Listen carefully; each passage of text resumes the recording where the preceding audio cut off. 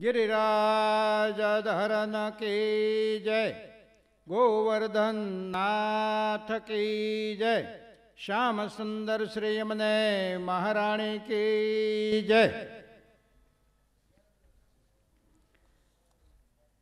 બપોર પહેલાં આપણે નવસ્કંધની અંદર પ્રવેશ કર્યો.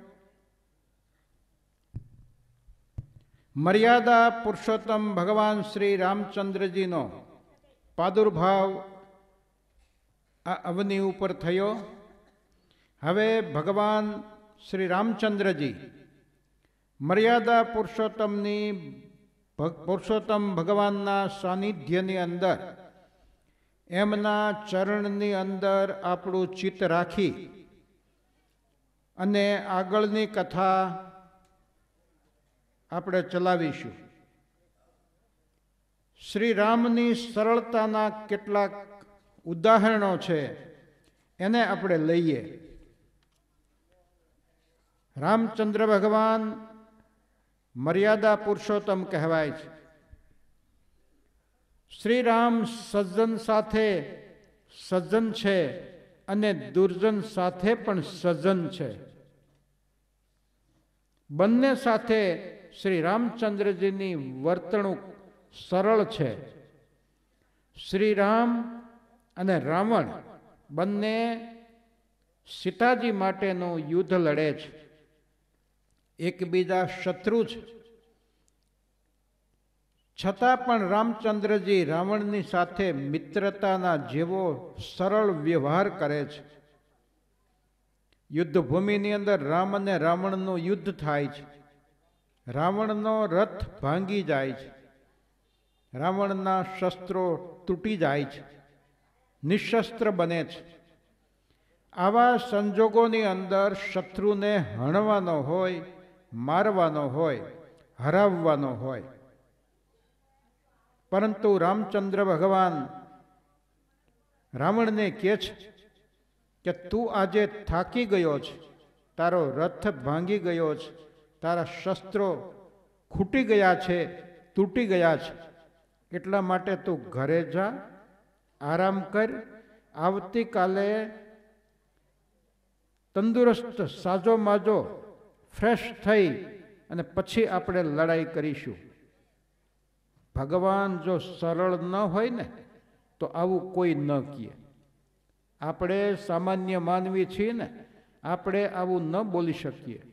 દુશ્મન હોય, એને લાગ મળીને લોકો મારવા પ્રયત્ન કરે. રામચંદ્ર ભગવાન, એનો દુશ્મન રાવણ, એને રાહત આપે છે. કે ભાઈ તું તૈયાર થઈને કાલ આવી, ત્યારે આપણે ફરીથી લડીશું. આ, આવી તો શ્રી રામચંદ્ર ભગવાનની સરળતા છે. શ્રી રામની સરળતાનો એક બીજો ઉદાહરણ લઈએ. ભગવાન વનની અંદર જાય છે. ગંગા પાર કરવાની છે. કેવટ ગંગા પાર કરાવવા માટે પોતાની હોડી લાવે છે. કેવટ કહે છે કે હું પગ ધોયા વગર હોડીની અંદર નહીં બેસવા દઉં. સાંભળ્યું છે કે તમારા પગની રજ અડવાથી નિર્જીવ પથ્થર સજીવ થાય છે અને સ્ત્રી બની જાય છે. મારી નાવડી મારું ગુજરાન ચલાવવા માટેનું સાધન છે. એની અંદર તમે પગ રાખો, નાવડી સ્ત્રી બની જાય તો મારી આજીવિકા તૂટી જાય. આવું કેવટ કહે છે. ભગવાન એને સમજાવે છે. છેવટે ભગવાન કેવટને પગ ધોવા દેવા માટે તૈયાર થાય છે. કેવટ કોઈ પૂર્વજન્મનો ભાગ્યશાળી, પુણ્યશાળી આત્મા હશે.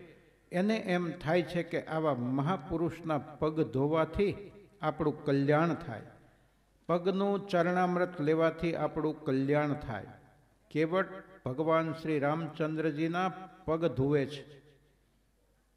કીર્તન આપણે આવે છે ને, પગ મને ધોવા દો રઘુરાય. એ રીતે પગ ધુવે છે. ત્યાર પછી ગંગા પાર કરાવે છે.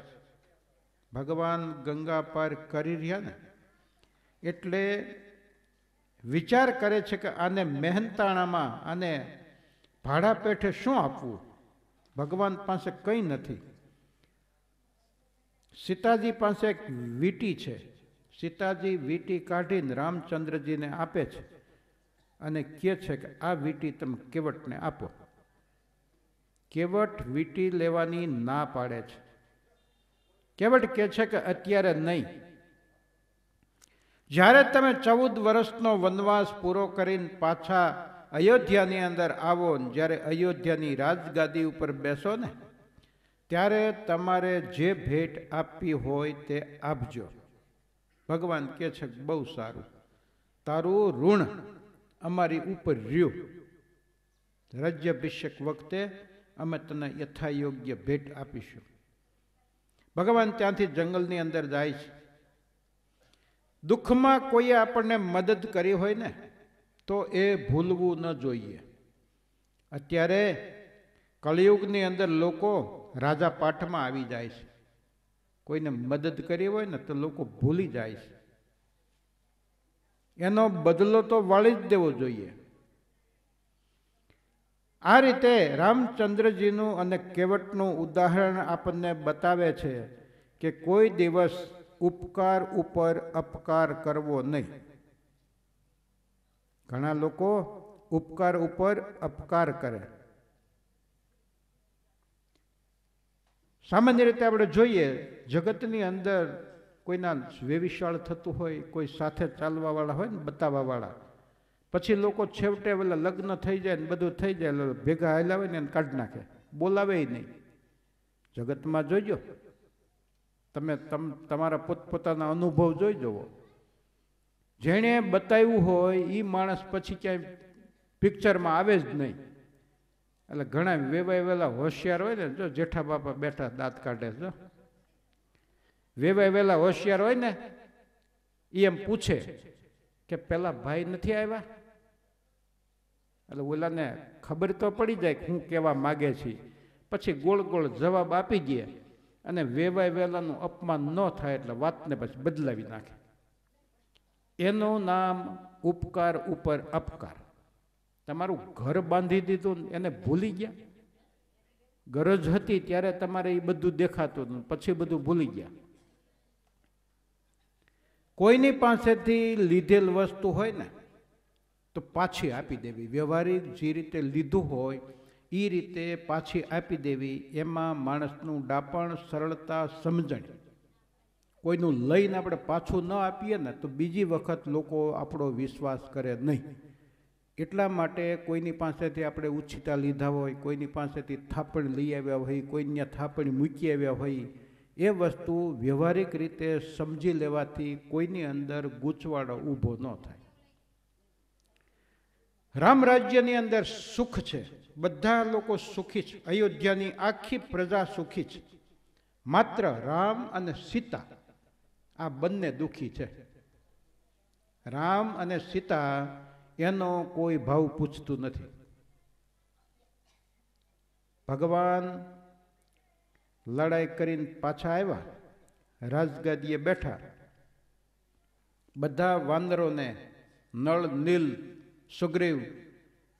બધાને ભેટ સુગંધો. ગિફ્ટ અંગ્રેજીમાં ગિફ્ટ કહીને આપે છે. બધા રાજી થાય, સ્વીકારે છે. ભગવાનની પ્રસાદી થઈ ને. હનુમાનજીને કંઈ આપતા નથી. સીતાજી કહે છે કે બધાને તમે થોડું થોડું આપ્યું. હનુમાનજીને કંઈ નહીં આપો. રામચંદ્ર ભગવાન કહે છે કે દેવી હનુમાનજીના એટલા બધા ઉપકાર મારા ઉપર છે કે એને આપવા માટે મારી પાસે કઈ વસ્તુ નથી કે જેથી મારા ઉપરના ઉપકાર પૂરા થઈ શકે. અને હનુમાનજીને કાંઈ જોતું નથી. રામચંદ્ર ભગવાને લક્ષ્મણને કાંઈ નથી આપ્યું. ભરતને કાંઈ નથી આપ્યું ને શત્રુઘ્નને વળી એક મથુરાનું રાજ આપ્યું. સીતાજીને કાંઈ નથી આપ્યું અને આપ્યું છે ને એ ખરેખર જાણવા જેવું નથી. સીતાજીને ભગવાને વનવાસ આપ્યો. સગર્ભા છે, વનની અંદર મોકલી દીધા. અંતરિયાળ ઉતાર્યા.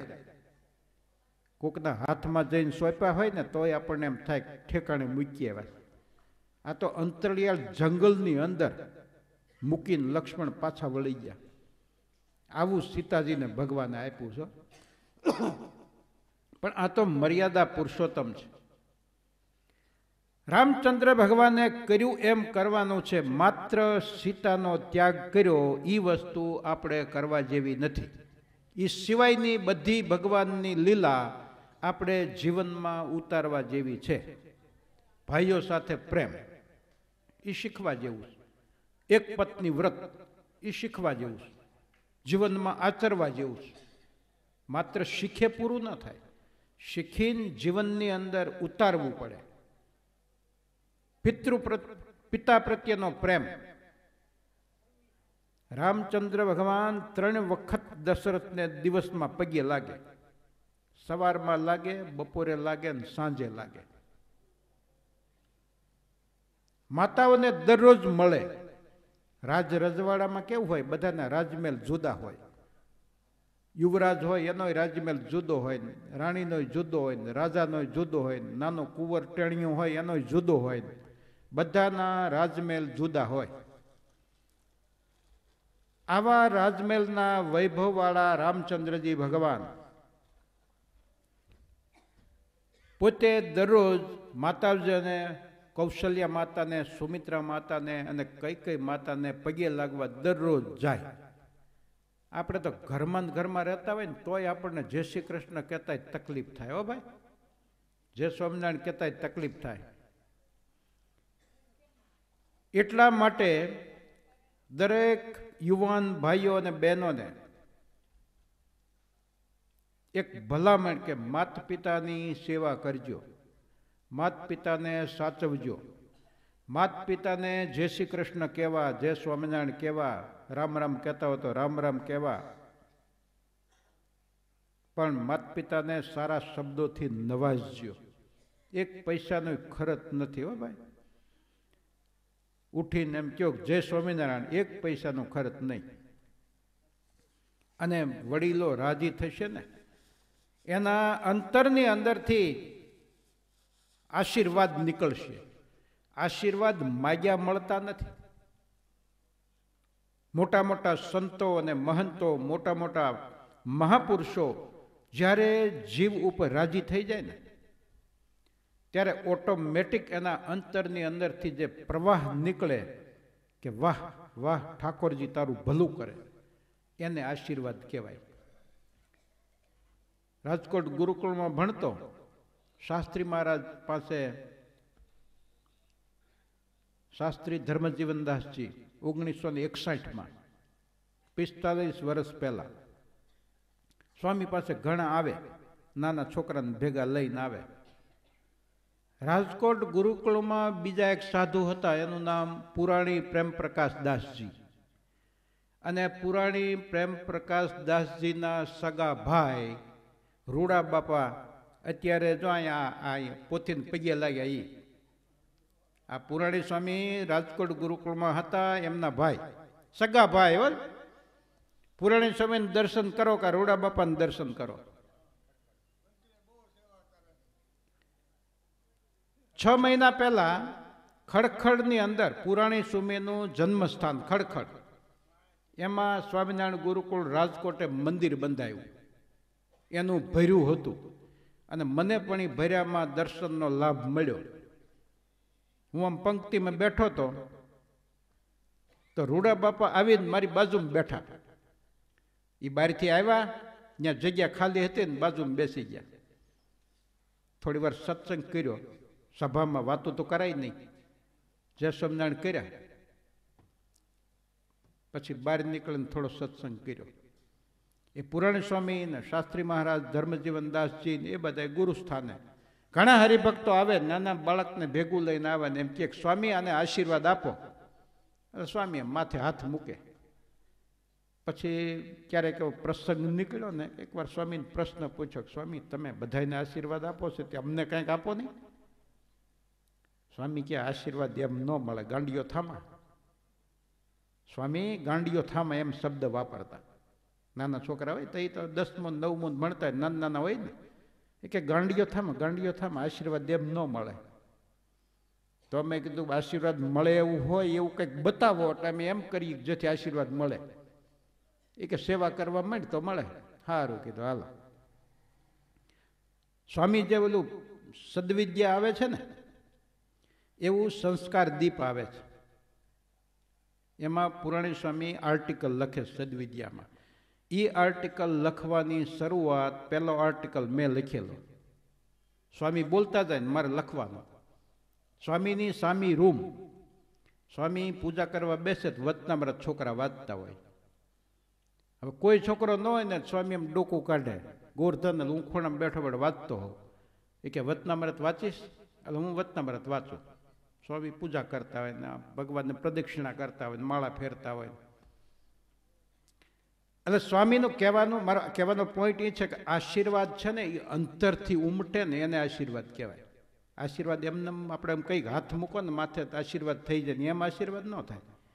સામા માણસનું હૃદય એકદમ ખુશ મિજાજ થઈ જાય એવી આપણી ક્રિયા હોય તો મહાપુરુષો અને સંતો સામાવાળાને ઓટોમેટિક આશીર્વાદ આપી દે.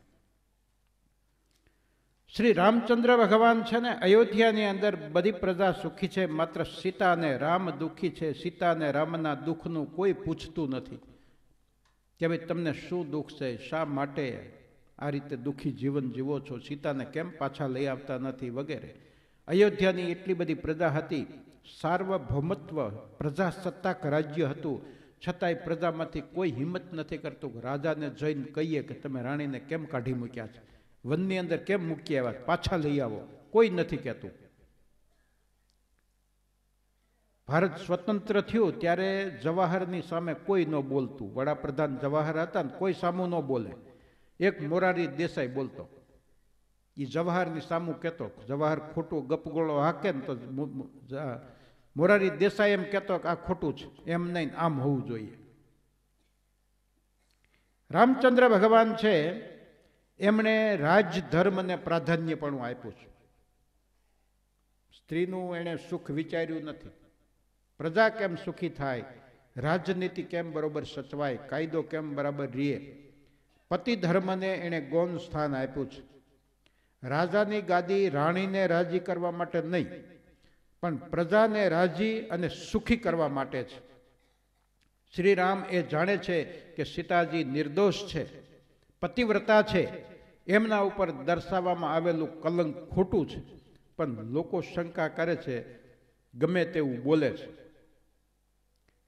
જે માણસ જેવું હોય, એવા ભાવથી બીજાને જોવે. ક્રોધી હોય એને જગતમાં બધા ક્રોધી જ દેખાય. અબુધ હોય એને બધા અબુધ જ દેખાય. અને દારૂડિયા હોય એને બધા દારૂડિયા જ દેખાય. તો જ કંપની જામે ને. સરખે સરખા થાય તો જ કંપની જામે. લોભી હોય ને એને બધા લોભિયા દેખાય. કામ વાસનાથી પીડાતો હોય ને એને બધા જગતની અંદર કામી માણસો દેખાય. સીતા માતાજીનું આપણે સ્મરણ કરીએ ને કે માતાજીને વનમાં મોકલી દીધા માતાજી દુઃખી છે. માતાજી દુઃખી છે ને એવું બધું આપણે વિચાર કરીએ તો આપણું હૃદય ભરાય આવે. એક તો માતાજી એટલે સ્ત્રીનો અવતાર, બીજું માતાજી એટલે માતા, ત્રીજું માતાજી એટલે લવકુશના માતા, અને ચોથું ધરતીમાંથી સીતાજી પ્રગટ થયા છે. ધરતીમાંથી ધરતી માતા તો આપણી બધાની માં છે. આપણે બધા ભલે માણસ કુખેથી જન્મીએ, પણ આપણો જે જન્મારો છે, આપણો જે દેહ છે, એ તો પંચભૂતમાંથી બનેલો છે. પૃથ્વી, જળ, તેજ, વાયુ ને આકાશ, એમાંથી આપણો દેહ બંધાણો છે. આપણા માતા અને પિતા એના વીર્ય થકી આપણો જન્મ થાય છે, પણ એમનો ખોરાક તો જગતની અંદર, પૃથ્વીની અંદર જે ઉત્પન્ન થાય, એમાંથી ખોરાક લે છે ને? એ ખોરાકમાંથી લોહી બને, ખોરાકમાંથી વીર્ય બને, ખોરાકમાંથી શુક્ર બને અને એની અંદરથી મનુષ્યની ઉત્પત્તિ થાય છે. એટલે પંચભૂત પૃથ્વી, જળ, તેજ વાયુને આકાશ એની આ લોહીની અંદર, વીર્યની અંદર, શુક્રની અંદર સમાવેશ છે. એટલા માટે ધરતી માતા છે. સીતાજી ધરતીમાંથી ઉત્પન્ન થયા છે. લંકાનો રાજા રાવણ બધા પાસેથી કર ઉઘરાવે. ગંગાને કિનારે ઋષિઓ તપ કરે. ઋષિઓ પાસે રાજાના માણસો, રાવણના માણસો કર લેવા માટે ગયા. ઋષિઓ કે, અમારી પાસે કંઈ નથી. પહેરે કપડે અમે છઈ, એક તુંબડું છે અને એક ભિક્ષા પાત્ર છે. એ સિવાય કંઈ ન મળે ગંગાને કિનારે બેઠા બેઠા તપશ્ચર્યા કરે. ભૂખ લાગે ત્યારે ભીખ માગી વસ્તીમાં ખાવા જેટલું મળે એટલે પાછા વળી આવે. નદીને કિનારે આવી, ગંગાજીને કિનારે આવી, ગંગા માતાને દર્શન કરી, એને ભોગ ધરાવીને પોતે ખાઈ ગંગા જળનું પાન કરે, પાછા ધ્યાનમાં બેસી જાય. આવી એની સ્થિતિ. રાવણના માણસો આવી અને કર માગે છે. ઋષિઓ કહે છે કે અમારી પાસે કાંઈ નથી. ગાજતે વાજતે વાત રાજા પાસે જાય છે રાવણ પાસે જાય. રાવણ કે પૈસા ન હોય તો કાંઈ નહીં, એના લોહીના ટીપા લ્યો. તો દરેક ઋષિ મુનિ જે ગંગાને કિનારે તપ કરતા હતા ને, એના લોહીના ટીપા લઈને ચરુ ભર્યો. છેલ્લા જે ઋષિ હતા ને, ત્યાં ચરુ ગયો ને, એનું લોહી લીધું ને, તામ છલકાઈ ગયો. ચરુ હતો એ લોહીથી છલકાઈ ગયો. ઋષિ તો ત્રિકાળ જ્ઞાની હતા. ઋષિ ઓલાને પૂછે છે કે આ શું છે? તો કે તમારા લોહીનું ટીપું એમાં નાખ્યું ને એમ આ બધા ઋષિઓ દેખાય છે ને તમને ગંગાને કિનારે. એ બધાના લોહી ભેગા કર્યા છે. એ કે આ લોહી છે ને એ તારા રાજાનું મૃત્યુ કરશે. રાવણને શાપ મળી ગયો. આશીર્વાદ મેળવતા વાર લાગે. શાપ મેળવતા વાર ન લાગે. મિત્રતા કરતા ઘણો સમય લાગે. દુશ્મનાવટ કરતા વાર ન લાગે. હમણાં જો સભા બેઠી છે ને, મોરારી બાપુ એમ કે કે સતયુગ હતો એવું નથી, ત્રેતાયુગ હતો એવું નથી દ્વાપર યુગ હતો એવું નથી અને કળયુગ છે એવું નથી.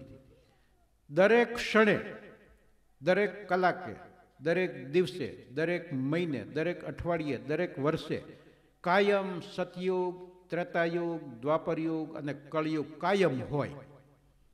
જો અત્યારે સભા બેઠી છે. શ્રીમદ ભાગવતનું વાંચન હું કરું છું, તમે બધા સાંભળો છો. અત્યારે સતયુગનું વાતાવરણ કહેવાય. નૈમિષારણ્ય ક્ષેત્રની અંદર સૌનક, સૌનકાદિક ઋષિઓ, સૌનક આદિક, એટલે એક નામ આપ્યું પછી વગેરે વગેરે કહી દીધું. એટલે આદિક કહેવાય. દુર્યોધનની સો ભાઈ હતા, પણ બેના નામ આવે દુર્યોધન અને દુશાસન. બાકીના અઠ્ઠાણુંના નામ ખબર હોય, હાથ ઊંચો કરો. યા વગેરે જેવી વાત કે દુર્યોધન ને દુશાસન આદિક ભાઈઓ. પાંડવો પાંચ છે ને તેના નામ બધાને ખબર હોય. હેલું પાંચ એટલે છેલ્લા હોના નામ યાદી ન રહીએ. અને ભાઈઓ હતા થોડા ઘણા મોઢાઈ હરખા લાગે ને?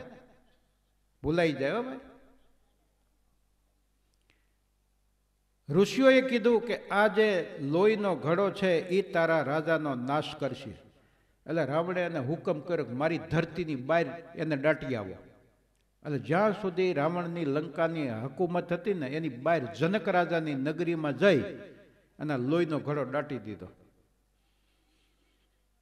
જનક રાજાને સંતાન નથી. મોટી ઉંમર થઈ. બ્રાહ્મણો પાસે જોવરાયું બ્રાહ્મણો પાસે જોવરાયું જય શ્રી કૃષ્ણ. આ અમારે બેન આવે છે. હાજા માદા થઈ ગયા હતા ભગવાને કૃપા કરી અહીં આવીને આપણી વચ્ચે બેસીને, આપણી સાથે બેસીને આપણે બધા એકી સાથે કથાનું શ્રવણ કરીએ છીએ. એટલે ઠાકોરજીની મહેરબાની ગણીએ. નહીતર પોતે ચાર પાંચ દિવસ તો હાવ કોમામ જતા રહ્યા હતા થોડો સમય તો એમ બીક લાગી અમને કે પ્રસંગનું કેમ થશે? એવું થઈ ગયું હતું. પણ ઠાકોરજીની કૃપા એમનું લાયુષ્ય, આયુષ્ય લંબાવી આપ્યું અથવા એમના ઉપર ઘાત ગઈ. ગઈકાલે મેં વાત કરેલી ને કે અજામિલ હતો ને એ મરણ પથારીએ પડ્યો હતો. એમાંથી બેઠો થયો ને, વર્ષો સુધી જીવો ને, પછી ભગવાનનું શરણ લઈ લીધું અને એનું આત્મકલ્યાણ થયું. જીવાત્માને જ્યારે દુઃખ આવે છે, પૂર્વના પ્રારબ્ધ કર્મ અનુસાર દેહ મળે છે, દેહ બંધાય છે અને દુઃખ મળે, સુખ મળે, એ પૂર્વના પ્રારબ્ધ કર્મ અનુસાર સુખ ને દુઃખ મળે છે. અને દુઃખ પૂર્વના દુઃખ છે, એ શરીર થકી ભોગવવા પડે છે. અને દુઃખ જો આના દેહે ભોગવાઈ જાય ને, તો ભગવાન શ્રીહરિ પોતાના સ્થાનની અંદર, પોતાના ધામની અંદર આપણને સ્થાન આપે. એટલા માટે શરીરે આપણને દુઃખ આવે તો ભાંગી પડવું નહીં. ભજન કોઈ દિવસ બંધ કરવું નહીં.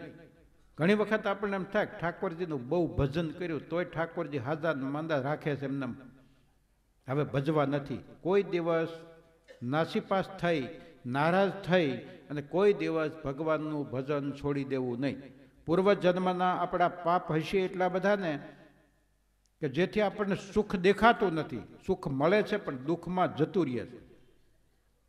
ભારતની વસ્તી એટલી બધી વધે છે ને, ભારતનો જે પ્રોગ્રેસ થાય ને, એ વસ્તી બધી વસ્તીમાં ચવાઈ જાય. એવી રીતે આપણે જો જીવન જીવતા જીવતા સત્કર્મપૂર્વક સત્યનો આશરો લઈને, ધર્મનો આશરો લઈને જીવન નહીં જીવીએ ને, તો આપણા પાપ કર્મ પૂર્વ જન્મના છે એ મટશે નહીં.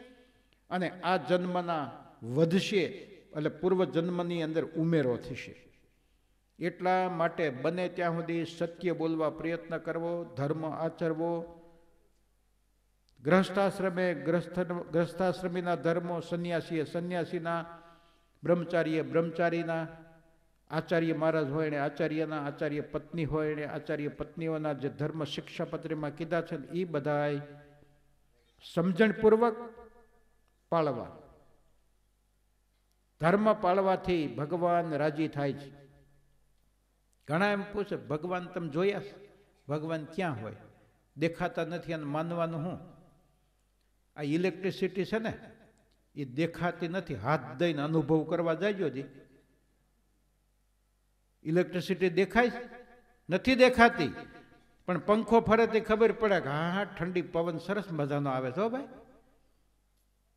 દેખાતી નથી, એને જોવા માટે, અનુભવ કરવા માટેની આંગળી ન દેવાય. નહીતર જે સ્વામિનારાયણ થઈ જાય, એમ ભગવાન છે ને?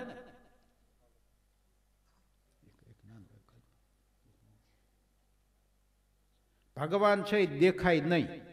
ભગવાન છે એ અનુભવ કરવાની વસ્તુ છે. મોટા મોટા ભગવદીઓ હોય ને, એને ભગવાન દેખાય, આપણને ન દેખાય. આપણે ભગવાનની ભક્તિ પહેલાં તો સંપૂર્ણ રીતે જેવી રીતે કરવી પડે ને એવી રીતે કરતા નથી. શ્રી કૃષ્ણ શરણમમ કરતા મોઢામાં બીડીને ઠૂઠું ઘાયલું હોય આમ. સમજ્યા? કૃષ્ણ કાનુડા પાસે તો અગરબત્તી ન કરાય. કામવનના એક બાબા અનિરુદ્ધ બાબા નંજીભાઈ ક્યાં ગયા? અનિરુદ્ધ બાબા અમેરિકા આવ્યા હતા. તો અમને તો કાંઈ ખબર નહીં. તમારે ત્યાં આરતી પેટાવીને પછી અગરબત્તી કરી. ત્યારે તો એણે કાંઈ કીધું નહીં, પણ પછી પૂરું થઈ ગયું ને પછી કે આમ ન કરાય એમય ન કીધું એણે. પણ એ કે આપણો કનિયો છે ને બહુ નાનો છે કે અગિયાર વર્ષ અને બાવન દિવસનો હોય ત્યાં સુધી કનિયો કહેવાય. પછી તો એ મથુરાધીશ થયા હતા એટલે એને ધુવાડો ન ગમે. એટલે આપણે હવેલીઓમાં કે અગરબત્તી ન કરે આપણે સમજી જવાનું. એ કાંઈ એમ ચાબખો મારીને આપણને કે હું તમને કહું છું, એવું ન હોય. આ તો ઘેરા ઘા છે. જેને લાગુ પડે ને એને લઈ લેવાનું. હું એક શબ્દ બોલું, તમને બધાને સંભળાય. બરાબર? એને આકાશવાણી કહેવાય. આકાશવાણી એટલે એમ કાંઈ, હ? કંસને આકાશવાણી સંભળાણી હતી ને, કે દેવકીનું આઠમું સંતાન તારો નાશ કરશે. એ રેડિયોમાંથી જ પ્રસારિત થયું હતું કોઈ કીધું હોય કે ભાઈ ત્યાં જોખમ છે, આ જોખમ જેવું કામ કરીમાં રામચંદ્રજી ભગવાનની કથા આપણે આગળ ચલાવીએ છીએ. એની અંદર સીતાજીને વનવાસ આપ્યો છે. રામચંદ્રજી દુઃખી છે. રામચંદ્રજીની અયોધ્યાની પ્રજામાંથી એક પણ જણ આવીને ભગવાનને એમ કહેતું નથી કે તમે સીતાજીને પાછા લાવો. અમારા મહારાણીને તમે શા માટે વનવાસ આપ્યો છે? સીતાના જન્મની વાત લઈએ, ઋષિઓના લોહીનો ઘડો ભર્યો છે. જનક નગરીની અંદર ડાયટો જનક રાજાને સંતાન નથી. બ્રાહ્મણો પાસે જોવરાવે છે, પૂછે છે, બ્રાહ્મણો સલાહ આપે છે કે તમે યજ્ઞ કરો. યજ્ઞ માટેની જે જમીન હોય એને તમારે પોતાને હાથે ખેડવી પડે. એટલે જનક રાજા અને મહારાણી સુનૈના સુનૈના, જેના નયન, જેની આંખો સુંદર છે, એને સુનૈના કહેવાય. આવા સુનૈના મહારાણી અને જનક વિદેહી બંને હળે જૂતે છે. એ વખતના રાજા રજવાડાઓ હળે અને ગાડે જૂતતા હો. બપોર પહેલાં વાત કીધી ને કે દુર્વાસા ઋષિને આમંત્રણ આપ્યું દ્વારકાધીશે જમવાનું. રૂક્ષ્મણીજીએ હઠાગ્રહ કર્યો. હઠ આગ્રહ. હઠ વત્તા આગ્રહ એટલે હઠાગ્રહ. કે તમે દુર્વાસન તેડી આવો તમારા ગુરુને તેડી આવો જમાડવા. ભગવાન ના પાડી તોય તેડવા ગયા. અને દુર્વાસાએ કીધું કે આ બળદ છે ને એને છોડી નાખો. તમે બે જણા જૂતીને ગાડું ખેંચો તો હું જમવા આવું. અને કૃષ્ણ ભગવાને માતા રૂક્ષ્મણીજીએ ગાડાના બળદ તરીકે ખેંચ્યા રથને. દુર્વાસાને બેહારી. એવી રીતે જનક મહારાજ સુનૈના મહારાણી સાથે હળની હાલે જૂતે છે. હળનું જે દોહરો હોય ને, ત્યાં જૂતે છે ને બે જણા ખેંચે છે, ધરતી ખેડે છે. એવામાં હળની હાલ જમીનમાં ભરાણે. જે કોઈ તુંગુ ચાલ્યું હશે ને એને જોયું તો ઘડો નીકળ્યો. એમ થયું કે ભાઈ કહું કે લક્ષ્મી દાટી છે તે નીકળ્યા. હા, ખરેખર સાક્ષાત ધરતી માતાની અંદરથી સીતા માતા રૂપી લક્ષ્મી નીકળ્યા. વિષ્ણુ અને નારાયણ, લક્ષ્મી અને નારાયણ. સીતા છે એ લક્ષ્મીનું રૂપ છે એટલે એ લક્ષ્મી જ કહેવાય. સીતાજી ઘડો ખોલ્યો ને, અંદરથી સીતાજી નાની બાળકી. જનક રાજાને ખાતરી થઈ ગઈ કે બ્રાહ્મણોએ આપેલી સલાહ સાચી છે. સંતાનની પ્રાપ્તિ માટે યજ્ઞ કરવો જોઈએ. યજ્ઞની તૈયારી માટે જમીન ખેડે છે. એમાં જ એને દીકરી મળી ગઈ. ઘરે લાવે છે, મોટી કરે છે. ત્યાર પછી તો એમને બીજી એક દીકરી હોતી થાય છે. એનું નામ ઉર્મિલા છે. આ રીતે રામચંદ્રજી ભગવાન સોળ વર્ષની ઉંમરના છે. વશિષ્ઠ ઋષિના આશ્રમની અંદર અભ્યાસ પૂરો કરીને પાછા આવ્યા સોળ વર્ષની ઉંમરે યાત્રા કરવા ગયા. પછી એમને વૈરાગ આવ્યો કે સંસારમાં રહેવું નથી, રાજા બનવું નથી, સાધુ સંત બની જવું દશરથ રાજાને તો રામ ઉપર મીઠ હતી કે આને રાજા બનાવવો પછી વશિષ્ઠ ભગવાને એને બહુ સમજાવ્યા. ત્યારે એનો વૈરાગ કંઈક ઠંડો પડ્યો. અને આ જે ડિટેલની વાત છે ને વશિષ્ઠ યોગ રામાયણ કહેવાય છે, એની અંદર આપ્યું ડિટેલમાં. ત્યાર પછી રામચંદ્રજીનું જીવન આગળ ચાલે છે. એક દિવસ રામચંદ્રજી સભાની અંદર બેઠા છે. બધા દરબારીઓ રામચંદ્રની સામું જોવે છે કે જાણે રામચંદ્ર પોતે જ રાજા હોય. દશરથ રાજાને એકાએક પ્રેરણા થાય છે. મૃત્યુ હોય ને, કોઈ દિવસ ક્યારે મૃત્યુ છે જાણવાનો પ્રયત્ન ન કરવો. મેં અગાઉ કહી દીધું ને કે દાસ હતો. એણે વ્યાસજીને પૂછ્યું કે મારું મૃત્યુ ક્યારે? અને યમરાજા વ્યાસને, દાસને, ચિત્રગુપ્તન બધાય વિધાતા પાસે જ્ઞાન એ દિવસે જ એનું મૃત્યુ હતું. એટલે મૃત્યુ જાણવા પ્રયત્ન ન કરવો, મૃત્યુ કોઈ દી કોઈને પૂછવું નહીં. દશરથ રાજાએ એકવાર અરીસાની અંદર પોતાનું મોઢું જોયું કાને સફેદ વાળ જોયા. કાને સફેદ વાળ થઈ જાય ને આપણે તો અહીંયા માનવાનું કે આપણને વૃદ્ધાવસ્થા છે ને, જરા જરા વળગી છે પણ જરા નામની રાક્ષસી. જરાસંઘ જેને કહેવાય ને. જરા એટલે ઘડપણ. અને સમજવું જરા આવી એટલે કાળ યવન આવવાનો છે એ તમારે સમજી લેવાનું. દ્વારકાની કથાની મથુરાની કથાની અંદર આવે છે ને, કે જરાસંઘે કાળયવન સાથે મૈત્રી કરી અને કૃષ્ણ ભગવાનની ઉપર મથુરામાં ચડાઈ કરી. એટલે પહેલાં વૃદ્ધાવસ્થા આવે અને વૃદ્ધાવસ્થા આવે ને એની પાછળ પાછળ કાળ હાયલો જ આવતો હોય. એટલે કે આપણું કાળ આપણને આંબી જાય એ પહેલાં શ્રીહરિની એવી આરાધનાપૂર્વકની ભક્તિ કરી લેવી કે આપણું જીવન મરણ પછી જ્યાં જવાનું છે ને, એનું ભાતું બરાબર તૈયાર થઈ જાય. શરીરનું ભાતું ભોજન છે, શરીરનું પોષણ ભોજનથી થાય છે, આત્માનું પોષણ ભજનથી થાય છે. એટલા માટે ભગવાનના કોઈ પણ એક અવતારનું ભજન ઉપાસના પૂર્વક ભાવના કરી લેવું. કરવા ખાતર નહીં. કરવા ખાતર કરીએ ને એનો કોઈ ફાયદો ન થાય. ભાવથી કરવાનો. તાલ છે ગવાય તો ઠીક છે, પણ તાલ કદાચ ન મળે, પણ ભાવ તો મેળવવો. ભાવ રાખવો. વિશ્વામિત્ર એક દિવસ અયોધ્યાની અંદર આવે છે. વિશ્વામિત્ર આવી અને કહે છે, આ વાર્તા બધી છે ને ટૂંકાવવી પડશે, કારણ કે સમયની મર્યાદાના પ્રમાણમાં જે ટોટલ કથાઓ છે ને બધી કહી શકાય એમ નથી. એટલે થોડી થોડી ટૂંકાવવી પડે આગા પાછી ગમે ત્યારે આવશે. પણ આમાં જે તથ્ય હોય એ તમારે સમજવા કોશિશ કરવી. રામના લગ્ન પહેલાં થઈ જાય તો માનવાનું ગઈ કથાના હતા. કૃષ્ણનો જન્મ પહેલાંની પછીની વાતો પહેલાં આવવા મળે તો માનવાનું કે ગઈ કથાનો કે છે. આજની કથાનો કૃષ્ણ જન્મ જ કાલે સાંજે થવાનો છે. સમયની મર્યાદા પ્રમાણે થોડો ફેરફાર કરવો પડે ને. વાચક હોય ને એને એમ કે ભાઈ આપણે કૃષ્ણ જન્મ દસ વાગ્યે નહીં, સાંજે સાંજે છ વાગ્યે રાખવો ત્યારે કૂદવાની મજા આવે ને બધા વાડીએથી વૈયા આવ્યા હોય ને. સારું એમ રાખીએ, હાલો. કૃષ્ણને જ્યારે કહેવું ને ત્યારે આવવાના છે. તૈયારી આપણી હોવી જોઈએ બોલાવાની. ભગવાન કે હું તો તૈયાર જ છું. માળા ફેરવો ને કૃષ્ણ કન્યો ન આવે કહેજો. કેટલા જણા ફેરવે છે, નથી આવ્યો, કયો લ્યો. ફેરવે એને આવે જ. મારી માળા હરખી નહીં ફરતી હોય, મને હજી દર્શન નથી થયા. એટલે દર્શનની બહુ આશા ન રાખવી, કારણ કે દર્શન માનો કનૈયો તમને આપી દે પછી શું કરો? હિમાલયના શિખર ઉપર તમે ચડી ગયા. પછી શું કરો તમે? કાં ત્યાં ત્યાં રહેવું પડે કે બરફમાં કાંઈ ન મળે અને કાં નીચે આવવું પડે.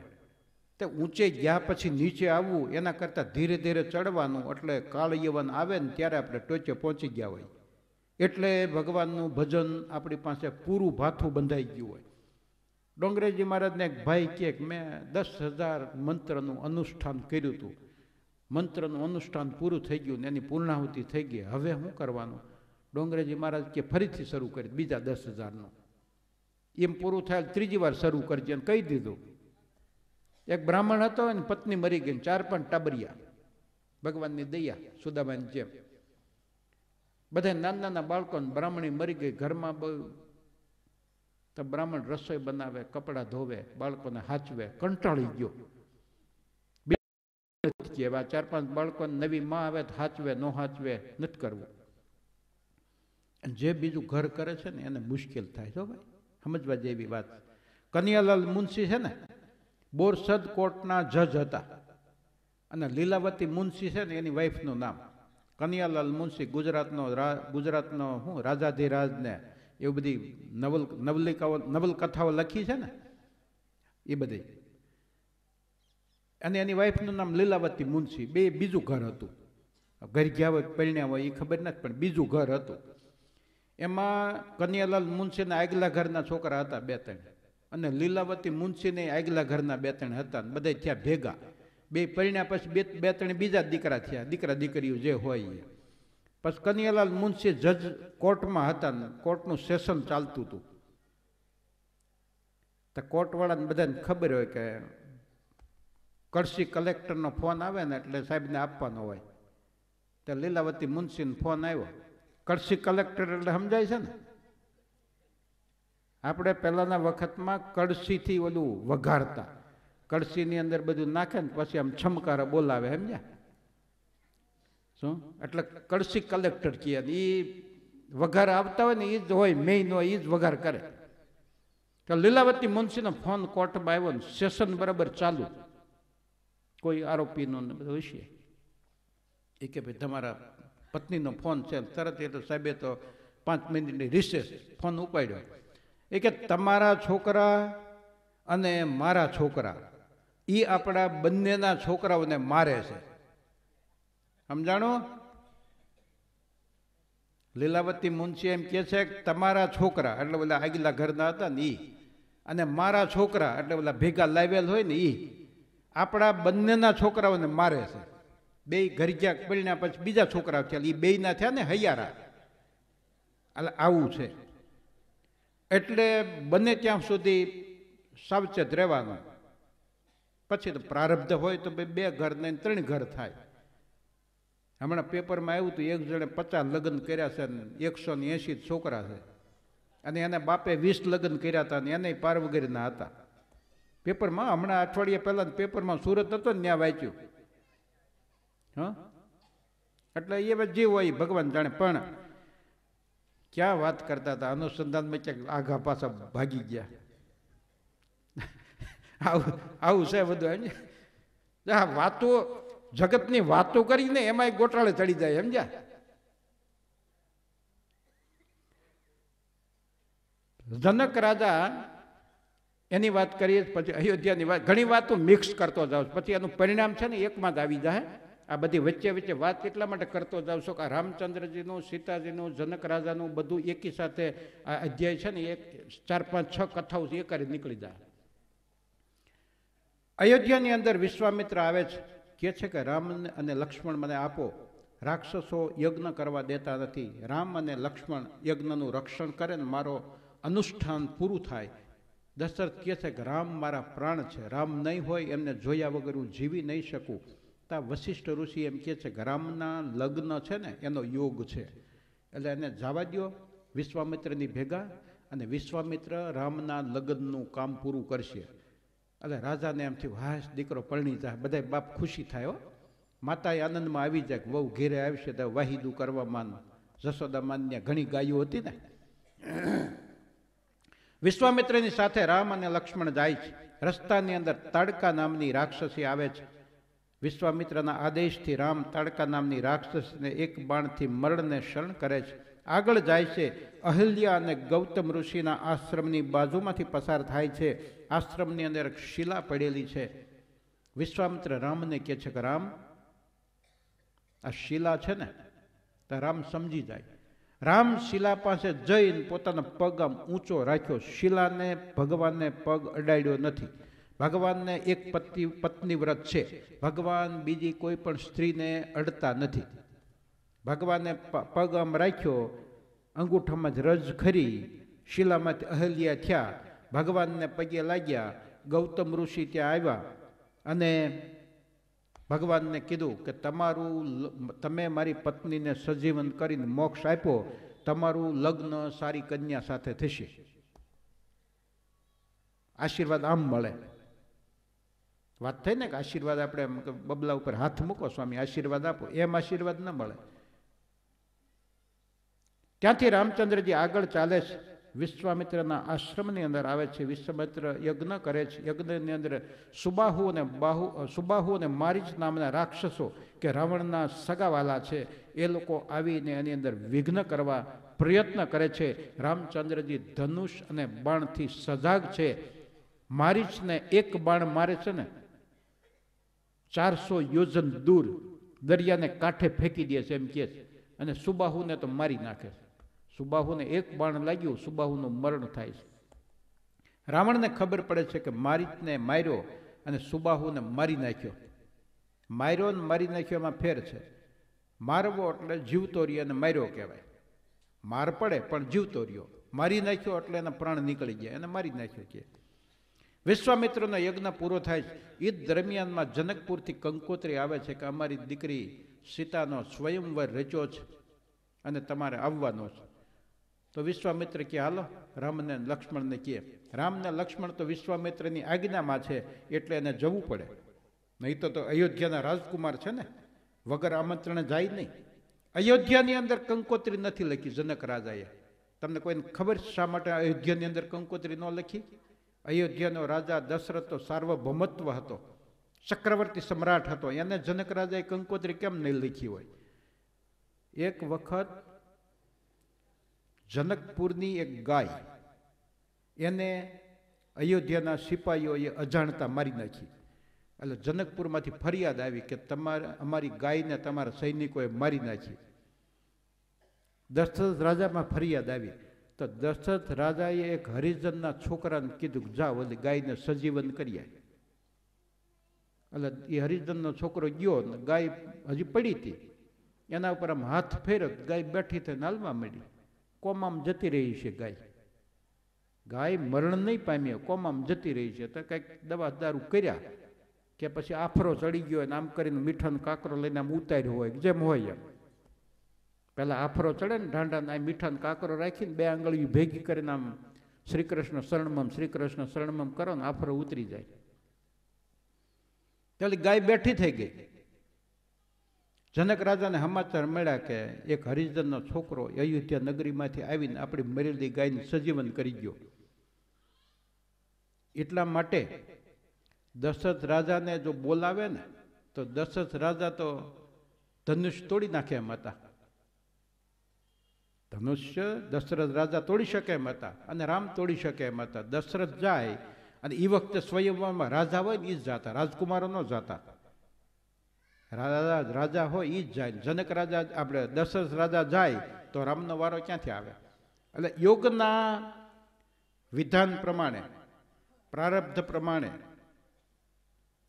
પૂર્વજન્મના કર્મ પ્રમાણે જે વિધાતાએ લખ્યું છે એ થાય એટલા માટે રામચંદ્રજીને ઇનડાયરેક્ટ રીતે, નકર તો અયોધ્યામાં કંકોત્રી નથી આવીને રામ અયોધ્યામાં હોય તો એ હોતી ન જાય. પણ ભગવાને ગોઠવું કેવું? વિશ્વામિત્ર લઈ ગયા અને એના આશ્રમમાં છે એના કહ્યામાં છે આ બંને રાજકુમારો. દશરથ રાજાએ કીધું છે કે વિશ્વામિત્ર તમને જે આજ્ઞા કરે તમારે કરવાનું. વિશ્વામિત્ર કે હાલો અયોધ્યા કંકોત્રી આવીશ ને આપણે જવાનું.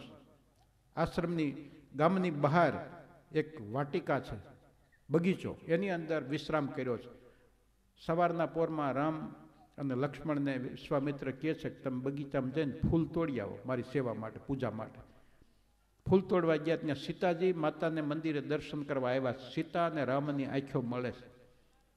સીતા માતા દેવી પાસે એવું માગે છે કે પિતાની પ્રતિજ્ઞા છે કે ધનુષ તોડે, શિવ ધનુષ તોડે. એની સાથે સીતાનો સ્વયંવર રચાય. પણ માં તને ખબર છે કે મને શું ગમે છે? મને કયો પુરુષ ગમે છે?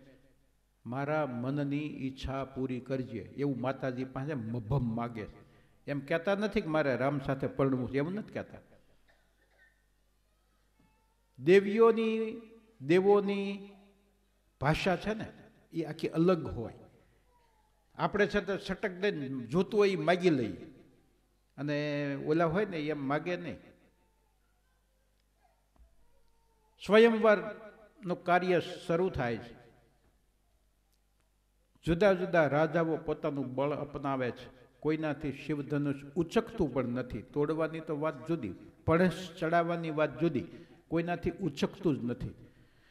જનક રાજા કહે છે કે જગતની અંદર બધા ક્ષત્રિયો મરી પરવાર્યા હોય એવું લાગે છે. આવી જો મને ખબર હોત ને કે આ ભારત દેશ છે ક્ષત્રિયની શક્તિ વગરનો દેશ બની ગયો તો હું આવી પ્રતિજ્ઞા લેત નહીં એવું બધું કહે છે. લક્ષ્મણ એકદમ ગુસ્સે થાય શેષ નારાયણનો અવતાર એકદમ ગુસ્સે થાય વિશ્વામિત્ર કહે છે કે વળી પાછા બેસી જાય.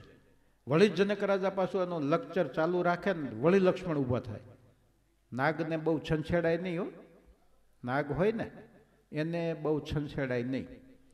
એમ કે છે કે નાગની આંખ્યું હામું કોઈ દી જોવું નહીં. નાગ નીકળ્યો હોય ને, એની આંખ્યું હામું ન જોવું આપણે. આંખ્યું હામું જોવો એટલે નાગને એમ થાય કે મારું અપમાન કર્યું. ખૂટ્યો હોય ને, ખૂટ્યો. આખલો જેને કહેવાય ને, આખલો. એટલે કોહે હાલી હાલીને ઓલા થઈ ગયા હોય એવા નહીં. પણ આખલા હોય ને, એની આંખ્યું હમું કોઈ દી જોવું નહીં. ખૂટિયાની આંખ્યું હમું તમે જોવો ને, એટલે તમારી હિમે દોટ મૂકે. અને એવું કંઈક ત્રીજું છે એ તો ભૂલાઈ ગયું વળી મારે. પણ એ ત્રણની આંખ્યું સામે આંખ મિલાવી સિંહ. સિંહની આંખ્યું સામે આંખ્યું કોઈ દી મિલાવવી નહીં. સિંહ આમ નીકળ્યો હોય ને, મેં જ જોયો નથી આમ રૂબરૂ કોઈ દી, પણ આમ કે છે લોકો કે આમ નીકળ્યો હોય ને, આપણે આમ હાયલા જતા હોય ને, તો ભાગવાનું નહીં. દોડવાનું નહીં. રાડ્યો નહીં પાડવાની. અને બીજા બધે બાજુમાં હોય ને કહેવાનું નહીં કે ભાઈ, અહીં સિંહ રહ્યો સિંહ રહ્યો, જોવો જોવો. કાંઈ બોલવાનું નહીં. તમે હાયલા જતો ને આમ હાયલા જાઓ એ હાયલો જતો છે ને એ આ મહેલો જાહે. પણ જો તમે ભાગ્યા ને અને એમાં એ ભૂખ્યો હશે, તો કદાચ આપણને ઝડપે ચડાવી દો એટલા માટે સિંહ, નાગ અને આખલો એની આખ્યું હામું આખ્યું મિલાવીને જોવું નહીં. એને અપમાન લાગે મારું અપમાન કર્યું તમે એમ. અને ઓમે તમે જોવો ને કોઈની સામે આંખ આંખ માંડીને જોવામાં મજા જ નહીં. કોઈની સામે આંખ માંડીને જોવું નહીં. એટલે ડાયા માણસો હોય ને નીચી નજર રાખીને વાત કરે. ભગવાને આપણને શીખી શીખવી ગયા. રથયાત્રામાં ભગવાન નીકળ્યા તો નીચી નજર રાખી. ન કે એ તો રાજા અધિરાજ હતા, દ્વારકાના રાજા હતા કૌરવની હસ્તિનાપુરની અંદર એની હાંક વાગતી. સમજ્યા ને કૃષ્ણ કહે એટલે પાંડવો તરત સિંહાસન ઉપર નીચે ઉતરીને એના પગમાં બેસી જાય. આવી તો ભગવાનની જોમ હતું, સમજ્યા ને? દ્વારકા નરેશની એટલી તો સત્તા હતી. પોતે રાજા નહોતા કૃષ્ણ ભગવાન છે ને દ્વારકાની ગાદી ઉપર કોઈ દી નથી બેઠા. ઉગ્રસનને બેહાર્યા કારણ કે યાદવોને શાપ છે કે તમે કોઈ રાજા ન થઈ શકો. એટલે યુગ્રસનના નામના રાજા રાખ્યા. અને કાર વહીવટ, કારભાર બધો કૃષ્ણ અને બળરામ કરે. રામચંદ્રજી એને વિશ્વામિત્ર કહે છે કે રામ રામચંદ્રજી ધનુષ પણ આવે છે ને આમ ઊંચું કર્યું બે ટુકડા થઈ ગયા. મોટો અવાજ થયો, જેમ ધરતીકંપ થયો એને કેમ અવાજ થાય? અથવા અણુબોમ ફોટ્યો એને કેમ વાતાવરણ બદલાઈ જાય એવું થઈ ગયું. પરશુરામ એકદમ આવ્યા કે ભાઈ, મારા ગુરુએ આપેલા શિવનું ધનુષ કોણે તોડ્યું? અને બધું વાટાઘાટો ને ચર્ચા ઘણી થાય છે. લક્ષ્મણ કે રામે તોડ્યું હં? એવી રીતે બધું થાય છે. પછી પોતે રામને કહે છે પરશુરામને ખબર છે કે રામનો અવતાર થવાનો છે રામને કહે છે કે આ તીરકામઠા ઉપર તમે પણસ ચડાવો જોઈએ ભગવાને પણસ ચડાવી એટલે પરશુરામને ખાતરી થઈ ગઈ કે આ જે મહાપ્રભુ રામ આવવાના હતા, એ આવી ગયા છે, મારું કાર્ય પૂરું થાય છે. ભગવાન કહે છે, પણસ ચડાવી જ ખરા, પણ હવે ફેંકવી ક્યાં? એમને નહીં જાય આ. સમજ્યા? તો કે ઉત્તર દિશામાં જવા દો ઉત્તર દિશા એ દેવની દિશા કહેવાય ઉત્તર દિશામાં બાણ ગયું ને પોતે પાછા પરશુરામની બાણની સાથે જ જતા રહીએ મહેન્દ્ર પર્વત ઉપર જઈ બાકીનું પોતાનું શેષ આયુષ્ય હતું. ભગવાન શ્રી રામની અંદર પોતાનું મન જોડી અને પરશુરામમાંથી માત્ર રામ થઈ જાય છે. પરશુ વત્તા રામ. પરશુ એટલે કુવાળી. એ કુવાળી રાખતા એટલે નામ પરશુરામ. અને હવે આ મર્યાદા પુરુષોત્તમ આવ્યા એટલે એ રામ. ટૂંકું નામ, સમજ્યા? રામ રામ રામ. વાલ્મીકી કહે છે ને, રામમાંથી મરા મરા મરા થઈ ગયું. તોય ભગવાને એનું ભજન સ્વીકાર્યું. રામચંદ્રજીના સીતાજી ત્યાંથી વરમાળા લઈને આવે છે. રામચંદ્રજી છે ને ઊંચા છે ને સીતાજી નીચા છે. અને સામાન્ય રીતે એમ જ હોય. બેનો જોઈજો આમ નીચા. સામાન્ય રીતે હરખા હોય ને કાં નીચા હોય. વરરાજો નીચો હોય ઠીંગણાનો. બાઈ માણસ બહુ કાઠાળા હોય તો લોકો એમ કહે કે વાતું કરે એમ. ટીકા કરે સમજ્યા એટલે સામાન્ય રીતે હોય તો એમાં કાંઈ ખોટું નથી. પણ સામાન્ય રીતે આવું હોય એમ. તો સીતાજી નીચા છે, રામચંદ્રજી કાઠાળા છે ને, માથે મુગટ પહેર્યો છે. યુવરાજ છે ને તે હારને રોપવો કેમ? આપણે જો ને, અત્યારે લગ્ન થતા ઘણા મજાક નથી કરતા. વરરાજાને ઊંચો લઈ જાય આમ, ચાર પાંચ ફૂટ ઊંચો. અને કન્યા બિચારી નીચી હોય તો પછી તકલીફ થાય, સમજ્યા ને? ઘણી વખત છે ને, હાથે કરીને પોતાનો વટ ખોવો નહીં. કોઈ કન્યા બહુ નિશ્ચયવાળી હોય ને તો એમ કે વરરાજો આફડો નીચે ઉતરશે ત્યાં સુધી ઊભી રહું, મારે કાંઈ ઉતાવળ નથી. તે ઓલાને પછી હેઠો ઉતારવો પડે ભાઈ. એટલે જે આમાં વરરાજા પૌર્ણામાં જાય ને, ખાસ કરીને ઓલો અણવર થાય ને, એને ખાસ ધ્યાન રાખવાનું. કે ઊંચો કરવો હોય તો તમે એક, બે ઇંચ, ચાર ઇંચ કરો ઠીક છે, પણ સમજ્યા? ઘણીવાર નીચું મૂકવું પડે. ત્યાંથી જ નક્કી થઈ જાય ઘરમાં કેનું હાલવાનું છે. હાર પહેર્યા વિના નીચું ઉતરીને પછી હાર પહેરાવે ને તો સમજી જવાનું કે ચોથા ફેરામાં પહેલાં બેસી જવાનો વારો એનો આવશે. નકર તો નીચે ઉતરવું ન પડે. શરૂઆતમાં પ્રથમ પગથિયે, પ્રથમ ગ્રાસે મક્ષિકા એમ કે ને, પહેલો કોળિયો ભર્યો જ માખ આવી, બાકીને જમવા મજા ન આવે. શંકા જ રીએ કે બીજી ચમચીમાં આવશે તો? એવું થાય. રામચંદ્રજી કહે છે કે લક્ષ્મણ કુંવારો છે ને, ત્યાં સુધી હું નહીં પરણું. મિથિલા નરેશને ખબર પડી. જનક રાજાએ તરત કીધું, મારી દીકરી ઉર્મિલાનું લક્ષ્મણ સાથે અને બીજો એક મારો ભાઈ છે, રાજા છે, એની બે દીકરીઓ છે, સુતકીર્તિ અને માંડવી, એનું લગ્ન ભરત અને શત્રુઘ્નની સાથે. એટલે રામ અને સીતા, લક્ષ્મણ અને ઉર્મિલા, ભરત અને માંડલી અને શત્રુઘ્ન અને સુતકીર્તિ, આ ચારેય જોડકા. કંકોત્રી લખી, અયોધ્યાની અંદર રાજા દશરથને મળી, રાણીઓ આગળ કંકોત્રી વાંચે છે, રાજી થાય છે. સૈન્ય સહિત જાન લઈ અને ધનતેરસને દિવસે રામચંદ્રજીના પિતા દશરથ, અયોધ્યા નરેશ દશરથ જનકપુરની અંદર આવે છે. અને વસંત પંચમીને દિવસે વળામણા છે એટલું લાંબુ રોકાણા. સીતાજીના લગ્ન થયા પછી સીતાજીનો હસ્તગ્રહણ કરે ને જે કન્યાદાન કરે, પછી હાથની અંદર એમ કે હું ગ્રહણ કરું છું એવું. તો લક્ષ્મણ કે અમે ક્ષત્રિયો છે ને અમે કોઈ દી ભીખ લેતા નથી, અમે ભીખ આપીએ છીએ. તો બધા સમજાવે છે કે મેં આમાં કહેવું પડે કે હું કન્યાનો હાથ ગ્રહણ કરું છું એવું. તે સિવાય લગ્ન પાકું ન થાય. લક્ષ્મણજી પછી છેવટે કહે છે, મન ઉપલ્યું. ત્યાંની સ્ત્રીઓ છે ને મજાક કરે છે કે અયોધ્યાની સ્ત્રીઓ, રાણીઓ કેટલી ભાગશાળી. ખીર ખાધીને બાળકો થયા નહીં આ રાજાના બાળકો ક્યાં હતા? એટલે લક્ષ્મણ એનો જવાબ આપે છે કે, અમે સાંભળ્યું છે કે અહીંની ધરતીમાં તો જમીનમાંથી કન્યાઓ નીકળે છે. માતાને ખીરે નથી ખાવી પડતી.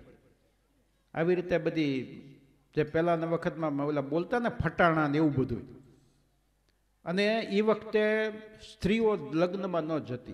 ત્રણેયમાંથી એકેય રાણીઓ લગ્નમાં નથી. પોંખવાનું બધું કામકાજ હોય ને ઘરે આવ્યા પછી થતું. હવે તો બધું સાથે જ આપણે બધું. હવે તો ઢગ્યું અહીં ખબર? પહેલાં બોલાવી દઈએ વરવેવા હોય તેથી ઢગ આવી જાય. અને ઓલા વરઘોડો નીકળે ને ત્યારે ગરબા લે તેમાં કન્યા પહેલેથી આવીને વરરાજાની અરે સમજ્યા? નકર એમ કહેશે કે માંડવાને ઓળંગાય નહીં એવું પહેલાં કહેતા. હવે તો વરરાજો અહીં માંડવાને ચક્કર મારી આવે, કારમાં બેહી કે કઈ જગ્યાએ લગ્ન છે ખબર તો પડે? નકર પહેલાં એમ કહેતા કે વાહે વરરાતો બેઠો એમ દાંત કાઢે તો અમે તાજો તાજો થયેલો અમારે વલ્લભભાઈ ભાણ્યો એટલે નીચું કાં જોઈ ગયો?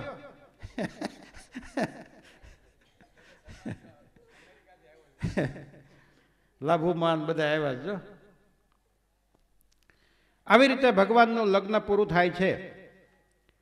ચારેય ભાઈઓના મંગળ વર્તાય છે, જનક રાજા વિદાય આપે છે, અયોધ્યાની અંદર આવે છે. ચારેય લક્ષ્મીનારાયણના જોડકાનું માતા કૌશલ્યા, સુમિત્રા અને કઈ કઈ એમની આરતી ઉતારે છે, ઘરની અંદર પગલાં પાડે છે. ચાર લક્ષ્મીઓ લક્ષ્મીનારાયણ જેવા જોડકા દેખાય છે. ચાર વહુઓ એકી સાથે આવી છે.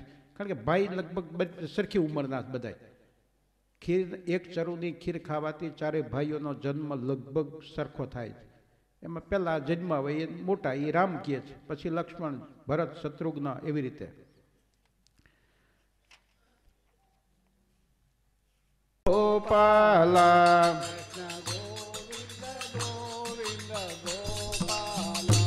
કૃષ્ણ ગોવિંદ ગોવિંદ, ગોપાલા.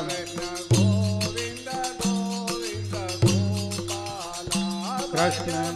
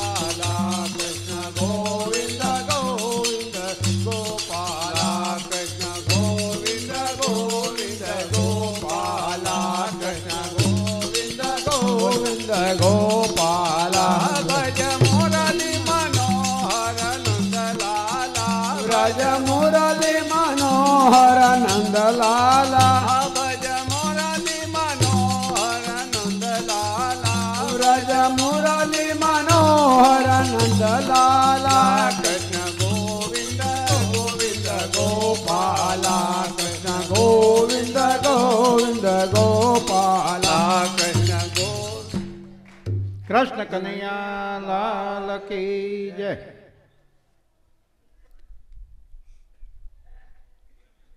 ચા પાણીની વ્યવસ્થા અત્યારે થઈ રહી છે, પણ આપણે કથા ચાલુ રાખીશું એટલે કથાની અંદર જે કાંઈ થોડી ઘણી વધારે આપણને માહિતી મળે, એથી વધારે માર્ગદર્શન મળે, ભગવાનના માર્ગમાં આગળ વધવા માટે વધારે પ્રેરણાદાયક પ્રસંગો મળે. કેવું છે? વડીલો, ભાઈઓને ખાસ વિનંતી, થોડાક આગળ આવો, પાછળ જગ્યા નથી, એટલે વચમાં જગ્યા હોય અને ખોટી પડી રહીને પાછળ હકડા થાય. તો થોડા થોડા બહેનો, ભાઈઓ આગળ આવો. કારણ કે આજે રવિવાર છે, એટલે ઘણા ભાઈઓ આજ આવશે. જય શ્રી જય શ્રી કૃષ્ણ. તૈત્રીય ઉપનિષદની અંદર કહે છે કે શરીર છે ને એ યજ્ઞ ભૂમિ છે અને શ્રદ્ધા છે એ પત્ની છે. આત્મા એ યજમાન છે. આ યજ્ઞથી પરમાત્માની, પરમાત્માને પ્રાપ્ત કરવાના છે જીવાત્મા અને પરમાત્માનું મિલન એ પ્રાપ્તિ. યજ્ઞના ચાર દરવાજા એટલે ઇન્દ્રિયોના ચાર દરવાજા. તે યજ્ઞની અંદર સુબાહુ, મારીચ વગેરે રાક્ષસો છે ને, એને ઉપમા આપવામાં આવી છે. કામ, ક્રોધ, લોભ અને મોહ. એટલે ભગવાને મારીચ ને બણ માર્યું અને સુબાહોને મારી નાખ્યો. એટલે આપણા શરીરની અંદર જે કામ, ક્રોધ, લોભ અને મોહ છે ને, એને આપણે આપણા વિવેકરૂપી જ્ઞાન, વિવેકરૂપી બાણથી એને મારવાના છે. કહેતા ને કે એનાની, એની અસરની અંદર આપણે આવવાનું નથી. શરીરમાંથી કામ, ક્રોધ, લોભ, મોહ વગેરેને ધીરે ધીરે ઓછા કરી ભગવાન શ્રીહરિના ભજનની અંદર માર્ગદર્શન મળે આગળ વધાય એવું એવી ભક્તિ આપણે કરવી. જ્ઞાનીઓ ઇન્દ્રિયોના દરવાજા બંધ રાખે છે. જ્યારે વૈષ્ણવ હોય ને, એ દરેક દ્વાર ઉપર ભગવાનને બેસાડે છે. બલિરાજાએ પોતાના દ્વાર આગળ ભગવાન શ્રીહરિને, ભગવાન વિષ્ણુને, ભગવાન વામનને બેસાડ્યા છો? એમ વૈષ્ણવો હોય, પોતાની ઇન્દ્રિયોના દરવાજે ભગવાનને બેસાડે. અને જ્ઞાની, માત્ર જ્ઞાની લોકો હોય ને, એ પોતે ઇન્દ્રિયોના દરવાજા બંધ રાખે. એટલે એમ કે આંખ બંધ રાખે એટલે કાંઈ દેખાય નહીં. કાન બંધ રાખે એટલે કાંઈ સંભળાય નહીં. ભાગવતનો રાહુ અને રામાયણનો મારીચ. આ બંને જણા એક છે. રામાયણમાં જે મારીચ હતો ને એ જ કૃષ્ણ ભગવાન વખતે રાહુ થયો છે. અને એ જલ્દી મરતા નથી. એટલે ભગવાને સુબાહોને મારી નાખ્યો, પણ મારી જ મર્યો નહીં. ચારસો યોજન જઈને પડ્યો, પછડાણો.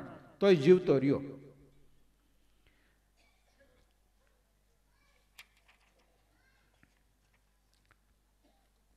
રામ, સીતા, લક્ષ્મણ, ઉર્મિલા, સુતકીર્તિ અને ભરત માંડવી અને ભરત અને સુતકીર્તિ અને શત્રુઘ્ન આ ચારેય જોડકાઓ અયોધ્યાની નગરીની અંદર પોતાનું યુવરાજપણું ભોગવી રહ્યા છે, સુખેથી ટાઈમ પસાર કરી રહ્યા છે.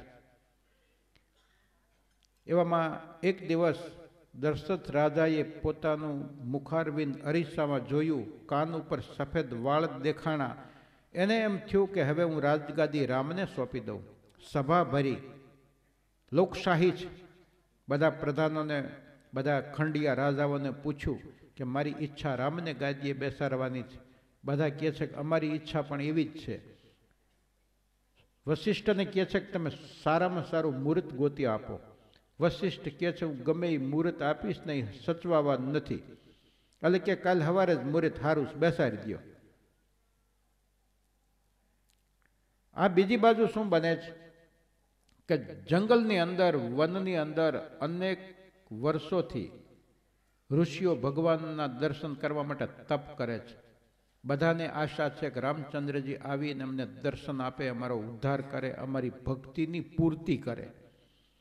અહીં જો રામ રાજા બની જાય તો પછી વનમાં જાય નહીં, વનમાં જાય ને તો ઋષિઓના દર્શન થાય નહીં, ઋષિઓના દર્શન થાય નહીં તો એની ભક્તિ પરિપૂર્ણ થાય નહીં, પરિપૂર્ણ થાય નહીં તો એનો મોક્ષ થાય નહીં, આત્યંતિક કલ્યાણ થાય નહીં, કૈવલ્ય મુક્તિ મળે નહીં.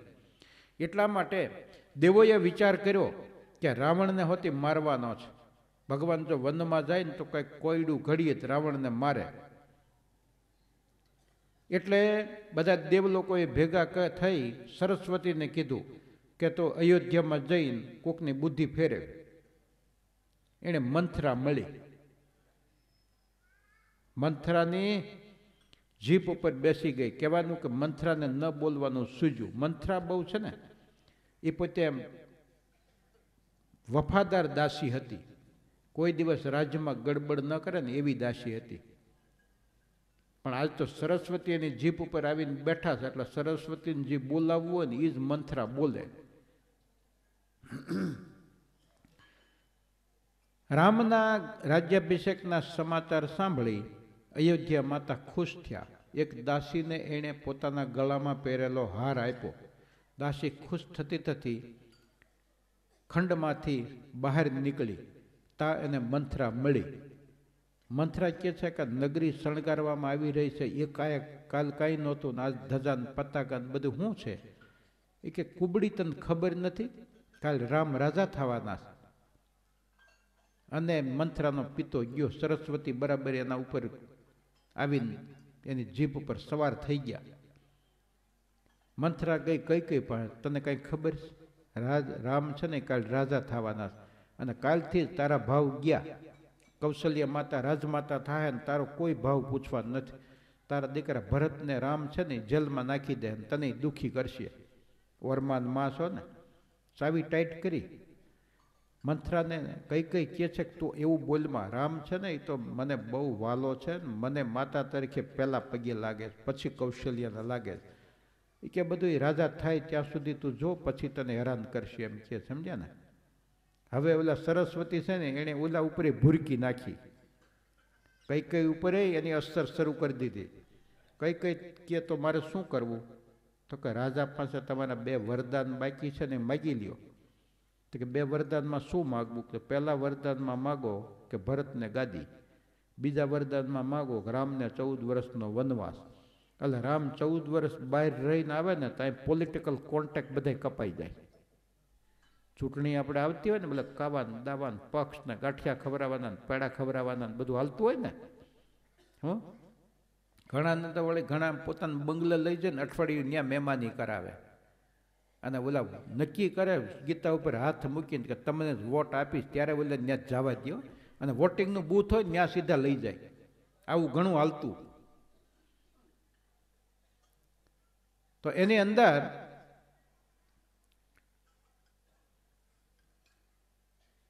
ક્યાં હતા રામજીભાઈ? હે? કઈ કઈનું હાલે હે ને? તમે માથું હલાવતા હતા મેં કીધું, મને ભૂલાઈ ગયો તમને ભૂલાઈ નથી ગયો ને? કઈ કઈ છે એની ઉપર અત્યારે સરસ્વતી સવાર થયા છે. સરસ્વતી જેમ એને કરાવે ને એમ કરે છે. દેવો રાજી થાય, સ્વર્ગની અંદર બેઠા બેઠા દેવો રાજી થાય છે કે આપણું કાર્ય જે કરવાનું છે એ આગળ ધપી રહ્યું છે. એટલે કઈ કઈ બે વરદાન માગે છે. રાજા રાજ દરબારમાંથી છૂટી અને સીધા કઈ કઈને મહેલે આવતા. કારણ કે કઈ કઈ છે ને, એ ભોગ પત્ની છે. કૌશલ્યા છે, એ રાજમાતા છે. અને સુમિત્રા બંનેની વચ્ચે. કઈ કઈના રાજમહેલમાં આવે છે, રાજમહેલની અંદર કઈ કઈ દેખાતા નથી. રાજા પૂછે છે કે, મંથરા, રાણી ક્યાં છે? કઈ કઈ ક્યાં છે? પહેલાંના વખતમાં રાણીઓ હોય ને, એને નામે બોલાવતા. કોઈ કઈ કઈ બા ને, કઈ કઈ ફૂઈ ને, કઈ કઈ, એવું ન કહેતા. કઈ કઈ જ કહેતા. મંથરા છે ને એ કઈ કઈ કહેતી? કારણ કે મંથરા, કઈ કઈ જન્મી, ત્યાંથી મંથરાએ એને બેબી સિટિંગ કર્યું છે. એટલા માટે કઈ કઈ ને કઈ કઈ જ કહેતી. મહારાણી થઈ તોય કઈ કઈ કહેતી. મંથરાને ગોતે છે, મંથરા મળે નહીં. કઈ કઈને ગોતે છે, કંત, કઈ કઈ મળે નહીં. પછી છેવટે મંથરા થોડુંક નખરા કરતી હતી ને બહાર આવીને કે એ તો કોપ ભવનમાં છે. તો રાજા ત્યાં જાય છે ને. કઈ કઈ ગુસ્સામાં છે. રાજાને જેવું તેવું બોલે છે. રાજા કે તારે જોતું હોય માઇક હું તને આપવા તૈયાર છું, પણ તું સારા કપડાં પહેરીને તૈયાર થઈ જાય ને કોપ ભુવનમાંથી બહાર નીકળ. કાલે આપણે રામને ગાદીએ બેહારવાના તું ઘણા સમયથી વાત કરતી હતી કે તમે હવે બુઢા થઈ ગયા છો. રામને ગાદી સોંપી દ્યો. મેં તો તારું કયું કર્યું છે. પણ કઈ કઈ કોઈ વાતે મનાવવા માટે તૈયાર નથી. દશરથ કહે છે કે, રામના સોગંદ ખાઈને કહું છું કે, તારે જે જોઈએ તે તું માગ, હું તને આપવા તૈયાર છું.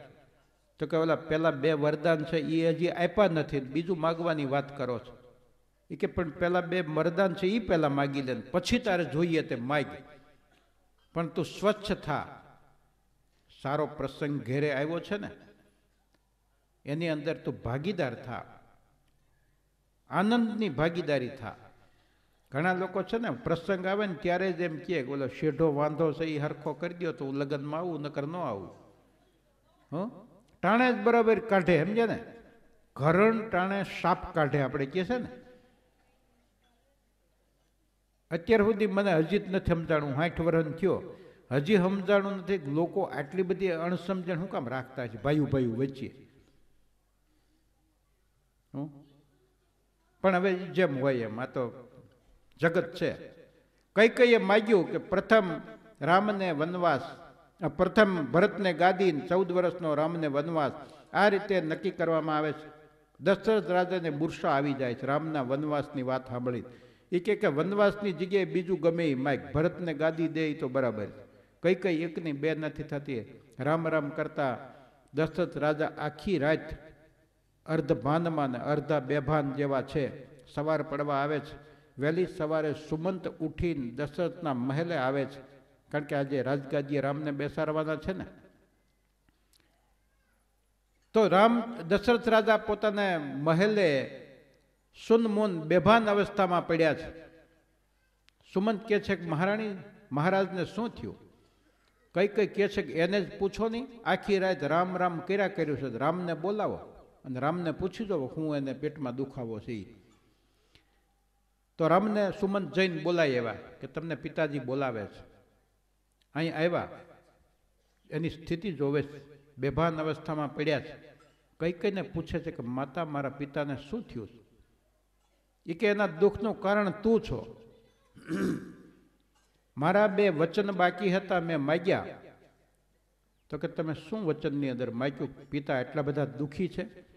તો કે, પહેલા વચનની અંદર એવું માગ્યું કે, ભરતને અયોધ્યાની ગાદી મળે.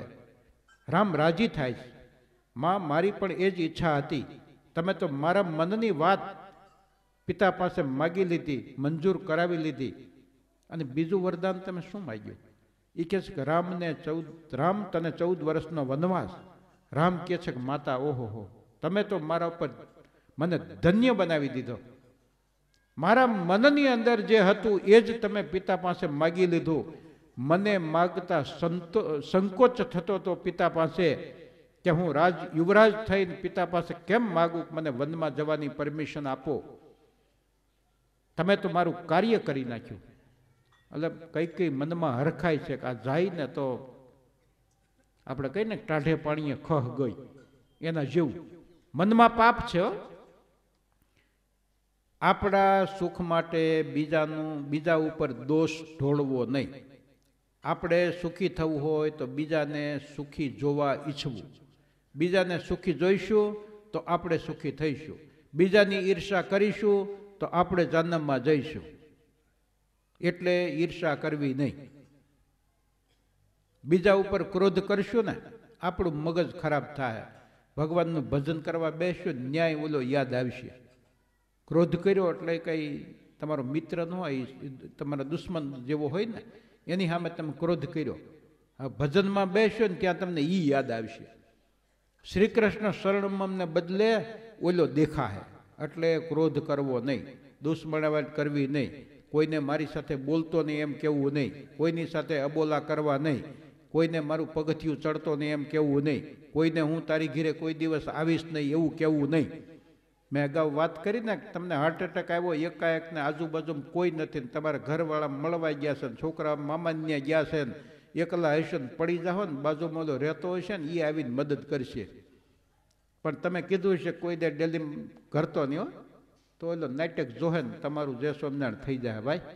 એટલા માટે કોઈની સાથે ટૂંકમાં કહેવાનું કે સારી વર્તણૂક બધા સાથે કરવી.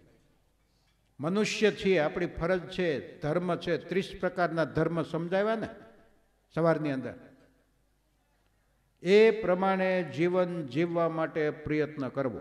રામચંદ્રજી કહે છે કે, માતા, તમે તો મારા મનને એ માગીને મારું કામ સરળ કરી નાખ્યું.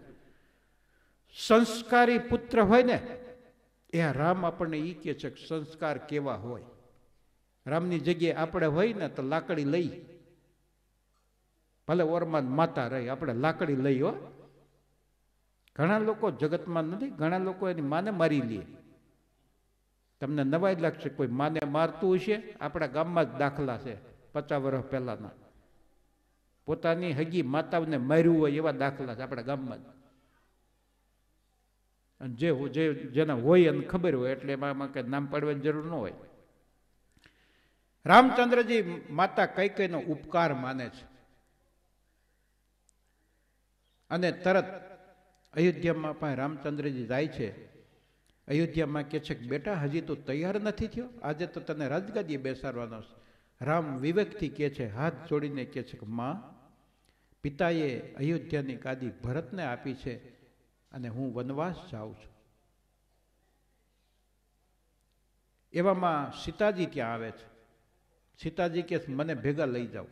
રામચંદ્રજી કહે છે કે જંગલ છે, કાંટા, કાંકરા, ખાખરા બધું હોય, તમારું શરીર સુવાળું હોય, તમે રાજકન્યા છો, તમે રાજરાણી છો. સીતા કહે છે, હું તમારો પડછાયો છું. આપણી કાયાથી જો પડછાયો છૂટો પડે, તો મને અહીં મૂકીને જાઓ. તમારા વગર હું જીવી શકીશ નહીં. અને રામને ખબર છે કે સીતા નહીં જીવે. સીતાને કે સારું ત્યાં લક્ષ્મણ આવ્યા. લક્ષ્મણ કે મારે આવવું છે? ભગવાન એને પરમિશન આપે. ત્રણેય જણા રાજ પહેરવેશ રૂપે અયોધ્યા કઈ કઈ પાસે પાછા આવે તો કઈ કઈએ સાધ્વીના વસ્ત્રો ને આ લોકો માટે વલકલ ને એવું બધું તૈયાર રાખ્યું છે. એટલે વસ્ત્રો આપી દે છે, તરત. પહેરી લે છે. અને દશરથ રાજા સુમંતને કહે છે કે આ લોકોને થોડું મારા રથમાં બેસાડીને લઈ જા, થોડું ફેરવીને લઈ આવજો પાછા.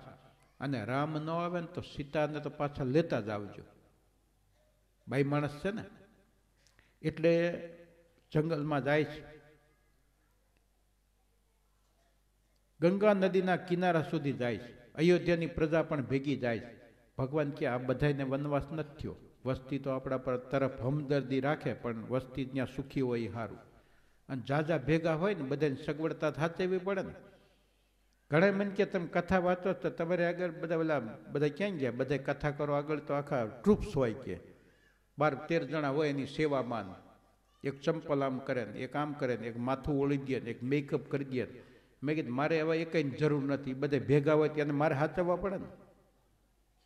ઓલું તો આપણે ક્યાંક જઈએ તો આપણે એકને જ કોકને હાચવવો પડે. ઓલા કે તમે રસોડું જુદું બધું મેં કીધું, જુદું નહીં, તમે બેહો જ ને મને બહાર દેજો. જુદાની કાંઈ જરૂર નહીં. તો કે તમારે સ્પેશિયલ ખોરાક? મેં તમે ખાવ એ મારો ખોરાક. હં? હાદાઈમાં મજા. રામચંદ્ર ભગવાનની સાથે અયોધ્યાની પ્રજા ગઈ છે. રામચંદ્ર બધી પ્રજાને રાત્રિના સમયે સુમંતને કહે છે કે આપણે ભગવાને યોગ માયાને આજ્ઞા કરીને યોગ માયા બધાને એકદમ ભર નિંદ્રાની અંદર સુવડાવી દે છે. સુમંત રથ જોડે છે. રામ સીતા લક્ષ્મણ રથમાં બેસે છે. અને રથના બે ચાર ચક્કર આડાવાળા ફેરવા એટલે કોઈને પગેરું કાઢવામાં હેલું ન પડે. અને ગંગાના કિનારે આવે છે. અને એનો જે મિત્ર હોય છે ને, ગુહ રાજા એ એને મળે છે. આખો દિવસ, આખી રાત્રિ ત્યાં રાતવાસો કરે છે. પછી ગંગાના કિનારે આવે છે. આગળ કેવટની વાત આવે છે. પછી પંચવટીમાં જાય છે. ચિત્રકૂટ ઉપર જાય છે. અત્રિ ઋષિને અનસુયા માતાને મળે છે. અનસુયા માતા સીતાજીને સ્ત્રીનો ઉપદેશ આપે છે. ત્યાંથી પંચવટીની અંદર જે સીતાજી રહે છે ને, ત્યાં દસ બાર તેર વર્ષનો સમય પસાર થવા આવ્યો છે. ભગવાન માતાને કે સીતાજીને કહે છે કે દેવી, હવે આપણે લીલા ચરિત્ર શરૂ કરવાનું છે. એટલે તમે અગ્નિની અંદર પ્રવેશ કરો અને તમારું છાયા સ્વરૂપ બહાર કાઢો. એટલે સાચા સીતાજી અગ્નિદેવ પાસે પહોંચી ગયા અને એનાથી સીતાજીની છાયા સ્વરૂપ બહાર આવ્યું રાવણ એનું હરણ કરે છે. સુર સુરપણખા રાવણની બેન છે ને, એ રામને જોઈને આકર્ષાય છે. એની સાથે લગ્ન કરવાની વાત કરે છે. રામ કે, તમે લક્ષ્મણ સાથે લગ્ન કરો, હું પરિણેલો છું. લક્ષ્મણ પાસે જાય છે. લક્ષ્મણ કે હું પરિણેલો છું, અહીંથી રવાના થા. એટલે સીતાજીને હેરાન કરે છે. એ વખતે લક્ષ્મણ એના નાક કાન કાપી નાખે છે. બૂમો પાડતી લંકાની અંદર રાવણ પાસે જાય છે. કે અયોધ્યાના બે રાજકુમાર આવ્યા છે ને, એની સાથે એક સુંદર સ્ત્રી છે, એને તારા માટે લેવા હું ગઈ હતી અને એ લોકોએ મારા નાકને કાન કાપ્યા. રાવણ કેસ હું એ લોકોનું વેર લઈશ. રાવણ મારી રાવણ મારીચ પાસે જાય છે. મારીચને કે તું સોનાનું મૃગ બન. અને સીતા હોય ને એને આકર્ષણ કરી. મારે સીતાનું હરણ કરવું છે. મારીચ મૃગ બને છે. પંચવટીમાં રામના આશ્રમની પાસે મૃગ આટા મારે સીતાએ જોયું કે સુવર્ણ મૃગ છે. રામચંદ્રજીને કહે છે કે, આ મૃગનું ચામડું લાવી આપો. અયોધ્યાની અંદર આપણે બહુ શોભારૂપ થશે. રામ કહે છે કે, આવું મૃગ કોઈ દિવસ હોય નહીં. પણ સ્ત્રી હઠ સ્ત્રી હઠ કોઈ દિવસ કરવી નહીં. સીતાજી હઠ કરી રામને ન છૂટકે મારી જ સોનાના મૃગને મારવા માટે જવું પડ્યું. લક્ષ્મણને ભલામણ કરીને જાય છે. લક્ષ્મણ સીતાજીનું રક્ષણ કરે છે. એવામાં મારીચને ભગવાને બણ માર્યું. માણીચ હે લક્ષ્મણ હે લક્ષ્મણ, એવું બોલે છે. સીતાજીને એમ થાય છે કે રામચંદ્રજી મુશ્કેલમાં છે ને લક્ષ્મણને મદદ માટે બોલાવે છે. કહે છે કે તમારા ભાઈને મદદ કરવા જાઓ. લક્ષ્મણ કહે છે કે, માતા, મારા ભાઈને ઊની આંચ પણ ન આવે. એને કોઈ પણ કાંઈ નુકસાન કરી શકે નહીં, એને કોઈ મારી શકે નહીં, એને કોઈ હરાવી શકે નહીં. સીતાના મનમાં આ વસ્તુ ઉતરતી નથી. સીતા લક્ષ્મણને ન કહેવાના શબ્દો કહે છે. સીતા માતા લક્ષ્મણને કહે છે કે તમારી બુદ્ધિ બગડી છે. રામ મરી જાય ને પછી મારી સાથે તમારે લગ્ન કરવા એવી તમારી ઈચ્છા છે એટલે તમે તમારા ભાઈને મદદ કરવા જતા નથી. આ કર્કશ વાણી બોલાને આની અંદરથી રામ અને રાવણનું યુદ્ધ થયું. સીતાજી જો આ વસ્તુ ન બોલે. સીતાજી જો લક્ષ્મણ કહે છે, એના કહ્યામાં રીએ. તો રામ અને રાવણનું યુદ્ધ ન થાય. સીતાનું હરણ ન થાય. પણ આ તો વિધિના લેખ છે. રાવણનું મરણ આ રીતે નિમિત્ત છે. મેઘનાથનું મરણ લક્ષ્મણના હાથે નિમિત્ત થયેલું છે. એટલા માટે આ કથા આગળ ચાલે છે. સીતાજી એકલા આશ્રમની અંદર છે. લક્ષ્મણ જતા પહેલા એક લાઈન દોરતા જાય છે. બાઉન્ડ્રી મારતા જાય છે. સીતાજીને કહે છે કે માતા, આ બાઉન્ડ્રીની બહાર નહીં આવતા. અને લક્ષ્મણે એ રેખા દોરી છે એટલે એનું નામ લક્ષ્મણ રેખા. રાવણ છૂપો વેશ, સાધુનો વેશ લઈ ઝાડવા વાડો સંતાયેલો હોય છે. લક્ષ્મણ જેવો જાય છે ને આશ્રમમાંથી બારો, રાવણ આવીને ભિક્ષામ દેહી કરી સીતાજી પાસે ભિક્ષા માગે છે. પોતે લક્ષ્મણ રેખા ઓળંગવા માટે કોશિશ કરે છે ને એકદમ અગ્નિ પ્રગટ થાય છે. રાવણ સમજી ગયો કે આ રેખા પાર થાય એમ નથી. સીતાજીને કહે છે કે તમારે ભિક્ષા આપવી હોય ને તો રેખાની બહાર આવીને આપો, કારણ કે હું અંદર આવી શકું એમ નથી. અને એ વખતે આંગણે માગણ આવ્યા હોય ને, એને ભિક્ષા દેવાનું મહત્વ બહુ હતું. ભિક્ષા લીધા વગર જાય ને એ અયોગ્ય હતું. સીતાજી લક્ષ્મણ રેખા ઓળંગી ભિક્ષા દેવા જાય છે. રાવણ એનું હરણ કરે છે. રથની અંદર બેસાડી આકાશ માર્ગે દક્ષિણના દરિયા તરફ આવેલી લંકાની અંદર જાય છે. અશોક વાટિકાની અંદર સીતાને રાખે છે અને સીતાને મનાવવા માટે કોશિશ કરે છે. રામચંદ્રને લક્ષ્મણ પાછા આવે છે. લક્ષ્મણને રામચંદ્રજી ઠબકો આપે છે કે મેં તને ભલામણ કરી છતાંય તું અહીં આવ્યો? લક્ષ્મણ કહે છે કે ભાભીએ ન કહેવાના શબ્દો મને કીધા ને એટલા માટે મારે આવવું પડ્યું. બંને ભાઈ આશ્રમમાં પાછા ફરે, સીતાજી નથી. આશ્રમનો ત્યાગ કરી બંને ભાઈઓ સીતાની શોધમાં નીકળે છે. શંકર ભગવાન અને પાર્વતી જંગલની અંદર ફરતા ફરતા રામચંદ્રજીને જુએ છે. શંકર ભગવાન ઝાડવા આડા રહીને પગે લાગે છે ભગવાનને, રામચંદ્રજીને. પાર્વતીજી કે, તમે કોને પગે લાગો છો? એ કે જો ઓલા દેખાય ને એ પરબ્રહ્મ છે એ પરમાત્મા છે એ ભગવાન છે એ રામ છે. એ તો કે ઓલા દશરથ રાજાનો દીકરો છે. એની બૈરી ખોવાઈ ગઈ છે, ગાંડાની જેમ બધી પૂછતો જાય સીતે સીતે ઝાડવાને પૂછે, સીતાને જોઈશ? એ કે, ગાંડો છે. એના દર્શન તમે કરો તો કે, હા એ તમને ગાંડો લાગે છે, પણ એ જ ભગવાન છે. પાર્વતી માતા કે, મારે એની પરીક્ષા કરવી ભગવાન કે, જાઓ. તો સીતાનું રૂપ લઈને પાર્વતી રસ્તામાં ઊભા જ્યાં રામ હાલ્યા જાય ત્યાં. રામે જોયું, પાર્વતી માતા ઊભા છે એટલે રસ્તો ફેરવી નાખ્યો. પાર્વતી માતાને એમ થયું કે એનું ધ્યાન મારા તરફ નથી, બહુ દુઃખી છે ને. બીજો રસ્તો લીધો રામે. તો ત્યાં જઈને આડા ઊભા રહ્યા.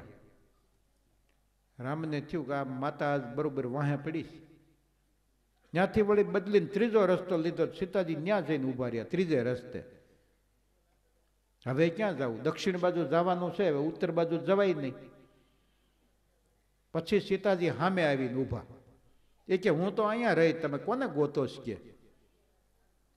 રામચંદ્રજી હાથ જોડીને કીધું કે, માતાજી, પ્રણામ. ભગવાન શંકર ક્યાં છે? સીતાનું રૂપ લીધું છે. પાર્વતી માતાએ સીતાનું રૂપ લીધું છે. અને રામચંદ્ર છે તો પરમ પિતા છે, પરમાત્મા છે, તમારો ને મારો આધાર છે. જગતનો આધાર છે, શેષ નારાયણનો આધાર છે. વૃંદાવન જે નિત્ય કહેવાય ને, એની અંદર ભગવાન છે, એ શ્વાસોશ્વાસ છે. ગિરિરાજ લીલામાં આવશે. નંદ બાબા કહે છે, કનૈયા, અમે તો એટલું જ જાણીએ છીએ કે આ પર્વત છે, આ પહાડ છે. કનૈયો કે બાબા, એને પર્વત ન કયો. તમને ખોટું કહેતો હો ને, તો નાક આગળ આંગળી રાખો. મારો પર્વત ગોવર્ધન નાથ છે ને શ્વાસોશ્વાસ લે છે. કનૈયાએ લીલા કરી એક સ્વરૂપ નંદ બાબા પાસે રાખ્યું, એક સ્વરૂપે ગિરિરાજની અંદર પ્રવેશ કર્યો. નંદ બાબાએ ગિરિરાજના મુખારવિંદ જે જતીપુરાની અંદર છે ને કે નાક આગળ આંગળી રાખી, ત્યાં તો આંગળી અંદર ખેંચાવા માંડી. નાકની અંદર શ્વાસોશ્વાસ થાય ને. નંદ બાબા કહે છે, કન્યા, તારો ગિરિરાજ તો શ્વાસોશ્વાસ લે છે, જીવતી, જાગતી, જ્યોત છે. કનિયો કહે છે કે, બાબા, એટલા માટે તો હું તમને કહું છું કે ઇન્દ્રનો યજ્ઞ કરો છો. ઇન્દ્રે કોઈ દિવસ તમને દર્શન નથી આપ્યા. અને મારો ગોવર્ધનનાથ જીવતી જાગતી જ્યોત છે ને, એટલા માટે જ એને અંધકૂટ અને ભોગ ધરાવવાનું સામગ્રી ધરાવવાનું મેં તમને કીધું છે. આવી રીતે ભગવાન છે એ તમારો ને મારો શ્વાસોશ્વાસ છે. ભગવાન છે એ તમારો ને મારો આધાર છે. ભગવાન છે ને એ ત્રિલોકીનો નાથ છે. ભગવાન સીતા માતા, સીતાના રૂપમાં પાર્વતીને પગે લાગીને કહે છે કે, માતા, નમસ્કાર. ભગવાન ભોલેનાથ મહા, ક્યાં છે? શિવજી ક્યાં છે? સીતાજી કાપો ને તોય લોહી ન નીકળે એવા થઈ ગયા ભગવાને શિવજીએ એને કીધેલું કે પરીક્ષા કરવા ન જવાય, ઝેરના પારખ્યા ન હોય. કે છે ને આપણે, ઝેરના પારખ્યા ન હોય. એમ પરબ્રહ્મ છે ને એની કસોટી કરવા ન જવાય. માતા પાર્વતી ગયા. પછી તો માતા ત્યાં ત્યાં અને દ્વૈપાયની દેવી નામે એ ભગ સીતા પાર્વતીની જે મૂર્તિ હતી ને, ત્યાં પોતે બળીને ખાખ થઈ ગયા. અને દૌ દ્વૈપાયની દેવી તરીકે ઓળખાય છે મહાબળેશ્વર છે ને, મહારાષ્ટ્રની અંદર. ત્યાંથી આગળ જવાય એટલે ત્યાં એનું મંદિર આવે. છે આ પાર્વતી માતા બળી ગયા એનું કૃષ્ણ ગોવિંદ ગોવિંદ ગોપાલા કૃષ્ણ ગોવિંદ ગોવિંદ ગોપાલ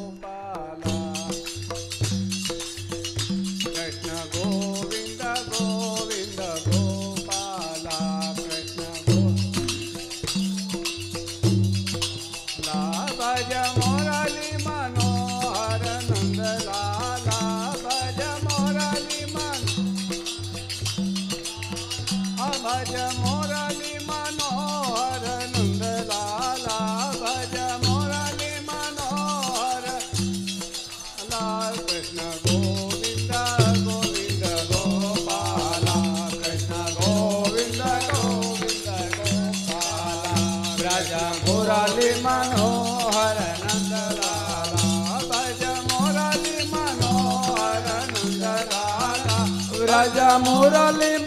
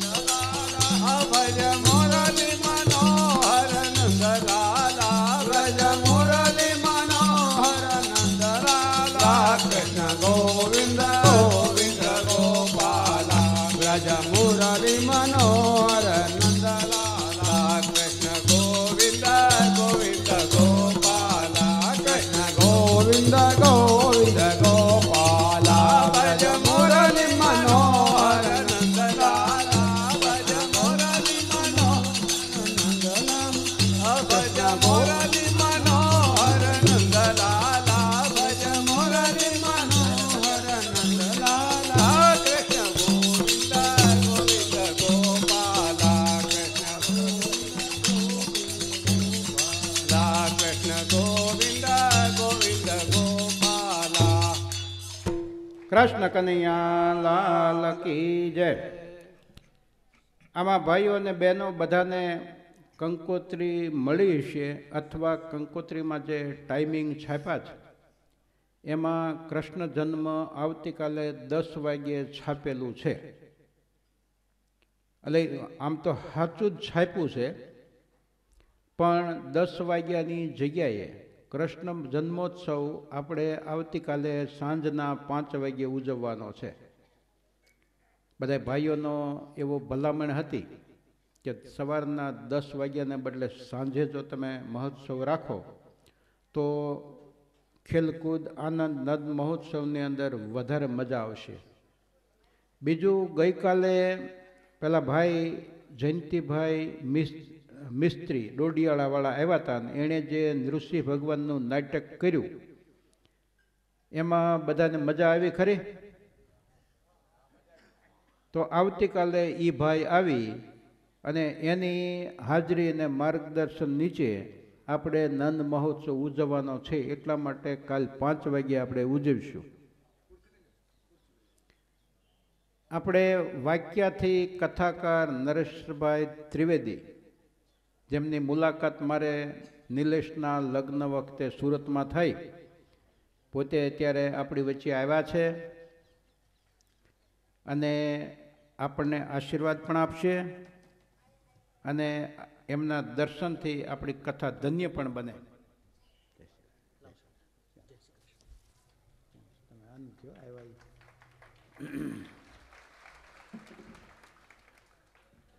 આની ક્યાં જરૂર હોય આની તો બેસો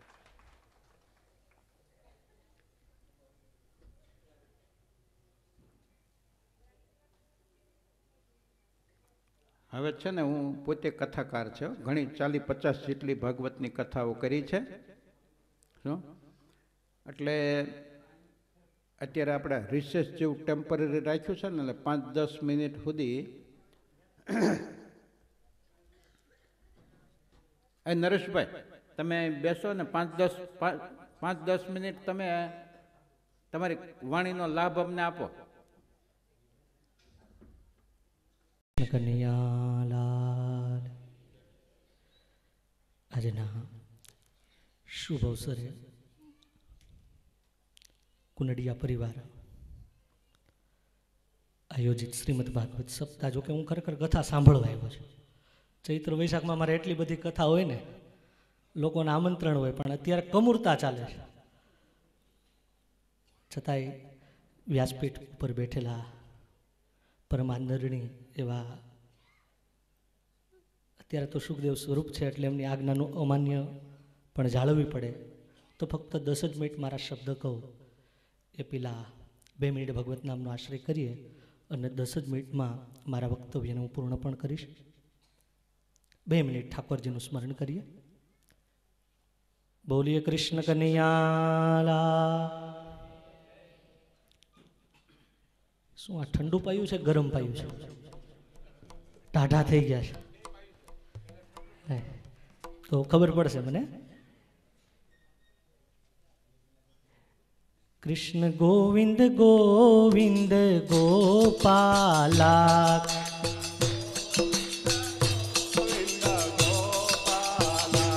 કૃષ્ણ ગોવિંદ ગોવિંદ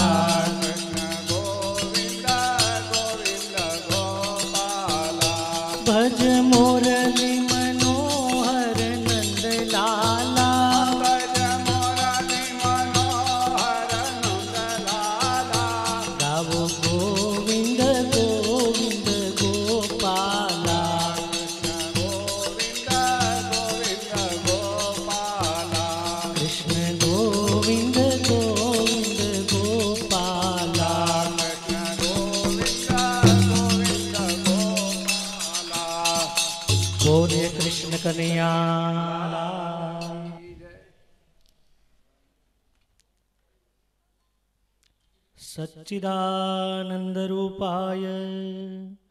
વિશ્વોત્પત્તિયાતિ હેતવે તાપત્રય વિનાશાય શ્રીકૃષ્ણાય વયમ નુમ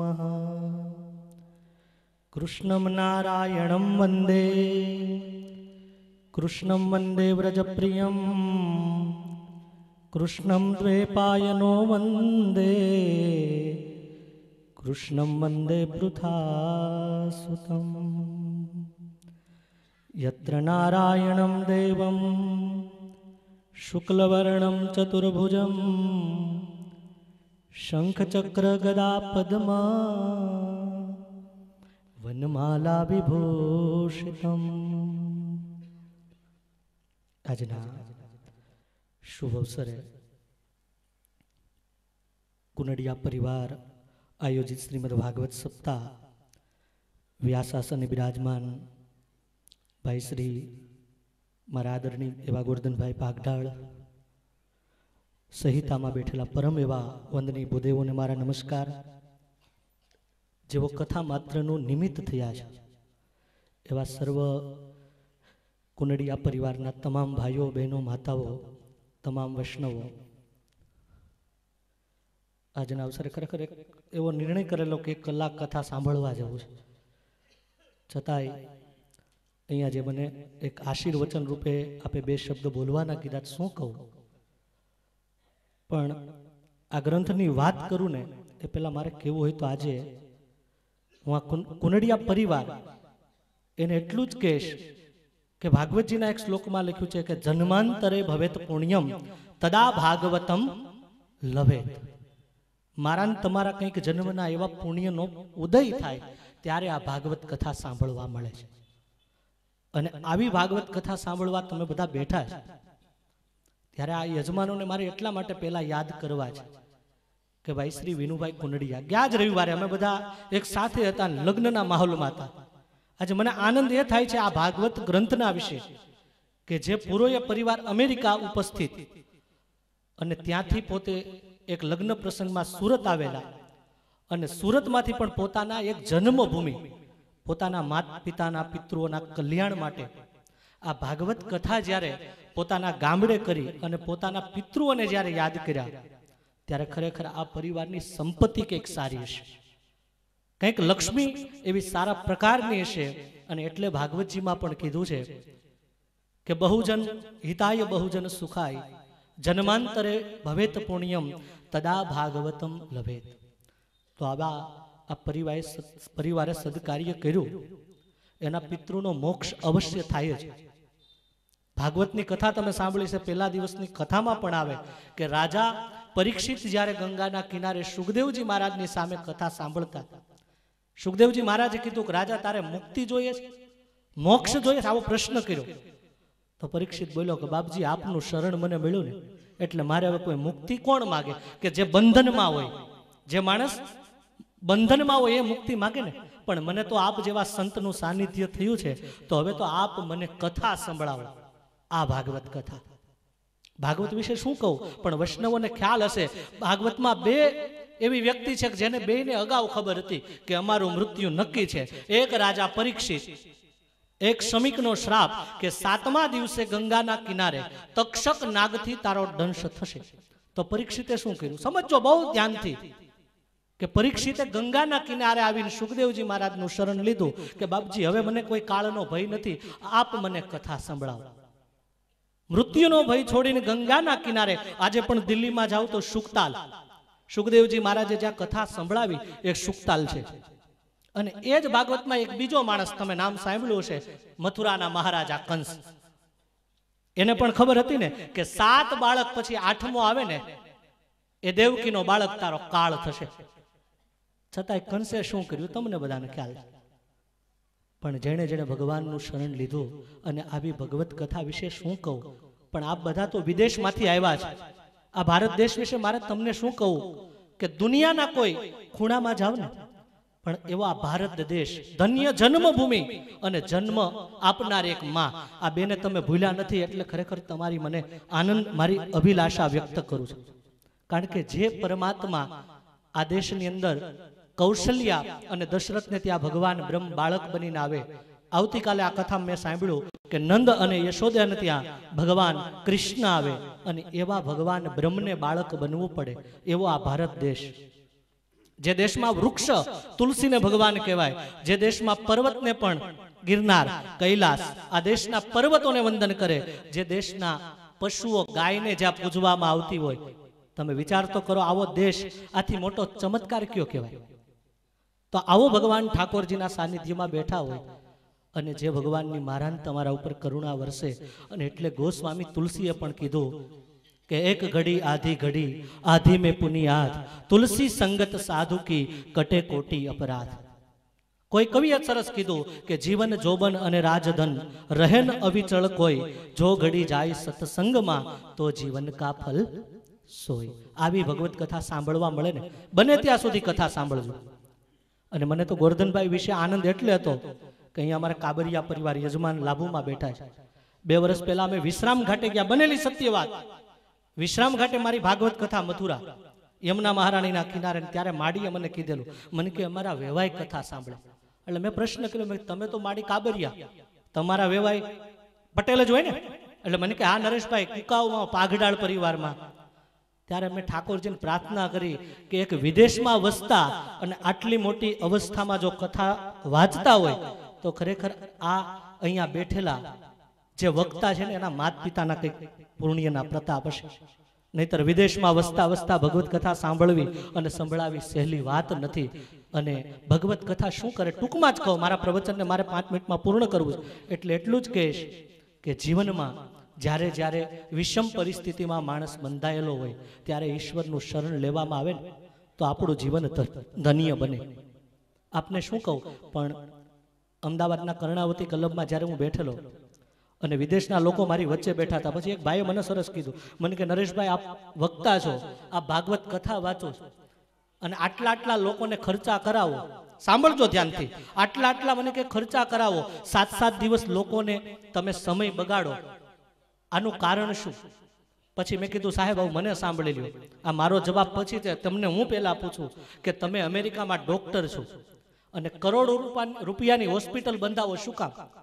એટલે મને સરસ જવાબ આપ્યો. મને કે કરોડો રૂપિયાની નરેશભાઈ, હોસ્પિટલ એટલે બંધાવીએ કે કોઈ માણસ કોઈના હાથ બગડે, કોઈના પગ બગડે, કોઈની આંખ બગડે અને અમારી હોસ્પિટલમાં આવે ને સાજા થઈ જાય. મેં કીધું, સાહેબ, વાત સાચી. હવે મારો પ્રશ્ન છે કે જેના શરીર બગડ્યા, સાંભળજો, કે જેના શરીર બગડ્યા અને એ તમારી હોસ્પિટલમાં આવે ને સાજા થાય, બાકી દુનિયાનો કોઈ માઇકેલાલ જેના મન બગડે અને તમારી હોસ્પિટલમાં આવે સાજા થાય, મને કે ન થાય. મેં કીધું, એ અમારા કથારૂપી હોસ્પિટલમાં આવે ને, એટલે સાજા થઈ જાય. અને એટલે ભાગવતજીના દસમા સ્કંદમાં કીધું છે, ગોપીઓએ કે ત્વમ કથામૃતમ તપ્ત જીવનમ. દસમા સ્કંદની કથા આવશે. ગોપી ગીત. ગોપીઓ ખુદ બોલી છે, વિરહમાં જ્યારે કૃષ્ણ રાધિકાની સાથે અંતર ધ્યાન થયા. મારે સમય ઓછો પણ શું કહું કે જેણે આવી સૃષ્ટિ બનાવી, તમને ટૂંકમાં એટલું કહું કે રચા પ્રભુ તુને એ બ્રહ્માંડ સારા, પ્રાણો સે પ્યારા, તું સબસે ન્યારા. આવો પરમાત્મા. ઘણા લોકો આજે આ એકવીસમી સદીમાં ચમત્કાર વિશે જે કઈ વાતો કરે, પણ હું એટલું જ કહીશ કે આપણને માનવ જન્મ આ પૃથ્વી ઉપર મળ્યો ને એ જ મોટો ચમત્કાર છે. અને માનવ વિશે શું કહું? ઈશ્વર વિશે શું કહું? પણ સ્વામી, મેં વાંચેલું કે એક છાપામાં સ્વામી રામકૃષ્ણ પરમહંસ. ધ્યાનથી સાંભળજો કે લાહોરની બજારમાં જ્યારે સ્વામી રામકૃષ્ણ પરમહંસર નીકળ્યા એટલે એક મહેલમાં બાજારું સ્ત્રી તૈયાર થતી હતી. અહીંયા રામકૃષ્ણ પરમહંસ આવું સુંદર મજાનું રૂપ જોઈને ઊભા રહી ગયા. હવે સંત હતા ને, ઠાકોર રામકૃષ્ણ પરમહંસ ઊભા રહ્યા. એટલે બાજારુ સ્ત્રી એની દાસીને કીધું કાં તો મહાત્મા જ એ અહીંયા મારી સામે દ્રષ્ટિ એક કરે છે ને આને અહીંયા ઊભું રહેવાનું કારણ શું? દાસીને કીધું, એક કામ કર, સંન્યાસી મહાત્માને આપણા મેલમાં બોલાવ લાવ દાસી આવીને કીધું, અમારા મહારાણી આપને બોલાવે છે. ઠાકોર રામકૃષ્ણ પરમ સાસો સન્યાસી હતો. એ આમ ચાલતો થયો. કારણ કે સાસો સંત હતો એટલે ગભરાવાની જરૂર નહોતી. અને એ બાજારો સ્ત્રીના મહેલમાં આવ્યા એટલી બધી સુંદર હતી. ઠાકોર રામકૃષ્ણ પરમહંસની સામે જોતા હતા ને. એટલે દાસીને એમ કે, આ મારાથી મોહિત થયા. ત્યારે ઠાકુર રામકૃષ્ણ પરમહંસે જવાબ આપ્યો તો સાંભળજો. કે તને એમ છે કે મારા રૂપમાં મોહિત થયા તો હું તો જોઈ રહ્યો છું. મારે તારા રૂપમાં કઈ લેવા દેવા નથી. હું તો જોઈ રહ્યો છું કે આ કૃતિ આટલી સુંદર છે. આ કૃતિ આટલી સુંદર છે, તો આનો કરતા કેટલો સુંદર હશે? હું તો જોઈ રહ્યો હતો કે આ કૃતિ આટલી સુંદર છે, તો આનો કરતા કેવો સુંદર હશે? આ જ વાત આપણને સમજાય. ભાગવતજીના કૃષ્ણ વિશે શું વાત કહું? પણ કૃષ્ણ ઇઝ ગોડ કૃષ્ણ વિશે શું કહું? પણ કૃષ્ણ એના જીવનની કથા સમજવી હોય તો આ વિષય ગહન છે. ઘણા લોકો આજે ઘણીવાર અમારી કથામાં કે ઘણા ઘણા લોકો વાતો કરે કથાકારોની કે મોરારી બાપુ કથા નથી પૂરી કરતા, રમેશભાઈ ઓઝા કોઈ પણ વક્તાની વાતો કરે ને ત્યારે એટલું જ કહેવાય કે આપણી બાપ દાદાની પેઢીઓ પૂરી થાય ને તો આ ભગવત ગ્રંથ પૂરો ન થાય. આવી ભાગવત કથા ભગવાન ઠાકોરજીના શરણમાં એટલી જ મારા શબ્દોને વિરામ આપતા કહીશ. ખરેખર તો એક વક્તા અને ફરીવાર ભાઈ, વિનુભાઈ છે કે નહીં આ ક્યાં છે? એમ, મને એમ લાગે છે કે આ પરિવાર વતી આજે ખરેખર મને આનંદ વિનુભાઈ એટલા માટે છે કે મારે સન્માન તમારું ખરેખર કરવું છે. કે અમેરિકાને છોડી અત્યારે નાતાલની રજા ચાલતી હોય અને ધારે તો આ પરિવાર આખો આટલા ખર્ચમાં કોઈ વિદેશમાં ફરવા જાત. ગયા જ રવિવારે આપણે બધા સાથે સમૂહમાં સુરત હતા. કદાચ ધારો તો તમે ત્યાંય એટલું જોરદાર ફંક્શન કરી શકો, પણ ધન્ય છે આ કુંડળિયા પરિવારને કે પોતાના માત પિતા અને પિતૃઓના ઉદાહરણથી આવી ભાગવત કથા કરી. તો ખરેખર ઠાકોરજી કુંડળિયા પરિવાર ઉપર તો મારા આશીર્વાદ છે. આ બધા શ્રોતાઓને પણ મારા આશીર્વાદ છે. મારો સમય પણ પૂર્ણ થાય. ઠાકોરજીને પ્રાર્થના કરું કે આ પરિવારને ઠાકોરજી સદાને માટે એવી સારી સંપદા આપે અને આશીર્વાદ મારે આપવા હોય ને, તો આ પરિવારને એટલા જ આપીશ. કારણ કે ધન સંપત્તિ તો મારી તમારી બધા પાસે છે. એટલા જ આશીર્વાદ આપીશ કે વંશે સદૈવ ભવતામ હરિભક્તિ રસ્તો. તમારા વંશમાં ઠાકોરજીને ભગવાનને લઈને ચાલો અને સદાને માટે તમારા માત પિતા વડીલો અને પૂરા એ ગામનું જે જન્મભૂમિમાં આપણને જન્મ મળ્યો છે, એ જન્મભૂમિને સદાને માટે યાદ કરી અને આવા સુંદર કાર્ય કરો. મારા શબ્દને વિરામ આપીશ. આ બધાને મારા જય શ્રી કૃષ્ણ.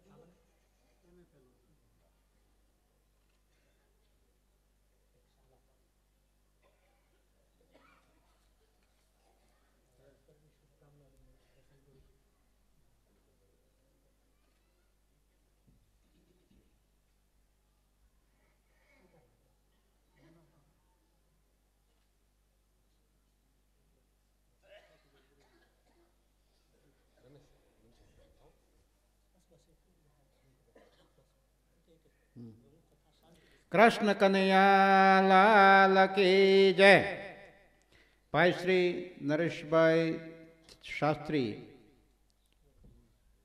એમણે આપણને જે જ્ઞાન પીરસ્યું ટૂંકમાં એમણે ભાગવતનું આખું રહસ્ય આપણને કીધું કૃષ્ણચંદ્ર પરમાત્મા એની આરાધના કેમ કરવી અને ભગવાન એ શું તત્વ છે, ક્યું તત્વ છે? જશોદામાનો નાનકડો એવો કનૈયો. એના માધ્યમ થકી આપણને ભગવાનની જે વાતમય વાણી, જેને આપણે ભાગવત કહીએ છીએ, એનું સુંદર શબ્દોની અંદર, પોતાની વિશિષ્ટ સ્ટાઇલની અંદર, શૈલીની અંદર, આપણને જે એકદમ ટૂંક સમયમાં ભાગવતની સમજૂતી આપીને એ ખરેખર ભાગવત સાંભળ્યા પછી જે કંઈ કરવું ઘટે ને એનો ટાઇટલ છે, એનો સેન્ટ્રલ આઈડિયા છે. આખું ભાગવત સાંભળ્યા પછી કૃષ્ણનું ભજન રામચંદ્રજીની અંદર માનતા હો તો રામચંદ્રજીનું ભજન. સહજાનંદ સ્વામીની અંદર તમને હેત હોય, પ્રીત હોય એમના પ્રત્યે ઉપાસના હોય તો સહજાનંદ સ્વામીનું શરણ શિવજી પ્રત્યે ઉપાસના હોય તો શિવપંથી હોવ તો શિવજીનું શરણ. પણ ભગવાનના કોઈ પણ, વિષ્ણુના કોઈ પણ અવતારોનું ભજન કરે, સ્મરણ કરે, સ્તુતિ કરે, પાદ સેવનમ કરે, નવ પ્રકારે ભક્તિ કરે. એમનું ધ્યાન કરે, એમની ધારણા કરે. ધ્યાન એટલે એક અંગનું ચિંતવન કરવું, એનું નામ ધ્યાન. બધા અંગનું ચિંતવન કરવું એનું નામ ધારણા. એટલે ધ્યાન કરો કે ધારણા કરો. પણ ભગવાનનું સ્વરૂપ મનની અંદર પકડી રાખો, જકડી રાખો, મગજની અંદર કોતરી રાખો, હૃદયની અંદર ઉતારી રાખો. એવું ભાઈ શ્રી નરેશભાઈ શાસ્ત્રી ત્રિવેદીએ આપણને કીધું, પોતે પધાર્યા. બહુ આનંદની વાત છે. આપણને એના દર્શનનો લાભ મળ્યો. વાણીનો લાભ મળ્યો અને આપણી સાથે બેસીને પોતે આપણને સત્સંગનું પ્રેરણાત્મક જે શબ્દો કીધા ને, એ બધા યાદ રાખવા માટે પ્રયત્ન કરજો. સુરતમાં વિનુભાઈના દીકરાના લગ્ન વખતે પોતે ત્યાં બ્રાહ્મણ હતા. લગ્નમાં પોતે કર્મકાંડી બ્રાહ્મણ તરીકે હતા અને અમારે ઓળખાણ થઈ. અને મને એમણે કીધું કે હું ચોક્કસ કુકાઓની કથામાં આવીશ. બોલવું સહેલું છે. એને આચરણમાં મૂકવું ને. ભાઈ શ્રી નરેશભાઈએ આચરણમાં મૂકીને બતાવ્યું, પોતે બોલે એ પોતે કરે છે પોતે બોલ્યા એ પોતે માને છે. એટલા માટે એમનો દસ મિનિટનો સમય માત્ર આપણને આપ્યો, પણ એ ક્રિયાત્મક શબ્દો કીધા. એટલે જીવનની અંદર તમારે મારે, આપણે બધાએ આ સરસ મજાના શાસ્ત્રીના મુખમાંથી નીકળેલા શબ્દો. પોતે બ્રાહ્મણ છે, પણ ત્રિવેદી એટલે બ્રાહ્મણ. યાદ રાખવાના અને જીવનમાં ગૂંથી લેવાના. આપણે ભગવાન શ્રી રામચંદ્રજીનું પ્રકરણ આગળ ચલાવીએ. સીતા માતાનું હરણ થયું છે. રાવણ તેમને દક્ષિણ દિશા તરફ લઈ ગયો છે. રામ અને લક્ષ્મણ બંને ભાઈઓ રામચંદ્રજી સીતે સીતે કરતા જંગલની અંદર ફરે છે. શિવજી અને માતા પાર્વતી જંગલની અંદર નીકળે છે. મેં આ કથા પૂરી કરી કે શિવજી ભગવાનને નમસ્કાર કરે છે. પાર્વતી કહે છે કે તમે કોને પગે લાગો છો? એ તો રામ અયોધ્યાના રાજા દશરથનો દીકરો રામ છે. એ તો પત્નીની પાછળ પાગલની જેમ ભટકે છે. એને તમે પરબ્રહ્મ કયો છો? શિવજી કહે છે કે હા, એ જ પ્રબ્રહ્મ છે. માતાજીએ કસોટી કરવા માટે સીતાનું રૂપ લીધું. છેવટે બળીને ખાખ થઈ જવું પડ્યું અને એ રીતે એ દવ, દવોપાયની દેવીનું સ્થાપન થયું. મહાબળેશ્વર, ગોકર્ણ મહાબળેશ્વર છે ને, ત્યાં એનું સ્થાન આવે છે. ત્યાર પછી ભગવાન આગળ વધે છે. જટાયુ રસ્તાની અંદર મળે છે. જટાયુ ગીધ છે. પહેલાંના વખતમાં ગીધ લોકો હોય ને, એની સાથે પણ માનવને મૈત્રી હતી. વાંદર હોય ને, એની સાથે પણ માનવને મૈત્રી હતી. એટલા માટે તો રામચંદ્રજીની સેનાની અંદર બધા વાનરો છે સ્વર્ગના દેવતાઓ જ્યારે રામચંદ્રજી અવની ઉપર આવ્યા, એની પહેલાં બધા દેવ અને દેવતાઓ વાંદરાઓ થઈ અને આવ્યા છે રાવણ છે ને, એ મનુષ્યને મારતો. પણ વાંદરાની એને બીક નથી. એટલે ભગવાને આ વખતે સૈન્યની અંદર વાંદરાઓની ભરતી કરી છે. એટલે કે વાંદરાઓ અને મનુષ્યને એ વખતે દોસ્તી હતી. ગીધને અને મનુષ્યને પણ દોસ્તી હતી. જટાયુ નામનો ગીધ દશરથ રાજાનો મિત્ર હતો. સીતાને જતા જોયા, રાવણ સાથે યુદ્ધ કરે છે. જટાયુ વૃદ્ધ છે. રાવણે જટાયુની બંને પાંખો કાપી નાખી જટાયુ ધરતી ઉપર પડે છે. રામચંદ્રજી ત્યાં નીકળે છે. જટાયુ કહે છે કે મેં બ્રાહ્મણને લડાઈ આપી, પણ હું વૃદ્ધ છું. જેટલું બને એટલી મેં કોશિશ કરી, પણ છેવટે રાવણે મારી પાંખો કાપી, મારી આ હાલત કરી છે. છેલ્લા શ્વાસ પોતે લે છે.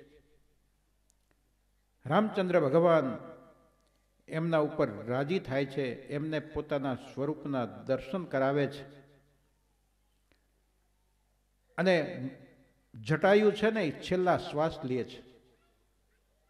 મરણ પામે છે ભગવાન રામચંદ્રજી પોતાના હાથે જટાયુનો અગ્નિ સંસ્કાર કરે છે. જેને મર્યાદા પુરુષોત્તમ કહેવામાં આવે, જગતનો નાથ કહેવામાં આવે, ત્રિલોકીનો નાથ કહેવામાં આવે, એવા ભગવાન શ્રી રામચંદ્રજી એક ગીધ નામનું પક્ષી છે ને એનો અગ્નિ સંસ્કાર કરે છે. એ આત્મા કેટલો પુણશાળી હશે? અને આવો પુણશાળી આત્મા જો પશુની યોનિમાં ગયો હોય ને, તો એને પણ ભગવાનનો આસ્વાદ મળે છે. અંતિમ સમયે ભગવાન એને દર્શન દેવા માટે આવે છે. અગાઉની કથામાં મેં કીધું, કુંતા માતા કૃષ્ણ ભગવાનના રસ્તાની અંદર ઊભા છે અને કહે છે કે તમે પાછા વળો. કૃષ્ણ પાછા વળે છે ભીષ્મને દર્શન દેવા માટે જાય છે. ભીષ્મનો અંતકાળ નજીક છે. એટલે જેણે જેણે ભગવાનનું ભજન ઉપાસના પૂર્વક કર્યું છે, જેણે જેણે ભગવાનનું નવ પ્રકારે ભક્તિ કરી છે, જેણે જેણે ભગવાનની શરણાગતિ સ્વીકારી છે, જેણે જેણે સાત પ્રકારની ભક્તિ કરી અને આઠમી જે સખ્ય ભક્તિ છે ને, એ પ્રાપ્ત કરી છે. અને નવમી ભક્તિ જે આત્મનિવેદનમ કહેવાય ને, એ જેને પ્રાપ્ત થઈ છે ઠાકોરજીની કૃપાથી. એને ભગવાન અંતકાળે દર્શન દેવા માટે આવે છે. આવા રામચંદ્રજી ભગવાન જટાયુનો અગ્નિ સંસ્કાર કરી પોતે આગળ વધે છે. ઋષ્યમુખ પર્વત છે. એની તળેટીની અંદર રામ અને લક્ષ્મણ બંને ભાઈઓ સીતાની શોધમાં આગળ વધે છે. હનુમાનજી સાથે મુલાકાત થાય છે. દશરથ રાજાએ પુષ્ટ કામે પુત્ર કામેશથી યજ્ઞ કર્યો છે. એની અંદરથી યજ્ઞ નારાયણ ખીરનો ચરુ લઈને બહાર આવે છે. ચરુના બે ભાગ પાડ્યા. અર્ધો કૌશલ્યને આપ્યો. બાકીના અર્ધામાંથી ફરીથી બે ભાગ પાડ્યા. એક સુમિત્રાને આપ્યો, એક કઈ કઈને આપ્યો. કઈ કઈ કર્કશા છે. જન્મથી કઈ કઈ કરકશા છે, કચ્છ કચ્છ કર્યા કરે, હાથમાંથી સંભળી ખીરનો પડો ઉપાડી, અંજની દેવી જ્યાં તપ કરે છે, કેસરી વાનરના પત્ની અંજની દેવી. હનુમાનજીના બાપુજીનું નામ કેસરી વાંદર છે. અંજની દેવી જ્યાં તપ કરે છે, ત્યાં સમળી આવી અને એ ખીરનો પડિયો નાખે છે. અંજની દેવી એ ખીર ખાય છે, પોતે ગર્ભવતી થાય છે. એમને ત્યાં ચૈત્ર સુદ પૂનમને દિવસે પૂરા માસ થતા હનુમાનજીનો જન્મ થાય છે. આ હનુમાનજી ઋષ્યમુખ પર્વતની તળેટીની અંદર જ્યાં રામ અને લક્ષ્મણ ચાલ્યા જાય છે ને, ત્યાં પોતે નીચે આવે છે. કારણ કે પોતે સુગ્રીવના મંત્રી છે. સુગ્રીવને વાલીએ કાઢી મૂક્યો છે. આ પર્વત ઉપર સુગ્રીવ રહે છે. હનુમાનજી એના મંત્રી છે. મંત્રીનું કામ છે માલિકનું રક્ષણ કરવું. એટલે વાલીના છુપા માણસો ત્યાં આવીને સુગ્રીવને મારી ન નાખે, એનું રક્ષણ કરવાનું કામ હનુમાનજી કરે છે. હનુમાનજી આગળ આવી રામચંદ્રજીને ઓળખાણ કરાવે છે. એમને એમ લાગે છે કે આ દુશ્મનો નથી પણ ખરેખર પરબ્રહ્મ રામચંદ્ર ભગવાન છે. ત્યારે અમને કહે છે કે અમારો રાજા છે ને એની સાથે મૈત્રી કરો. તમને તમારી પત્ની સીતાજીને ગોતવા મદદ કરશે. હનુમાનજી બંને ભાઈઓને સુગ્રીવ સાથે મુલાકાત કરાવે છે. દોસ્તી થાય છે, સંધિ કરે છે. કે વાલી પાસેથી રાજ્ય પાછું સુગ્રીવને અપાવવું અને સીતાની શોધમાં સુગ્રીવે રામચંદ્રજીને મદદ કરવી. આવી રીતની સંધિ કરવામાં આવે છે. ભગવાન વાલીને મારે છે. વાલી કહે છે કે તમે વગર વાંકે મને શા માટે માર્યો? ભગવાન કે તારા ભાઈની પત્ની તારા એને તે ઘરમાં રાખી છે. અધર્મ કર્યો છે એટલે તારું મોત થયું. અને એનો એ વાલી કૃષ્ણ જન્મની અંદર પારધી થઈ ભગવાનને બાણ મારે છે. કર્મનો સિદ્ધાંત એનો રસ્તો ચૂકતો નથી. ત્રણ પ્રકારના કર્મ હોય. ક્રિયમાણ કર્મ, સંચિત કર્મ અને પ્રારબ્ધ કર્મ.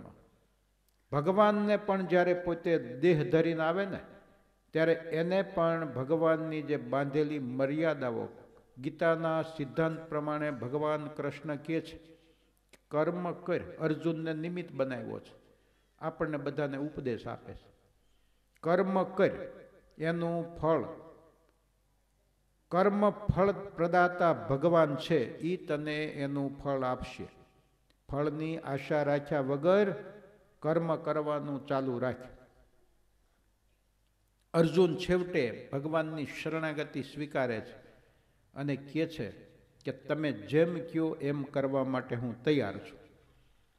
મહાભારતનું યુદ્ધ થાય અર્જુન ભીષ્મ પિતામહને મારે, કર્ણને મારે, ધૃષ્ટધૂમના ગુરુ દ્રોણને મારે, આવી રીતે બધાય મહારથીઓ એક રથી, મહારથી અને બહુરથી એવી રીતે એ વખતે ટાઇટલ આપવામાં આવતા. એક રથી એટલે જે રાજ, જે લડવૈયો એક રથ હેન્ડલ કરી શકે ને એક રથી કહેવાય.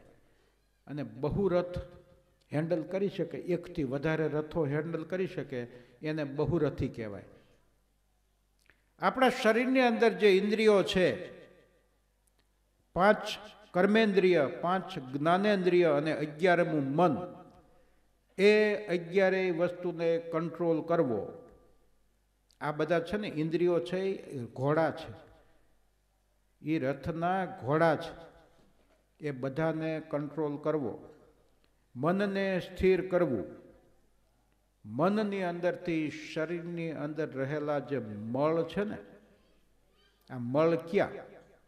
તો કે કામ, ક્રોધ, લોભ, મોહ, મદ, મત્સર, આશા, ઈર્ષા, તૃષ્ણા, તિતિક્ષા, અદેખાય વગેરે જે બધા શરીરની અંદર દોષો છે, એ દોષોને શરીરમાંથી કાઢવા અને ત્યાં ખાલી જગ્યા થઈ, એની અંદર નરેશભાઈએ કીધું એ પ્રમાણે બાળ કાનુડાને મૂકવા. ખાલી જગ્યા રહેવા ન દેવાય. ખાલી જગ્યા રહીએ ને, તો એ ભાગ સંકોચાઈ જાય. ખાલી જગ્યા કરી, ત્યાં ઠાકોરજીને પધરાવવાના. રૂડામાં રૂડું આસન આપવાનું. સારામાં સારો સાત્વિક ભોગ ધરાવવાનો. સુગંધિત પદાર્થોથી અને ગાયના ઘીમાંથી બનેલ વાઇટ હોય ને, દિવેટિયાની અંદર મૂકીને ઠાકોરજી હાથથી ઉતારવી. ઠાકોરજીનું નામ છે ને, કેવું છે તમને ખ્યાલ આવ્યો? બે મણ દૂધ હોય તમારી પાસે અને એમાં વાઇટ મૂકો અને દિવાસળી પેટાવીની વાઇટને કરો. વાઇટ થશે હા કે ના તો બોલો ભલામણા. બે મણ દૂધ લીધું મોટા ટોપની અંદર. એમાં મોટી વાઇટ બનાવી. આ તાજું હમણાં રૂ આવે છે ને ખેતરોમાંથી, એમાંથી બનાવવી સમજ્યા? જૂનું નહીં, નવું. અને ઘીમાં બોળી, અમે દૂધમાં મૂકી અને દિવાસળીથી જગાવો તો એ વાઇટ જગશે નહીં. બે મણ દૂધને મેળવી દીધું. એમાંથી દહીં બન્યું. દહીંને વલોવ્યું એમાંથી ભેંસ કે ગાયનું દૂધ હોય ને એમાંથી જેવા કપાસિયા આપ્યા હોય એ પ્રમાણે એનું ફેટ થાય. અને એમાંથી ઘી બને. ઘીને તાવી નાખો એટલે આઈ મીન માખણ બન્યું. માખણને તાવી નાખ્યું એટલે કીટું નીકળી જાય અને ઘી બન્યું. એ ઘીમાંથી એક ચમચી ઘી લઈ અને દિવેટ ઉપર મૂકીને દિવાસળી લગાડશો ને એટલે દીવો થશે. આજે ભાગવત શાસ્ત્ર છે. એ તો એક ભાગમાં હોય, બે ભાગમાં હોય, બાર સ્કંધની અંદર છે. ત્રણસો ને પાંત્રીસ અધ્યાયની અંદર આવેલા છે. અઢાર હજાર શ્લોક બનાવેલા છે વેદ વ્યાસે. વ્યાસ ભગવાને આજથી પાંચ હજાર વર્ષ પહેલા કળિયુગના લોકોના કલ્યાણ માટે, કલ્યુણ, કલ્યાણ, કળિયુગના લોકોના મોક્ષ માટે આ ભાગવત શાસ્ત્ર બનાવ્યું છે.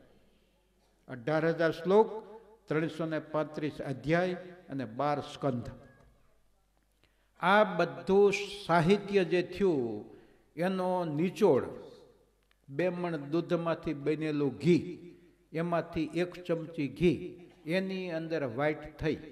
એમ ભગવાન કૃષ્ણનું નામ. આ ભાગવતની અંદર ભગવાન કૃષ્ણની વાક્મય વાણી આની અંદર ભરેલી છે. અને એની અંદરથી જે ઘીની જગ્યાએ, એક ચમચી ઘીની જગ્યાએ કૃષ્ણનું મંત્ર છે. શ્રી કૃષ્ણ શરણમમ શ્રી કૃષ્ણ શરણમમ. રામચંદ્રજીના ઉપાસક હોઈએ તો રામ રામ રામ અથવા સીતારામ સીતારામ સીતારામ. સહજાનંદ સ્વામી જે બસો ને પચીસ, ત્રીસ વર્ષ પહેલાં આ અવની ઉપર છપૈયાની અંદર જન્મી અને આપણે સૌરાષ્ટ્રની ભૂમિને પાવન કરી આખા ભારતની અંદર વન વિચરણ કરતા કરતા ફરતા ફરતા લોજની વાયવે બહાર નીકળ્યા. પીપલાણાની અંદર રામાનંદ સ્વામીનો મુલાકાત થઈ, જેતપુરની અંદર ગાદી આપી અને સ્વામિનારાયણ સંપ્રદાયની ધર્મધુરા સંભાળી. એવા જે સહજાનંદ સ્વામી છે ને, એના નામમાં જો પ્રીતિ હોય તો સ્વામિનારાયણ સ્વામિનારાયણ સ્વામિનારાયણ. પણ ભગવાનના કોઈ પણ એક નામનું સ્મરણ ઉપાસના પૂર્વક કરવું એ આ ભાગવતનું દોહન કરીને મેળવવા જેવું છે. ગાય હોય ને, ગાયને પીવાય નહીં, પણ એના આંચળમાંથી નીકળેલા દૂધને પીવાય. એ દૂધમાંથી જેમ સીધો દીવો ન થાય, પણ એમાંથી બનાવેલા ઘીમાંથી દીવો થાય. વ્યાસ ભગવાને ભાગવત રૂપી ગાય બનાવી.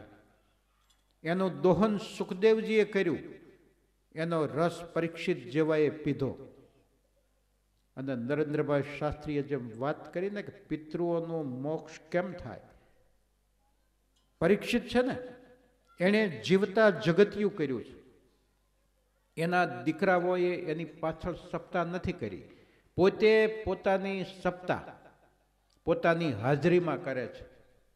જો અમારી બેન છે ને પાર્વતીબેન તો માથું હલાવે છો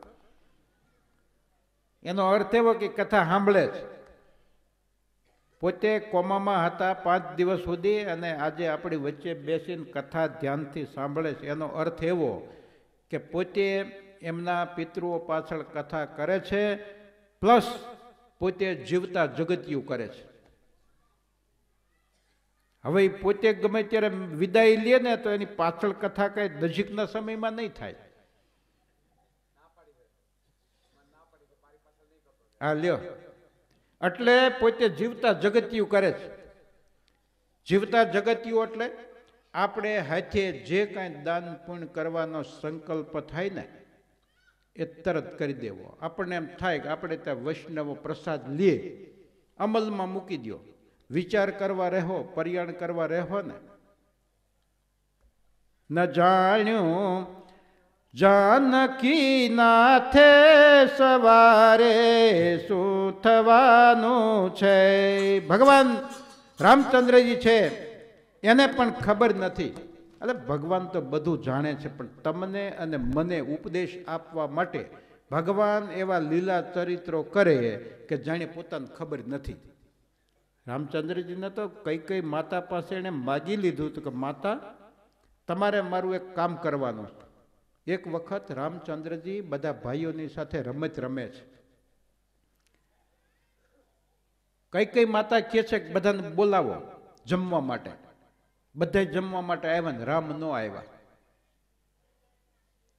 એટલે કઈ કઈ માતાને રામ બહુ વાલા હતા. એટલે કઈ કઈ માતા પોતે રામ પાસે ગયા બોલાવા કે રામ, ચાલો ભોજન તૈયાર છે. નાનો છોકરો હોય ને તોય માતા એ વખતે છોકરાઓને ભાઈ કહેતી. રામ, તમે ભોજન તૈયાર છે, જમવા માટે ચાલો. વિવેક શીખવાની જરૂર છે. માતાઓએ, બહેનોએ, દીકરીઓએ, ભાઈઓએ, બુઢાઓએ, બધાએ વિવેક શીખવાની જરૂર છે.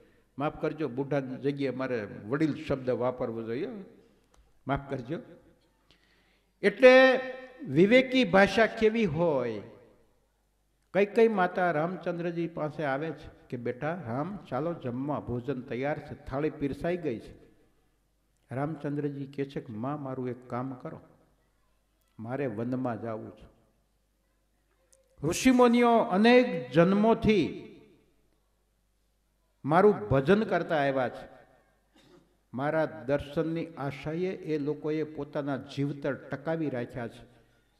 જંગલમાં જઈ એ લોકોના આશ્રમે આશ્રમે ફરી મારે એ લોકોના દર્શન કરવા છે. અને મારે મારા સ્વરૂપનું જ્ઞાન આ ઋષિઓને આપવું છે, જેથી એમની ભક્તિ દ્રઢ થાય અને એમનું આત્યંતિક કલ્યાણ થાય.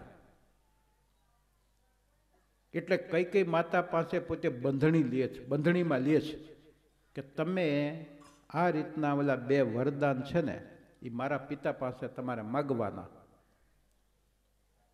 અને જે પ્રમાણે બેકગ્રાઉન્ડ તૈયાર થતું જાય ને એ પ્રમાણે તમારે બિહેવિયર કરવાની.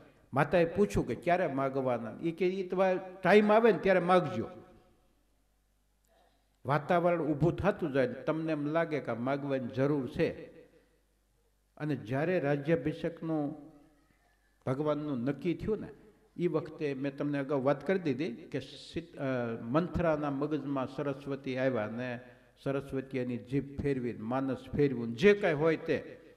પણ સારાંશ એટલો છે કે ભગવાન શ્રીહરિ, રાવણનું મૃત્યુ છે ને, એ તો એક નિમિત્ત હતું. ભગવાને ધાર્યું હોત ને, તો અયોધ્યામાંથી બાણ છોડ્યું હોત ને, લંકામાં રાવણ મરણ પામ્યું હોત. કારણ એ વખતે મોટા મિસાઇલ હતા. એ વખતે પુષ્પક વિમાન હતું. કેટલા વાંદરોની સંખ્યા, વિચાર કરો. રામ પાસે કેટલું મોટું વાંદર સૈન્ય હતું. એ બધું સૈન્ય એક પુષ્પક વિમાનમાં બેસીને લંકાથી ઉડીને કેટલો દરિયો અયોધ્યામાં આવ્યું હતું. તો વિમાન નાનું નહોતું, જમ્બોથી મોટું હતું. ત્યારે એટલા પેસેન્જરો હમાય ને. એમ એ વખતે મિસાઇલ પણ હતા. ભગવાને એક જ મિસાઇલ અયોધ્યાથી છોડ્યું હોત ને, તો આખી લંકા દરિયામાં ડૂબી જાત. પણ ભગવાને ઋષિઓને દર્શન દેવા જવા માટે આ લીલા કરી છે. અત્રિ ઋષિના આશ્રમમાં ગયા છે. અગસ્ત્ય ઋષિના આશ્રમમાં ગયા છે. ભારદ્વાજ ઋષિના આશ્રમમાં ગયા છે. આ બધા આશ્રમોમાં ભગવાન ફર્યા, બધાને દર્શન દીધા, બધા ઋષિઓના દર્શન કર્યા, કારણ કે પોતે ક્ષત્રિય હતા ને, એટલે ઋષિઓના દર્શન ભગવાન કરતા જાય છે. અને પોતાના સ્વરૂપનું જ્ઞાન એમને આપ્યું. જંગલમાં જ્યારે જાય છે ને ત્યારે રામ ને લક્ષ્મણ એક વખત એક ઋષિના આશ્રમમાં દાખલ થયા. તો ત્યાં પ્રકાશ હતો એકદમ. તો લક્ષ્મણ કહે છે કે પ્રકાશ શેનો છે? અત્યારે સૂર્ય તો છે ને આકાશની અંદર.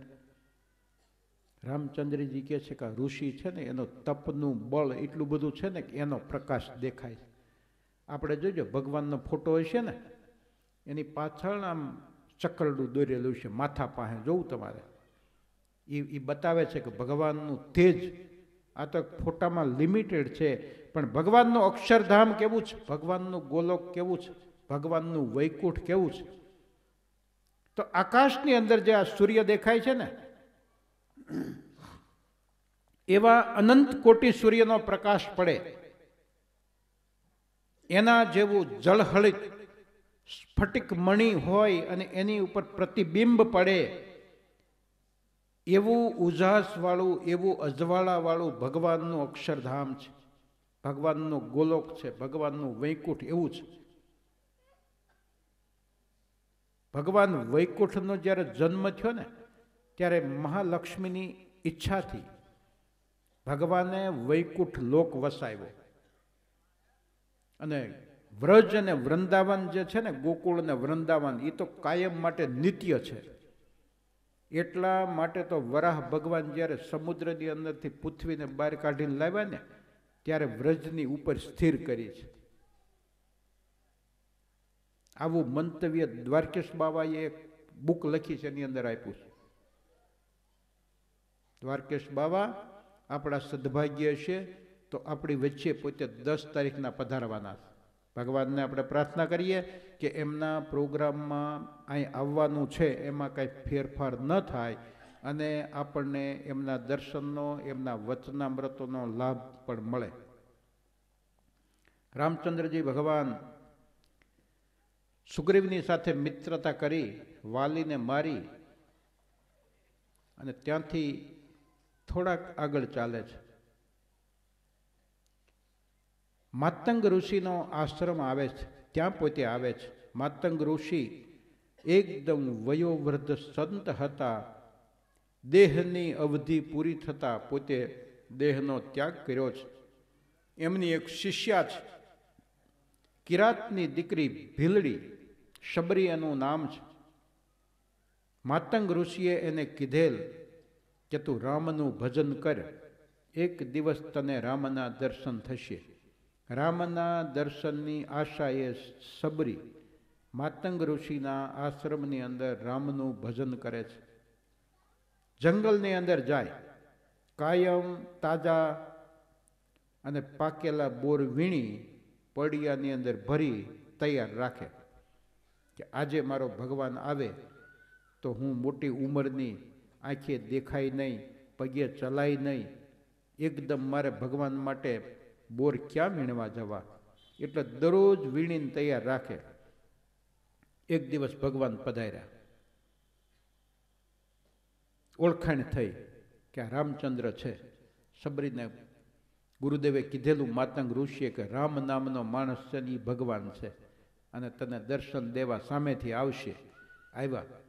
આપણી ભક્તિ એવી હોવી જોઈએ કે જેથી સામેથી પરબ્રહ્મ આપણને દર્શન દેવા માટે આવે. શબરી ભીલડીની જાત, કિરાતની કન્યા. અને કિરાતની કન્યાના પ્રારબ્ધ પૂર્વ જન્મના કે એને રામનું ભજન એટલું બધું કર્યું ને, કે ભગવાન રામચંદ્રજી સામેથી દર્શન આપવામાં આવ્યા. પંઢરપુરની અંદર એક વિઠોબાનું મંદિર છે. ત્યાં પુંડલિક નામે એક ભક્ત છે. પોતાના માત પિતાની સેવા કરે છે. માત પિતા કુષ્ઠિક રોગથી પીડાય છે. મોટી ઉંમર છે. ખાટલા વાહુ છે ને એમ કહીએ તો ચાલે. આવા જે માત પિતા છે, એની સેવા પુંડલિક કરે છે. એની સેવાનું સ્ટેજ એટલું બધું ઊંચું આવે છે, ઊંચું આવે છે કે પશ્ચિમની અંદર બેઠેલ દ્વારકાધીશને એમ થાય છે કે મારે પંઢરપુરની અંદર મારો ભક્ત છે એના દર્શન કરવા માટે જવું છે. દ્વારકાધીશ સામેથી ચાલી દર્શન માટે, પુંડલિકના દર્શન માટે આવે છે. નાની એવી ખોલકી છે. એની અંદર માત પિતાનું આસન છે. પુંડલિક માત પિતાની સેવા કરે છે. સવારનો સમય છે. પુંડલિકને એમ થાય છે કે માત પિતાની સેવાના પુણ્યથી ભગવાન મને દર્શન દેવા માટે સામેથી આવ્યા છે. એટલે કહે છે કે અત્યારે હું માત પિતાની સેવા કરું છું. સેવા પૂરી થાય ને પછી તમારા દર્શન કરું. રૂમમાં એક ઈંટ પડી છે ને લઈ બહાર નાખી ભગવાનને કે આના ઉપર ઊભા રહ્યો. ભાગવતમાં એમ કહે છે કે ઈંટનું થયું વીટ અને વીટનું થયું વિઠોબા. એટલે પંઢરપુરમાં જે વિઠ્ઠલનાથજીની મૂર્તિ છે એને વિઠોબા કહે છે. ભગવાન થાકી ગયા. બહાર ઊભા ઊભા ભગવાન થાકી ગયા. એટલે ભગવાને જમણો હાથ કેડ ઉપર મૂક્યો. અને ભગવાનનો ડાબો હાથ જે આમ ઊંચો છે ને ટચલી આંગળીને, એ ગિરિરાજ પર્વતને જ્યારે ભગવાનને સાત વર્ષના હતા ઊંચો રાખ્યો હતો ને એ એની નિશાની છે ગોવર્ધનનાથની અને ભગવાને કઈ ઉપર હાથ મૂક્યો. ભગવાન તમને અને મને એ ઉપદેશ આપે છે કે આ સંસાર સાગર છે, એ કઈડ સમાણો ઊંડો છે, એની અંદર કોઈ બુડી જતું નથી. બધાય તરી શકે છે. માત્ર શરત એટલી કે ઉપાસના પૂર્વક શ્રીહરિનું ભજન કરવું. આટલું જ. આપણું મન ભગવાનને આપી દેવું. જેની પાસે મન નથી, એ પોતાની એક પણ વિચારસરણી પોતે હાકી શકતો નથી. જેને મન આપ્યું એ નક્કી કરે એમ થાય. સમજુ અને ડાયા બહેનોએ પોતાનો પતિ, સામાન્ય બુદ્ધિવાળા હોય, કહેવાનું કે નોર્મલ હોય, તો પોતાનું મન પોતાના પતિને આપી દેવું. જેથી ગ્રહસ્થાશ્રમ એકદમ સુઘડ રીતે ચાલે. આજકાલ ગાડાની અંદર ટાયર નાખવામાં આવે છે. પહેલાંના વખતમાં લાકડાના પૈડા હોય ને એને પાટા ચડાવવામાં આવતા. એ પાટો ઉતરી ગયો ને તો પછી પૈડું ન હાલ્યો બે પૈડાને પાટા જોઈ. એમ ટાયરની અંદર, બે ટાયરની અંદર હરખી હવા જોઈ. એક માલિકને તમે સોંપો, તો એ હરખી હવા રાખી શકે. ઓલા એમ કે, ઓલા ઋષિની એક વાત નથી કે ગુરુજી હતા બે શિષ્યો હતા બે એ વેચી લીધો. એક પગની સેવા એકને કે તારે કરવાની, બીજા પગની સેવા બીજો કે હું કરીશ. તે સેવા કરતા કરતા કે એક પગ બીજા પગ ઉપર પડ્યો તો ઓલો બીજા પગને મારવા માંડ્યો લાકડીથી. કે તારો પગ આ બાજુ ક્યાં આવવા દેશે? આ તો લૌકિક દાખલો છે. પણ આવું ઘણીવાર બને છે એક ગામ હતું ને કોળીનો, કોળી આપણે હોય ને એનો દાખલો છે. કે કોઈનો બનેવી ક્યાંક ગામડે ગયો છે ને વાડીએ હૂતો છે તો બે ભેહું બાંધ્યું હતું બે એક એક પગે બાંધી દીધું. જે કોઈ એના મજાક કરી હોય એને. તે ભેહું ભાંગી ગયો તો ઊભો ચીરાઈ ગયો. આવી મજાક ન કરાય. મજાક કરવાની લિમિટ હોય.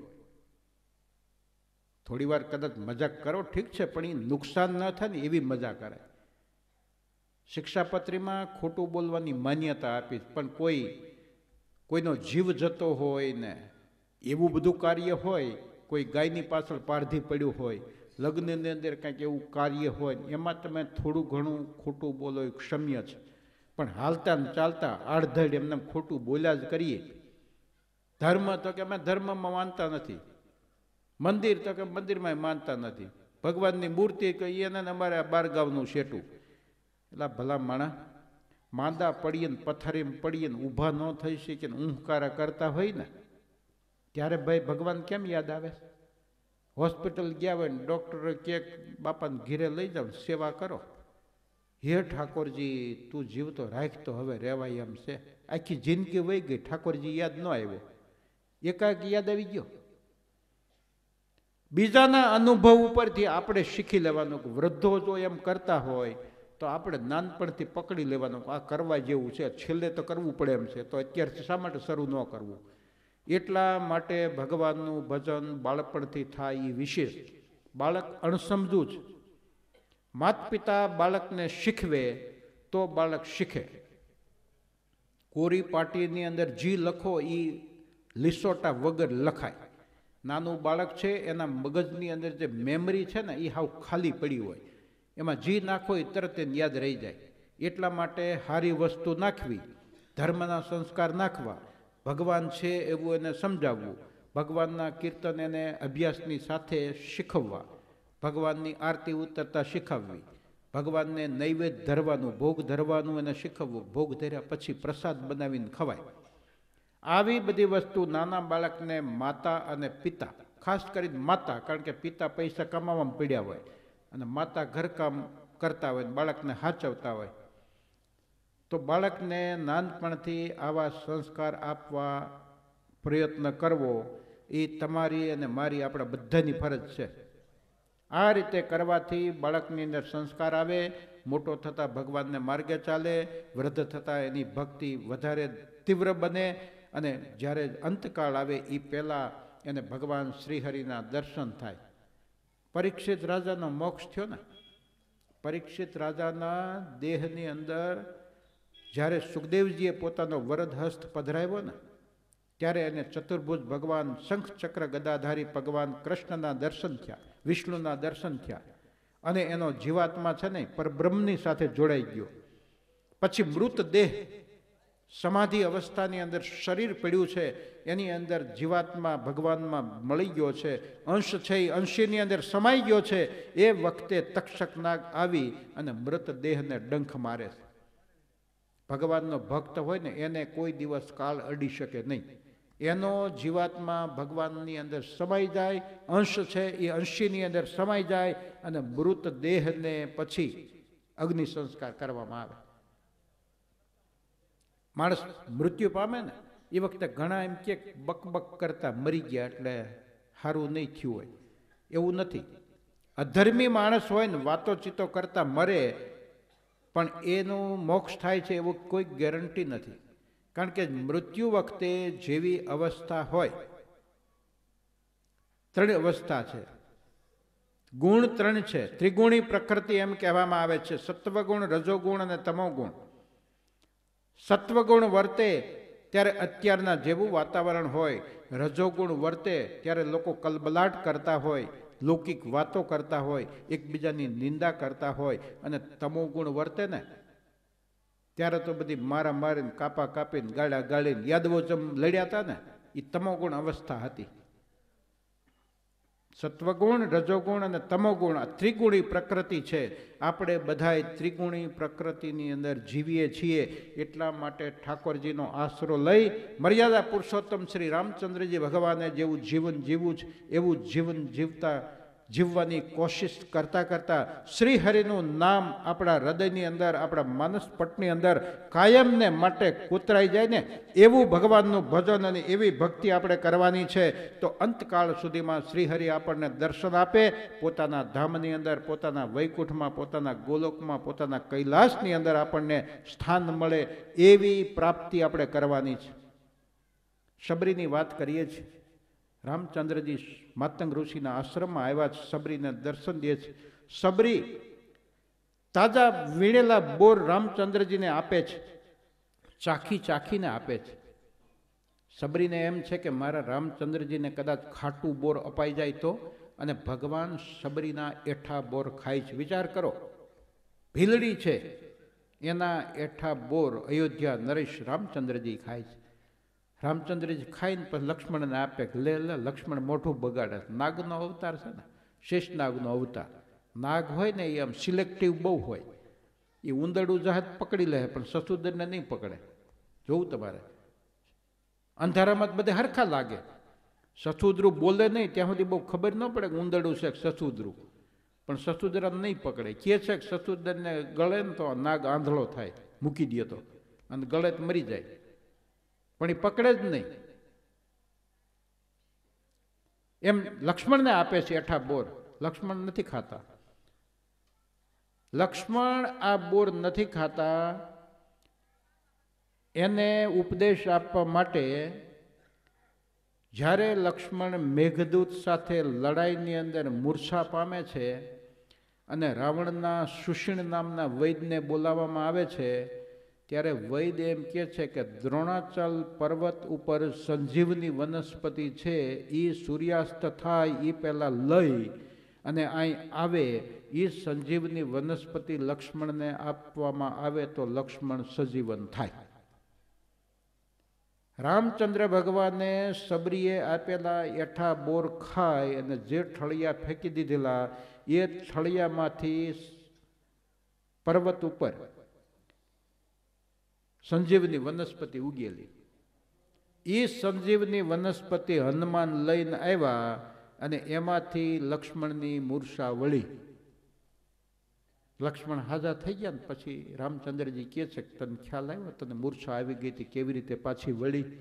હુમાણીની વાતો બે ભાઈઓ કરે છે, પછી યુદ્ધ પૂરું થયા પછી યુદ્ધમાં થોડો ટાઈમ હોય એવી વાતો કરવાનો. ત્યાં તો બાણા વળી હોય. તો લક્ષ્મણ કહે છે કે, ના, મને ખ્યાલ નથી. એ કે તે ઓલા બોર હું તને આપતો તો તું નહોતો મોઢું બગાડતો. કે એવા એઠા બોર ખવાતા હશે. એ બોરના ઠળિયામાંથી વનસ્પતિ થઈ હતી ને એણે તારા પ્રાણ બચાવ્યા. ત્યારે શેષનાગને એમ થયું હાલું, ભગવાનનું કયું કરવા જેવું જ ખરું. એટલા માટે રામચંદ્રજી કહી ગયા છે કે, હું કહી ગયો છું ને એમ કરો. કૃષ્ણ કહે છે કે, મેં કર્યું છે એમ નહીં કરવાનું. હું જેમ તમને કહું ને એમ કરો, કૃષ્ણની લીલા ચરિત્રના દર્શન કરવા જેવા છે. એનું અનુકરણ કરવા જેવું નથી. દર્શન કરવા ભગવાનને યાદ કરવા કે કનૈયો આવી લીલા કરતો હતો કનૈયો આવો રાસ કરતો હતો ગોપી ગીત આવું હતું. આપણે ઘણા વૈષ્ણવો છે ને ગોપી ગીત ગાય. ગોપી ગીત એટલે વિરહનું ગીત છે ને. શેનું સામે કોઈ હોકારો તો દ્યો? વિરહનું છે ને? કૃષ્ણ ભગવાન રાસલીલાની અંદર અદૃશ્ય થયા. ત્યારે ગોપીઓ જે ગીત ગાય છે, એને ગોપી ગીત કહેવાય. ઠાકોરજીના દર્શન ખુલવાની વાર હોય, ત્યારે બહેનો મહિલા મંડળ બેઠા બેઠા ગોપી ગીત ગાતા હોય. ભગવાનના દર્શન થાય એટલે ગોપી ગીત બંધ કરી દેવાય. આપણે કે હજી બે કડી બાકી છે ને, ચાલુ રાખી એટલે ભાઈ, ભગવાન સામે દેખાય છે. હવે તમને શેનો વિરહ છે? ભગવાનનું વિરહ છે, એનું ગોપી ગીત છે. તો આપણે તો ગોખી નાખ્યું હોય પછી ગાયા કરીએ એમને પણ ભગવાનના દર્શન ખુલે પછી ગોપી ગીત ગવાય નહીં. એટલા માટે ગોપી ગીત કે તમે ગાતા હોય ને તો થોડુંક વહેલું શરૂ કરવું. ખબર હોય ખાડા હાથે દર્શન થાય છે ને ગોપી ગીત ગાતા દસ મિનિટની વાર લાગે છે તો તમારે સાડા હાથમાં અગિયાર મિનિટની, બાર મિનિટની વાર હોય ને ત્યારે ગોપી ગીત કરવું. એટલે ગોપી ગીત પૂરું થાય, તમારી વિરહ વેદના પૂરી થાય ને ઠાકોરજીને દયા આવે, ઠાકોરજી બારણા ખોલે તરત ઠાકોરજીના દર્શન આઠ વખત થાય, મોટી જે હવેલીઓ હોય ને એમાં. વહેલી સવારમાં થાય, પછી શૃંગારના થાય, પછી ગ્વાલના થાય, પછી રાજભોગના થાય. પછી ઉત્થાપનના થાય, પછી રોંઢે કંઈક શું કહીએ પાછું? પછી પોઢણ શયનના સાંજના થાય ને પછી શયનના આઠ વખત હવેલીઓમાં, મોટી હવેલીઓમાં દર્શન થાય. આપણા ગામમાં કદાચ પાંચ વખત થતા હશે. અમુક દર્શન ખુલે ને અમુક દર્શન ભીતર થાય. મુખ્યાજી હોય ને અંદર ઠાકોરજીને એ જે કાંઈ વિધિ કરવાની હોય કરી લે ને, બારણા ન ખોલે. અને આઠ વખત દર્શન થતા હોય તો આપણે વૈષ્ણવને એટલો બધો ટાઈમે ન હોય. ઓટે બેસવાનો ટાઈમ હોય, પણ ત્યાં હવેલીએ જવાનો ટાઈમ ન હોય. સબરીના એઠા બોર રામચંદ્રજી ખાય છે, લક્ષ્મણને આપે છે. લક્ષ્મણ પણ ન મને થોડા થોડા બોર ખાય છે. આ રીતે આશ્રમના જે લોકો હતા ને, એણે એમ કીધું કે આ પંપા સરોવર છે ને, એનું પાણી બહુ ગંદુ થઈ ગયું છે. તો તમે પાણી મીઠું કરો, ભગવાનને કહે. ભગવાન કે પાણી મીઠું કરતા મને નથી આવડતો. સબરીને પંપા સરોવરમાં નવરાવો. સબરીને બધાય આશ્રમવાસીઓએ પંપા સરોવરમાં નવરાવી, પાણી પવિત્ર થઈ ગયું પંપા સરોવરનું. લ્યો, ભગવાનના ભક્ત હોય ને, એના શરીરના સ્પર્શથી પણ ગંદા પાણી નિર્મળ થાય છે. તો આપણું જે મન, આપણો જે આત્મા એ જો ગંદો થઈ ગયો હોય, એની અંદર વાસનાનો વળગાડ હોય, અને કોઈ સદગુરુ સંત મળી જાય, નરેશભાઈ જેવા શાસ્ત્રી આપણી સમક્ષ હોય, અને એની વાણી આપણને સાંભળવાનો લાભ મળે, કૃષ્ણની ઉપાસનાનું બળ મળે તો આપણા જીવની સાથે, આપણા ઇન્દ્રિયોની સાથે, આપણા મનની સાથે, આપણી બુદ્ધિની અંદર જે વાસના અનેક જન્મોથી વિકાર રૂપે પડી છે ને, એને દૂર થતા વાર ન લાગે. મુક્તિના ત્રણ બે પ્રકાર હોય. એક અઘો મુક્તિ અને એક ક્રમશઃ મુક્તિ અઘો મુક્તિ એટલે ભગવાન આવે ને રાજી થઈ જાય ને જીવને એમ કે, હાલ મારી સાથે. એ મુક્તિ ભગવાન તમને તરત અપાવી દે. તમારા કેટલાય પૂર્વજન્મના કેટલાય પાપ હોય બધા ધોવાઈને ખાખ થઈ જાય. અને ક્રમશઃ મુક્તિ એટલે જીવ હોય, ભગવાનનું ભજન કરે તો બ્રાહ્મણને ત્યાં જન્મ આવે. કર્મકાંડ કરે, બધી વિધિ કરે, ભગવાનનું ભજન કરે, જ્ઞાન પીરસે. તો બીજી વખતે બ્રાહ્મણની અંદર પણ જાત હોય બે, ત્રણ, ચાર એમ. એમ એક વેદીન દ્વિવેદીન ત્રિવેદીન ચતુર્વેદીન એમ થતાં થતાં આગળ આગળ એની સ્થિતિ આગળ વધતી જાય. એવી રીતે ક્ષુદ્રની અંદરથી વૈશ્ય, વૈશ્યની અંદરથી ક્ષત્રિય, ક્ષત્રિયની અંદરથી બ્રાહ્મણ, બ્રાહ્મણની અંદરથી એના લેવલમાં આગળ ટોપ કક્ષાના જે બ્રાહ્મણ કહેવાય ને, એવી એને કક્ષા મળે અને પછી ભગવાન એનો સ્વીકાર કરે. આ બે પ્રકારની મુક્તિ હોય. આપણે આંધળુક્યા. ભગવાનનું શરણ પકડી રાખવું. ભગવાનની ઉપાસના પકડી રાખવી. એટલે આપણો મોક્ષ, વહેલો અથવા મોડો, એક જન્મે અથવા અનેક જન્મે, પણ મોક્ષ થાય થાય અને થાય એવો વિશ્વાસ રાખી અને ભગવાનની ભક્તિ કરવી. શબરીને દર્શન આપ્યા પછી રામચંદ્રજી ભગવાન સુગ્રીવની મૈત્રીના આધારે લંકા ઉપર લડાઈ કરવા જાય છે. હનુમાનજીને મોકલે છે પહેલાં કે તમે સીતાની તપાસ કરીને આવો કે સીતા ખરેખર ક્યાં છે. હનુમાનજી દરિયો ઓળંગીને આવે છે. રસ્તામાં હનુમાનજીને સુરસા નામની રાક્ષસી મળે છે. સુરસા એટલે સુવતા રસ. આપણી જે જીભ છે ને, એને સુરસાનું ઉદાહરણ આપવામાં આવે છે. લુલીના લાડ. સ્વાદનો જે આસ્વાદ છે ને, એને સુરસા કહેવામાં આવે. એટલે પહેલા આપણી જીભની જે ઇન્દ્રિયોના સ્વાદ છે ને, એનો ત્યાગ કરવાનો. ત્યાર પછી માતાના દર્શન થાય. એટલે હનુમાનજી સીતાજીના દર્શન કરવા જાય છે ને કારણ કે હનુમાનજીએ કોઈ દી સીતાજીને જોયા નથી. પહેલી મુલાકાત છે એટલે પહેલાં જ દર્શન કરવાના એટલે સુરસા નામની રાક્ષસીનો એણે વધ કરીને પછી આગળ વધે છે. ટૂંકમાં બધા વિષયોનો, વિષયો જે ઇન્દ્રિયો છે એના વિષયોનો ત્યાગ કરીને હનુમાનજી ત્યાં જાય છે. સીતાજીને મળે છે. ભગવાને આપેલી અંગૂઠી સીતાજીને આપે છે અને ખાતરી આપે છે કે હું ભગવાનનો સેવક છું. મારું નામ હનુમાન છે. હું તમારી શોધ માટે આવ્યો છું. ભગવાન સામે કિનારે લશ્કરની છાવણી નાખીને પડ્યા છે. રામચંદ્ર ત્યાં અશોક વાટિકાની અંદર હનુમાનજી માતાજીને કહે છે કે મને ભૂખ લાગી છે. એ કે વાટિકામાં ફળ બહુ છે, મરજી પડે એટલા ખાઈ લે. હનુમાનજીને તો એક લીલા કરવી છે. બધા ઝાડવા ઉખેડી નાખે છે બધા ઇન્દ્રજીત એને આવી અને બ્રહ્મપાસથી બાંધી અને લઈ જાય છે રાવણ પાસે. એને રાવણની કચેરી જોવી હતી કે રાવણની કચેરી કેવી છે? એમનેમ તો કોઈ આમંત્રણ આપે નહીં દુશ્મનને. એટલે કચેરી જોવા માટે ત્યાં આ રીતે પકડીને લઈ ગયા ને ગયા. ને કે બ્રહ્માસ્ત્ર છે ને એ નાગપાશ છે, હનુમાનજીને બાંધી ન શકે. રાવણ કરતા ઊંચી આ ઊંચું આસન બનાવીને હનુમાનજી ત્યાં બેઠા છે. પછી રાવણની સભા ભરાય છે. સભામાં નિર્ણય કરવામાં આવે છે કે આ વાંદરો છે. એને પૂછડે આગ લગાવીને એટલે મરી જશે. તો પૂછડે ગાભા બાંધીને આગ લગાવી હનુમાનજી આખી લંકાને હળગાવી દીધી. અને પછી માતા સીતાને મળીને દરિયામાં થઈને રામચંદ્રજી પાસે આવે. રામચંદ્રજી કહે છે કે સીતાજી મારા વિરહની અંદર કેવી રીતે જીવે છે?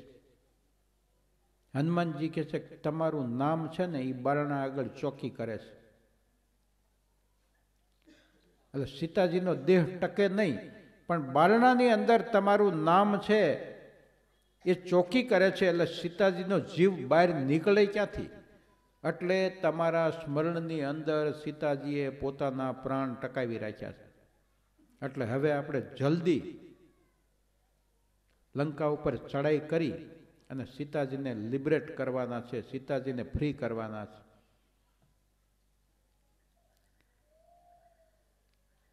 સમુદ્ર ઉપર સેતુ બાંધવામાં આવે છે. બધા વાંદર પથ્થર લઈને દરિયામાં નાખે એ પથ્થર તરે છે. ભગવાનને એમ થયું કે હાલને હું એક પથ્થર નાખી દઉં ભગવાન જે જે ક્રિયા કરે ને એ હનુમાનજી એક અથવા બીજી રીતે જોતા હોય. એટલે રામચંદ્રજી જ્યાં હોય ત્યાં હનુમાનજી હોય હોય ન હોય. આપણે જાય રામચંદ્રજી અહીં ઝુલાવ્યા ને. એટલે આપણી સભામાં હનુમાનજી હોય જ. કારણ કે રામચંદ્રજી હોય કે હનુમાનજીને આવવું જ પડે. આપણને દર્શન ન થાય, કારણ કે આપણી લાયકાત એટલી નથી, આપણી સ્થિતિ એટલી નથી, આપણું ભજન એટલું નથી, આપણી આધ્યાત્મિક સ્થિતિ લેવલ એટલું નથી, એટલે આપણને દર્શન ન થાય. પણ હોય ખરા. અને આમાં કદાચ કોઈ ભાગ્યશાળી જીવ હોય ને તો એને દેખા, એને અનુભવે થતો હોય, કે જેની આપણને ખબર નથી. ભગવાન પથ્થર લઈને દરિયામાં ફેંકે છે, તો એ પથ્થર ડૂબી ગયો. પેલા ભગવાન એમ ચારે બાજુ જોવે છે, કોઈ મન જોતું જ નથી ને. તો હનુમાનજીને ભગવાન જોઈ ગયા. જોઈ ગયા પછી તો કેવું પડે ને? તો હનુમાનજી કહે છે કે એમાં મોટી વાત શું મહારાજ? એ તો હાવ સહેલું ગણિત છે. તમે જેનો ત્યાગ કરો એ તો ડૂબી જ જાય ને. ભગવાન જેનો ત્યાગ કરે, ભગવાન જેનો હાથ ચાલે ને એ તરી જાય. સંસાર સમુદ્રને ઠાકોરજી જેનો હાથ પકડે એ તરી જાય. પણ ભગવાન હાથ છોડી દે તો એ તો ડૂબી જ જવાનો સંસાર સાગરની અંદર લક્ષ ચોરાસીના ફેરાની અંદર. રામચંદ્રજી આપણને ઉપદેશ આપવા માટે આ લીલા કરે છે. સેતુ બંધાય છે. લશ્કર સામે કિનારે જાય છે. લડાઈ શરૂ થાય છે. હનુમાનજીને એવું વરદાન છે કે કોઈ યુદ્ધની અંદર મરશે નહીં અસ્ત્ર શસ્ત્રથી કોઈ રીતે. દુશ્મનની સામે એની હાર કોઈ દી ન થાય. હનુમાનજી જન્મા ને આમ તો વાંદરની જાત ને તો સૂર્યને જોઈને એને એમ થયું કે સફરજન છે, ખાવા ઉડ્યા. તો સૂર્યનારાયણ એક મૂકો માર્યો પડ્યા હેઠા. હનુ એટલે જડબું. એક મૂકો માર્યો, જડબું તોડી નાખ્યું. એટલે એનું નામ હનુમાન પડ્યું. અને પવન દેવ છે ને એને વાવાનું બંધ કર્યું. મારા દીકરાને માર્યો હું કામ? પછી સૂર્ય ભગવાને એને કીધું કે તારો દીકરો લડાઈની અંદર મરશે નહીં, કોઈનાથી હારશે નહીં. ત્યારે પવનદેવે પાછું વાવાનું શરૂ કર્યું. ભાઈ, પવન, બે મરણ મોંઘાઈ બધું. શરીરની અંદર વાત, પિત્ત અને કફ ત્રણ પ્રકારના રસાયત્મક પદાર્થો પડેલા છે. વાત, પિત્ત અને કફ ત્રણેય અમુક પ્રમાણમાં હોવા જોઈએ. ત્રણેય જો હરખા થઈ જાય ને તેત્રીસ પોઈન્ટ તેત્રીસ ટકા તો માણસને હનેપાત થઈ જાય. એટલે કોઈ દિવસ ત્રણેય હરખા કરવાની કોશિશ ન કરવી. એ હોય એમને રવા દેવાના. વાત, પિત્ત અને કફ આ ત્રણ શરીરની અંદર હોય આપણા બધાના શરીરમાં.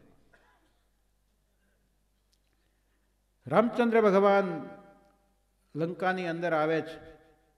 લક્ષ્મણ અને ઇન્દ્રજીતનું યુદ્ધ શરૂ થાય છે. પહેલાં બીજા સામાન્ય યોદ્ધાઓ બધા લડ્યા.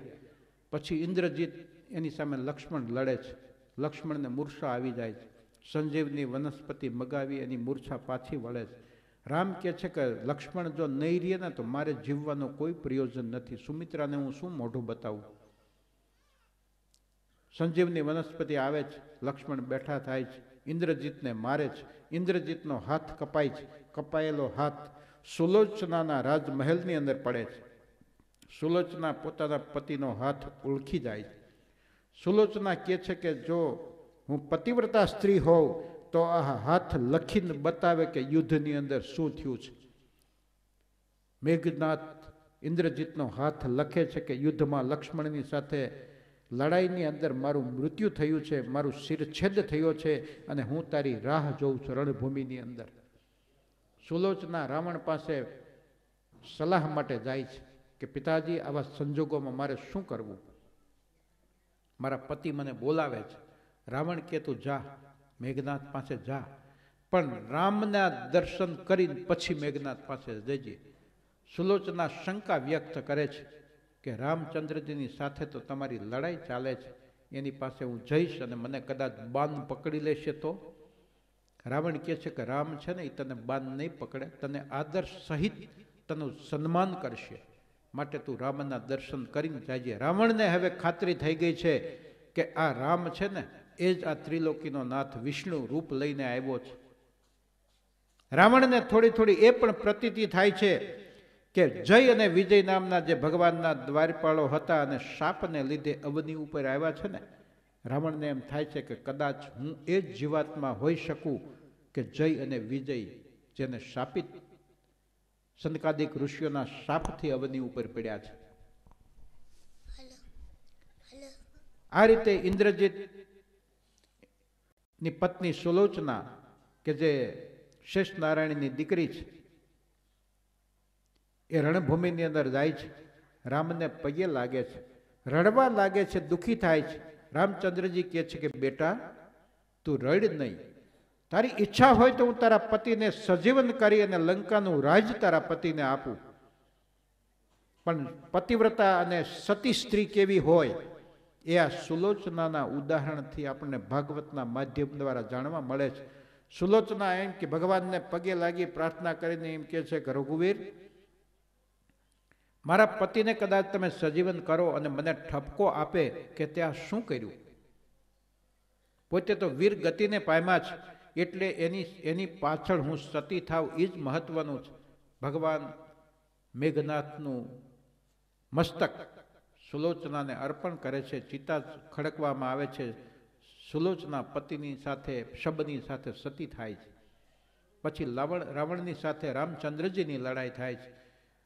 એક દિવસ એવું બને છે કે રાવણનો રથ તૂટી ગયો. શસ્ત્રો બળી શસ્ત્રો બધા ભાંગી ગયા, તૂટી ગયા, ખલાસ થઈ ગયા. પોતે થાકી ગયો. શરીરની અંદર રામચંદ્રજીના કેટલાય માણ લાગ્યા છે. ભગવાન કહે છે કે, રાવણ, તારો રથ તૂટી ગયો છે, શસ્ત્રો ખૂટી ગયા છે, શસ્ત્રો વપરાઈ ગયા છે. તું થાકી ગયો છો. આવતીકાલે તાજો માજો થઈને આવજે, ફરીથી યુદ્ધ કરશું. આ રામની સરળતાના પ્રસંગમાં આવે છે. રામ અને રાવણનું યુદ્ધ થાય છે. છેવટે એક એક વસ્તુ વચ્ચે રહી ગઈ કહી દઉં. રામ, રાવણનું યુદ્ધ થાય એ પહેલાં કુંભકર્ણને જગાડવામાં આવે રાવણ છે ને એ માણસોને મોકલીને કુંભકર્ણને જગાડવામાં આવે કુંભકર્ણ કે મને શા માટે જગાડવામાં આવ્યો? રાવણ કે જાનકી માટે યુદ્ધ થાય છે. એટલા માટે તને જગાડવામાં આવ્યો છે. તો કુંભકર્ણ કે રાવણને, તું રામનું રૂપ લઈ અને જાનકી પાસે જાને અને એકવાર એના સતીત્વનો ભંગ કરે એટલે સીતાજી તને કાબુમાં આવી જાય એ કે મેં એ હોતે કરી જોયું.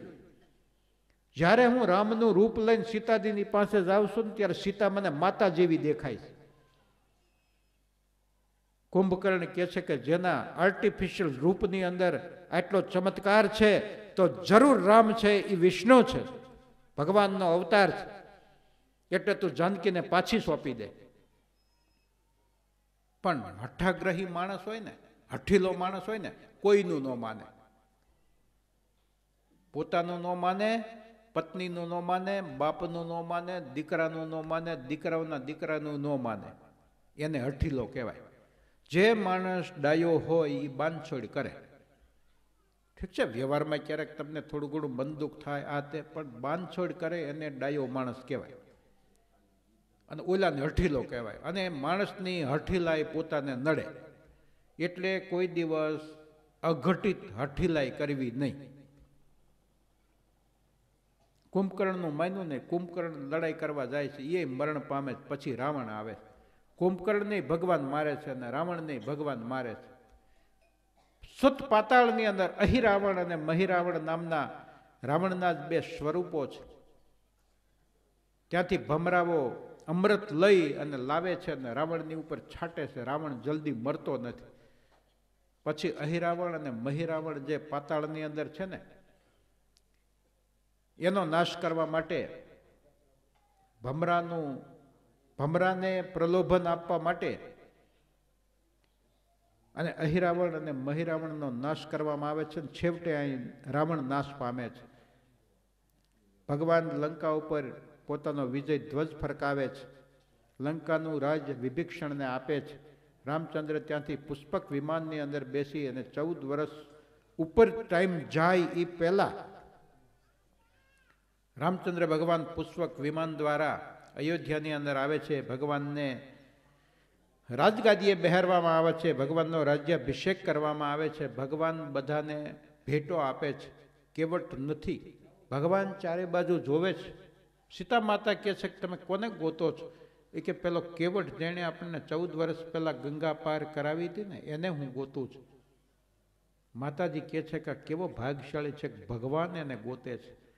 એમ આપણા ભાગ્યનો ઉદય કરવા માટે આપણે એવા પ્રયત્ન કરવા છે કે ભગવાન સામેથી ચાલીને આપણને દર્શન દે. પોતાની સેવાનું સુખ આપે, પોતાના ભજનનું સુખ આપે પોતાના દર્શનનું સુખ આપે, પોતાની વાણીનું સુખ આપે. અત્યારે આપણી સમક્ષ આ ભાગવત ભગવાનની જે વાક્મય વાણી છે, વ્યાસ ભગવાને સંકલન કરેલી છે. ગણપતિ બાપાએ લખી છે, સુત પુરાણીએ એની કથા સૌનકાદિક ઋષિઓને કીધી છે. સુખદેવજીએ એની કથા પરીક્ષિત રાજાને કીધી છે. અને આદિ નારાયણ જે ભગવાન છે, એમણે આ કથા બ્રહ્માજીને કીધી છે. એવી આ કથા અત્યારે હું તમને સંભળાવી રહ્યો છું. આવી કથાના માધ્યમથી ભગવાન શ્રીહરિ તમારા અને મારા ઉપર રાજી થાય, એ રીતે રામચરિત્રનું પ્રકરણ અહીં લગભગ પૂરું થાય છે. હવે રામાયણના સાત કાંડ આવે છે. આ કાંડ ક્યાં ક્યાં? બાલકાંડ, અયોધ્યાકાંડ, અરણ્યકાંડ કિસ્કિંદાકાંડ સુંદરકાંડ, લોકકાંડ અને ઉત્તરકાંડ. આ દરેક કાંડને આપણા જીવનની સાથે રૂપક રૂપે સરખાવવામાં આવ્યા છે. પણ આ કાંડની કથા ટૂંકમાં લઈ અને અત્યારે છ વાગ્યાનો સુમાર થવા આવ્યો છે. આપણે નવ નવમો સ્કંધને અત્યારે પૂરો કરી રહ્યા છીએ. બોલો ગિરિરાજ ધરણ કી જય.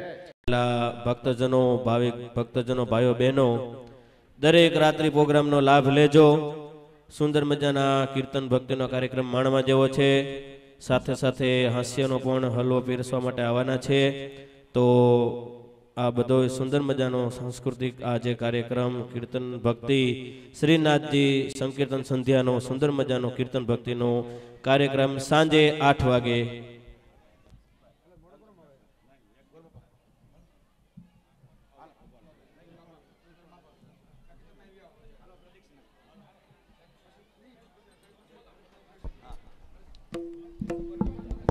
કોણ બોલે?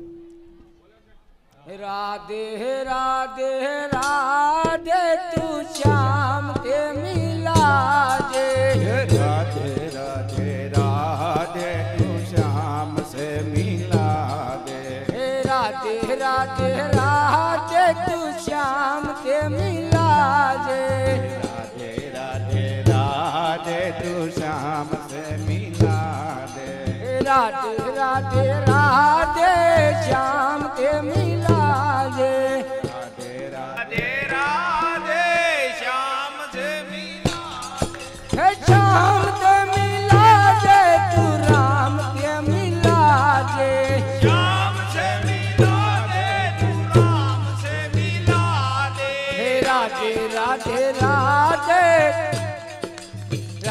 રાધે રાધે તું શ્યામ કે મિલા જે રાધે રાધે રાધે શ્યામ છે મિલા દે હે શ્યામ કે મિલા તું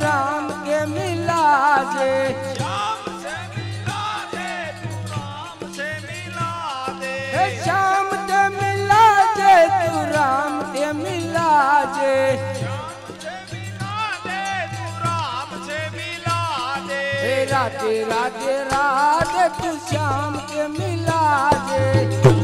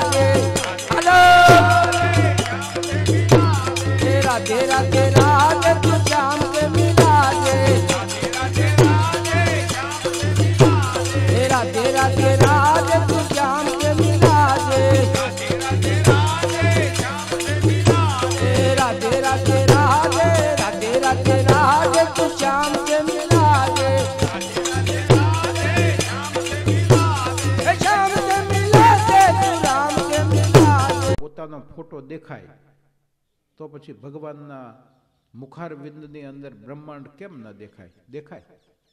જો આ કેમેરાથી મૂવી લે છે ને, આ તો થોડો જૂનું ડિઝાઇન છે, પણ ઓલો બીજો એક આટલો કેમેરો છે મૂવી લે છે.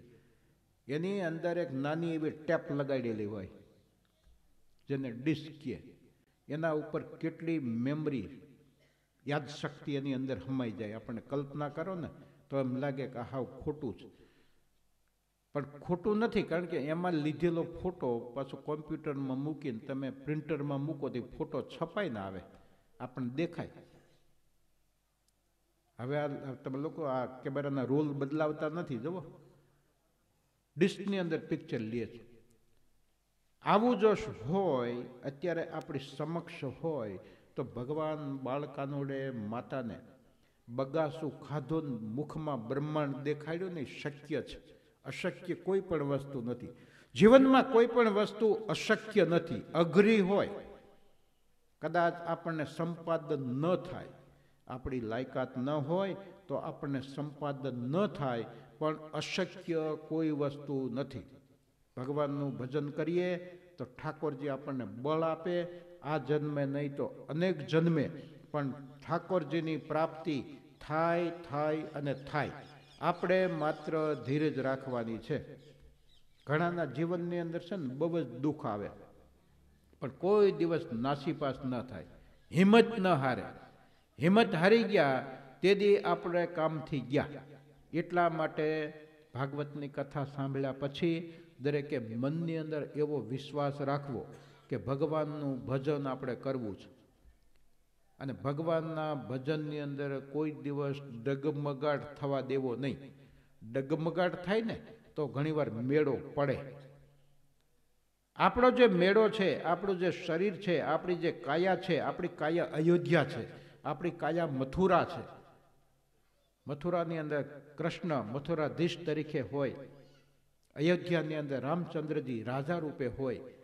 આ ભગવાનના સ્વરૂપોને આપણા દિલની અંદર, મનની અંદર, બુદ્ધિની અંદર ઠસાવીને રાખવા. જેમ તેમ નહીં, કાચા પોચા નહીં. ભજન થાય તો ઠીક છે, ન થાય તો કાંઈ નહીં. આવું મોડું બોલવું નહીં. મોડું બોલવાથી આપણો નિશ્ચય ડગી જાય છે. એટલા માટે નિશ્ચયને પાકો રાખવો. પાયાને મજબૂત કરાવ્યો છે ને તો ઉપરની ઇમારત ડગમગશે નહીં. પડશે નહીં. જલ્દી નહીં પડે. કદાચ મોટો ધરતીકંપ આવ્યો હોય ને, મકાનના મકાનને ઇમારતોની ઇમારતો ડટાઈ જાય એ આખી વાત જુદી પણ એ તો ભગવાનની ઈચ્છાથી થાય. અને કદાચ ધરતીકંપની સાથે આપણે જો ડટાઈ જઈએ ને, તો પણ ભગવાનનું જો ભજન કરેલ હશે, તો આપણને દાટવા પડે કે બાળવા પડે. એની જગ્યાએ કદાચ ડટાઈ જાય તો ભલે ડટાઈ જાય. પણ ભગવાનનું ભજન જો પૂર્ણ થયેલ હશે ને, તો આપણા જીવનની અંદર લખ ચોરાસીની અંદર ફેરા ફરવા નહીં પડે, માતાના ઉદરની અંદર ઊંધે માથે લટકવું નહીં પડે, ફરી ફરીને બાળકિયા પહેરવા નહીં પડે અને આપણો જીવાત્મા શ્રીહરિનું જે અક્ષરધામ છે, શ્રીહરિનું જે ગોલોક છે, કૃષ્ણ ભગવાનનું ગોલોક અને રામચંદ્રજી ભગવાનનું જે વૈકુંઠ છે ને, ત્યાં આપણો જીવાત્મા કાયમ માટે જઈ અને ત્યાં શાશ્વત સુખને ભોગવશે. શાશ્વત સુખ એટલે કે જે સુખ કોઈ દિવસ નાશ ન પામે. એને શાશ્વત સુખ કહેવાય. આવું સુખ ભોગવવા માટે ભગવાન કૃષ્ણ આપણી સમક્ષ પ્રગટ થવાના છે. ભગવાન છે ને એ કોઈ દિવસ અદૃશ્ય નથી. આ તો એક લૌકિક શિષ્ટાચાર છે, લૌકિક વ્યવહાર છે અને આપણને ભગવાનના નિમિત્તથી આનંદ મળે જગતના જીવોને એટલા માટે ડાયા પુરુષોએ, એટલા માટે વ્યાસ ભગવાને આ ભાગવત શાસ્ત્ર આપણી સમક્ષ મૂક્યું છે. પાંચ હજાર વર્ષ પછી શું થશે? જગત કેવું હશે? જગતના લોકો ભગવાનને શરણે કેવી રીતે આવી શકશે એવા વિચારથી ભગવાનનો જે અંશાવતાર વેદ વ્યાસ છે, એણે તમારા અને મારા કલ્યાણ માટે આ ભાગવત નામનો ગ્રંથ બનાવ્યો છે. અને ગણપતિ બાપાએ લખ્યો છે. ગણપતિ બાપા આદિ અનાદિ દેવ કહેવાય છે. મહાદેવના સંતાન છે. લાભ અને શુભ એમના દીકરા છે. રિદ્ધિ અને સિદ્ધિ એમની સહચારિણીઓ કહેતા ને કે ધર્મ પત્નીઓ અર્ધાંગનાઓ છે, રિદ્ધિ અને સિદ્ધિ. આપણે રિદ્ધિને સિદ્ધિ જોઈતી હોય, આપણે લાભ અને શુભ જેવા પુત્ર જોઈતા હોય, સંતાનો જોઈતા હોય, એવી કન્યાઓ, દીકરીઓ જોઈતી હોય, તો આપણે શ્રીહરિનું ભજન કરવું પડે. આ કથાનો મુખ્ય આશય એ છે કે એક અથવા બીજી રીતે આપણું મન ભગવાનના માર્ગે વળે હોય તો વધારે આગળ ચાલે, ન હોય તો ચાલવાની પ્રેરણા મળે અને હાવ ન ચાલતા હોય ને, એ પણ વ્યસન છોડી અને ભગવાનને રસ્તે વળે ને. જે રસ્તે જવું વાઘણિયાન બગસરા જવું હોય ને, તો કુકાઓથી આ રસ્તો લેવો પડે, દક્ષિણનો. અને ઉત્તરમાં દિરડી ગોંડલ તરફ જવું હોય ને, તો ઉત્તરનો રસ્તો લેવો પડે. દક્ષિણને રસ્તે આપણે જઈએ ને, કોઈ એમ કે પૃથ્વી ગોળ છે, આપણે ત્યાં પહોંચી જઈશું, આમથી આમ. પહોંચી તો જઈએ, પણ એમાં જીવને પૂરું થઈ જાય. એટલે સાચો રસ્તો, સીધો રસ્તો, સરળ રસ્તો, ભગવાનનો રસ્તો લેવો. અને ભગવાનના ભજનમાં એક પૈસાનો ખર્ચ નહીં. માળા ફેરવવામાં કોઈ કે આના બે રૂપિયા થાય તો કહેજો. હા, એકવાર માળા લેવામાં કદાચ પૈસા ખર્ચાય. પણ લીધા પછી માળાને ગૌમુખી છે ને એ તમને વર્ષો સુધી કામમાં આવે. શ્રી કૃષ્ણ શરણમમ શ્રી કૃષ્ણ શરણમમ. રામ રામ રામ, સ્વામિનારાયણ સ્વામિનારાયણ. ઓમ નમો ભગવદે વાસુદેવાય શિવાય નમઃ. હરે રામ હરે રામ રામ રામ, હરે હરે. હરે કૃષ્ણ હરે કૃષ્ણ કૃષ્ણ કૃષ્ણ, હરે હરે. બે બે અક્ષરનો મંત્ર, ચાર અક્ષરનો મંત્ર, આઠ અક્ષરનો મંત્ર, અગિયાર અક્ષરનો મંત્ર, બત્રીસ અક્ષરનો મંત્ર, સોળ અક્ષરનો મંત્ર જે મંત્ર તમને હૃદયની અંદર આનંદ આપે, ઉલ્લાસ આપે, ખુશી આપે, એવો મંત્ર તમારે ભજવો. પણ મંત્ર ભજો. કથા સાંભળ્યા પછી અહીં બેઠેલા બધા જીવાત્માઓ, દેહધારી મનુષ્યો, મહાપુરુષો, બહેનો, ભાઈઓ, માતાઓ, વડીલો, બધાએ ભગવાનનું નામ સ્મરણ લેતા થાય એવો આ કથાનો હેતુ છે. ઘણીવાર આપણે કહીએ વાતું કર્યા કરે હવે હું હવે. પણ વાતની અંદરથી જ વાત નીકળે અને વાતની અંદરથી જ આ વાત નીકળે છે. એમાં જ નારાયણનું ભજન કરવાનું છે. ખાલી વાતુના વડા કરીએ કંઈ વળશે નહીં. ભોજનનો થાળ સામે પડ્યો હોય ને જોવાથી સંતોષ ન થાય. પેટમાં જાય ને તો આનંદ આવે. મોઢામાં જાય તો એનો સ્વાદ આવે. એમ ભગવાન રૂપી નામ આપણી સમક્ષ પડ્યું છે. પણ જો ભગવાન પડ્યું છે ને, એ બીજા ભજે. આપણે કાંઈ ભજવાની જરૂર નથી. આપણને તો ભગવાને મેળીને, બંગલોને, દીકરાને ને દીકરા ને દીકરીઓ ને બધું આપ્યું છે. આપણે કાંઈ જરૂર નથી. એવું નહીં માનતા. આવતા જન્મ અથવા આવતા જન્મોની અંદર પણ ફરીથી કંઈ નહીં તો માત્ર સુખ ભોગવવા માટે પણ ભગવાનનું ભજન જરૂરી છે.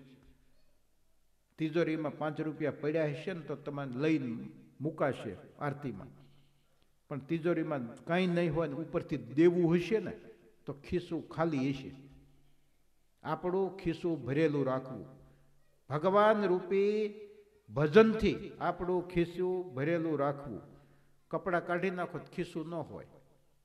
આપણું જે મન છે ને, એ આપણું ખિસ્સું. મનની અંદર ભગવાનને રાખવા.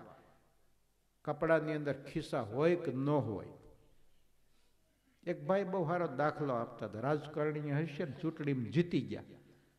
પછી જભો સીવડાવા ગયા. તો એમ ત્રણ ત્રણ દોઢ મીટરની અંદર એમ જભો થઈ જતો હશે. તો ઓલા ભાઈને પૂછ્યું કે જભો સીવડાવો કેટલું કાપડ જોહે? તો કે બે મીટર. તો કે દોઢ મીટરમાં તો હજી છ મહિના પહેલા સીવડાવી ગયો હતા ચૂંટણી પહેલા હવે કેમ? તો કે હવે તમારા ખિસ્સા છે ને મોટા કરવા પડશે. સમજાણો ને? એટલે આવું આપણે ન કરવું. આમાં કોઈની નિંદા નથી હો ભાઈ. આમાં કોઈની નિંદા નથી. આ તો જગતમાં જે હાલ્યું આવે છે, એનું એક રૂપક આપવા માટેની આ એક, હો. અને મને કોઈ અહીં બેસીને આવો અધિકાર નથી કે આપણે કોઈ નિંદા કરવી. આ ભાગવતમાં વાંચવામાં બેસીને કોઈ નિંદા ન કરાય. પણ આ તો એક સ્વાભાવિક, પસ્તાવિક વાત છે. દરજીએ કીધું તમારા ખિસ્સા મોટા કરવા પડશે, એટલે અડધો મીટર વધારે જોઈશે એમ. શું ચંદ્રવંશની કથા આપણે લઈએ છીએ. કૃષ્ણ બાળ કાનોડાને આપણે પાંચ અને છ ની વચ્ચે આપણી વચ્ચે લાવીને આપણી સાથે એને કુદાવવો છે. ગોપી કન્યાને જે માખણ માટે લલચાવે ને કન્યાને કેક માખણ ખાવું હોય તો તારે નાચવું પડશે કનિયો ઠુમક ઠુમક નાચે. અને ગોપી એની સાથે કન્યાને પ્રદક્ષિણા ફરે. અગિયાર વર્ષ ને બાવન દિવસની ઉંમરનો નાનકડો કનૈયો થયો ને, ત્યાં સુધી જ ગોકુળમાં રહ્યો છે. ત્યાર પછી તો પોતે મથુરામાં જઈ અને મથુરા નરેશ બન્યો છે. એટલે તો આપણે વૈષ્ણવની અંદર ઘણા છે ને, લાલાના જ લાલન અને પાલન કરે છે. શ્રીનાથજીની મૂર્તિઓ ઓછી હોય, જોવું. અને શ્રીનાથજીની મૂર્તિ હોય ને, તોય પણ લાલો તો હોય જ. ગ્વાલના ઠાકોરજી રાખે. ગ્વાલના ઠાકોરજી હોય ને બહાર બિરાજે નિધિના જે મેઇન પેલા હોય એ હવેલીમાંથી બહાર ન જાય. ભગવાનના દર્શન આઠ વખત થાય. ગઈકાલે કીધું હતું ને, મંગળા થાય, શૃંગાર થાય.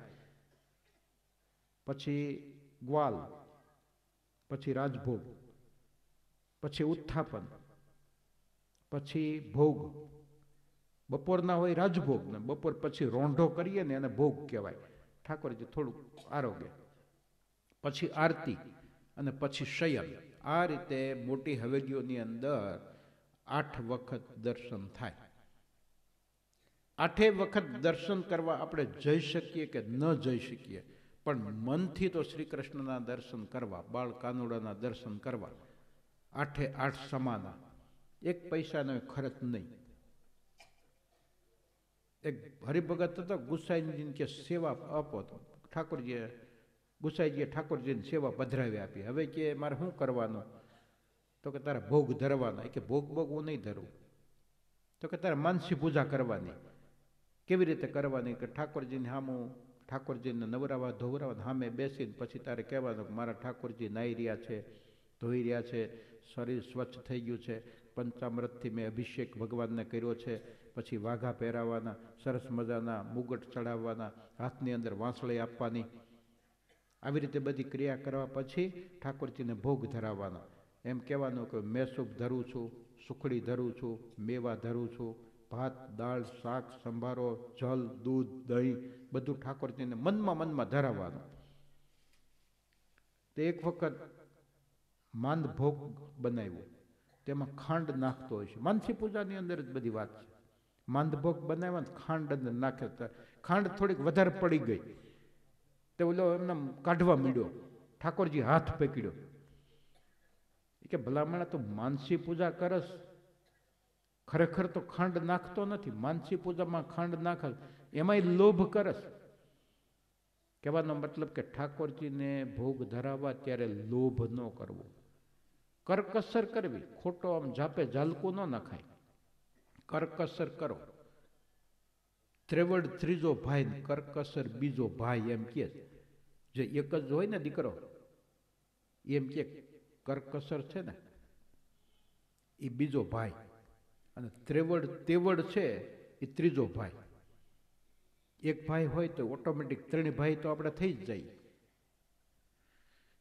એવી રીતે ઠાકોરજીનું ભજન કરવું એ આપણું પાયાની લાઈન. બોટમ લાઈન અંગ્રેજીમાં કહે, મુખ્ય વસ્તુ ભગવાનનું ભજન. આદિનારાયણ ભગવાન શૈયાની અંદર, સમુદ્રની અંદર સૂતેલા છે. ભગવાનની ડૂટીની અંદરથી કમળની નાળ નીકળે છે કમળની નાળને છેડે કમળનું ફૂલ નીકળે છે ફૂલની અંદર બ્રહ્માજી ભગવાન ઉત્પન્ન કરે છે. બ્રહ્મા ચારેય બાજુ જુએ છે. પાણી સિવાય કાંઈ દેખાતું નથી. બ્રહ્માને એમ થયું કાંઈ એકલો બેસીને હું શું કરીશ? તો નાળની અંદર ચાલવાનું શરૂ કરે છે. એકસો વર્ષ ચાલ્યા તોય છેડો આવ્યો નહીં. બ્રહ્માજીને એમ થયું કે હવે ક્યાં જાવું? સો વર્ષથી ચાલ્યો આવું, હજી છેડો આવ્યો નહીં. હવે આમ જાવું કે આમ જાવું? બ્રહ્માજીને તપ તપ એવા બે શબ્દ સંભળાણા. એટલે બ્રહ્માજીને એમ થયું કે મને તપ કરવાનો કે છે. બ્રહ્માજીએ ઘણા વર્ષો સુધી તપ કર્યું. ભગવાને દર્શન દીધા બ્રહ્માજીને કહે તમે સૃષ્ટિનું સર્જન કરો. બ્રહ્માજીએ મર્ચ્યાદિક ઘણા ઋષિઓને ઉત્પન્ન કર્યા ને, જેવા ઉત્પન્ન થાય એવા હાલતા થઈ જાય જંગલની અંદર ભગવાનની આરાધના કરીને. એટલે બ્રહ્માજીનું સૃષ્ટિનો ક્રમ કાંઈ આગળ ચાલ્યો નહીં. ફરીથી ભગવાન પાસે જ્ઞાન ભગવાનને કીધું જેટલાનું ઉત્પન્ન કરું છું ને બધાય તમારું ભજન કરવા વૈયા જાય છે. તમે કંઈક કૃપા કરો ને તો એ લોકો અટકાય, રોકાય અને સૃષ્ટિનું તમારું કાર્ય આગળ વધે. ભગવાનને બ્રહ્માજીને કીધું કે જે કંઈ રસ્તો બતાવ્યો એ એટલે ભગવાને પોતાના જમણા અને ડાબા સાથળમાંથી મનુ મહારાજને શત્રુપા મહારાણીને ઉત્પન્ન કર્યા બંનેને આજ્ઞા કરી કે મૈથુન ધર્મથી તમે પ્રજા ઉત્પન્ન કરો. પછી વરાહ ભગવાન થયા, પૃથ્વીને લઈ આવ્યા. મનુ મહારાજને બે દીકરા, ઉતાનપાદ અને પ્રિયવ્રત, ત્રણ દીકરીઓ. દેવહૂતિ, આકૃતિ ને પ્રસૂતિ. એમાં દેવહૂતિની કથા આપણે જોઈ. કપિલ ભગવાન પ્રગટ થયા. દેવોની માતા અદિતિ, રાક્ષસની માતા દિતિ. દેવોની માતા અદિતિને કુખે વામન ભગવાનનો જન્મ થયો એ પણ આપણે જોયું. અયોધ્યા નરેશ દશરથ પૂર્વ જન્મની અંદર એક બ્રાહ્મણ હતા. ભગવાન શંકરને દરરોજ એક હજાર બિલીપત્ર ચડાવતા. જિંદગી લગભગ પૂરી થવા આવે એક દિવસ મંદિરે આવે છે. મંદિરના પાછળમાં ભાગમાં એક સ્ત્રી રડે છે. બ્રાહ્મણને દયા આવી. જૈન પૂછે છે કે, બેન, તું કોણ છો? સ્ત્રી કહે છે કે, હું પિશાચીની છું. મારા પતિને મેં બહુ દુઃખ દીધું છે. એટલે મારી સ્થિતિ આવી થઈ. બ્રાહ્મણને દયા આવી. ભગવાનને પ્રાર્થના કરીને કહે છે આ જીવ છે ને, એ પાપી ને દુઃખી જીવ છે. અત્યાર સુધીનું મારું પૂર્ણ જે ભેગું થયું છે ને આ જીવને આપી દો ભગવાન દશરથ ઉપર પૂર્વજન્મની અંદર રાજી થાય છે. બીજે દિવસે એ સ્ત્રી અને એ દશરથનો જે દેહ હતો ને બંને પડી જાય છે. ત્યાર પછી અજ અને ઇન્દુમતી રાણીને ત્યાં દશરથ રૂપે જન્મે છે. અને કૌશલ દેશના રાજા છે ને, એને ત્યાં કુંવરી જન્મે છે. એનું નામ કૌશલ્યા પાડવામાં આવે છે. આ દશરથ અને કૌશલ્યા બંનેના લગ્ન થાય છે ને એને ત્યાં શ્રી રામચંદ્ર ભગવાન મર્યાદા પુરુષોત્તમ આવે છે એ ગઈકાલની કથામાં આપણે લીધું. ત્યાર પછી આપણે રામાયણના સાત કાંડ નામથી અને કયો કાંડ ભગવાનનું ચરણ, મસ્તક, ઉદર, સાથળ છે એ બધું આપણે જોયું. એટલે કે નવ સાત કાંડ છે રામાયણના, એ ભગવાન શ્રી રામચંદ્રજીનું શરીર છે.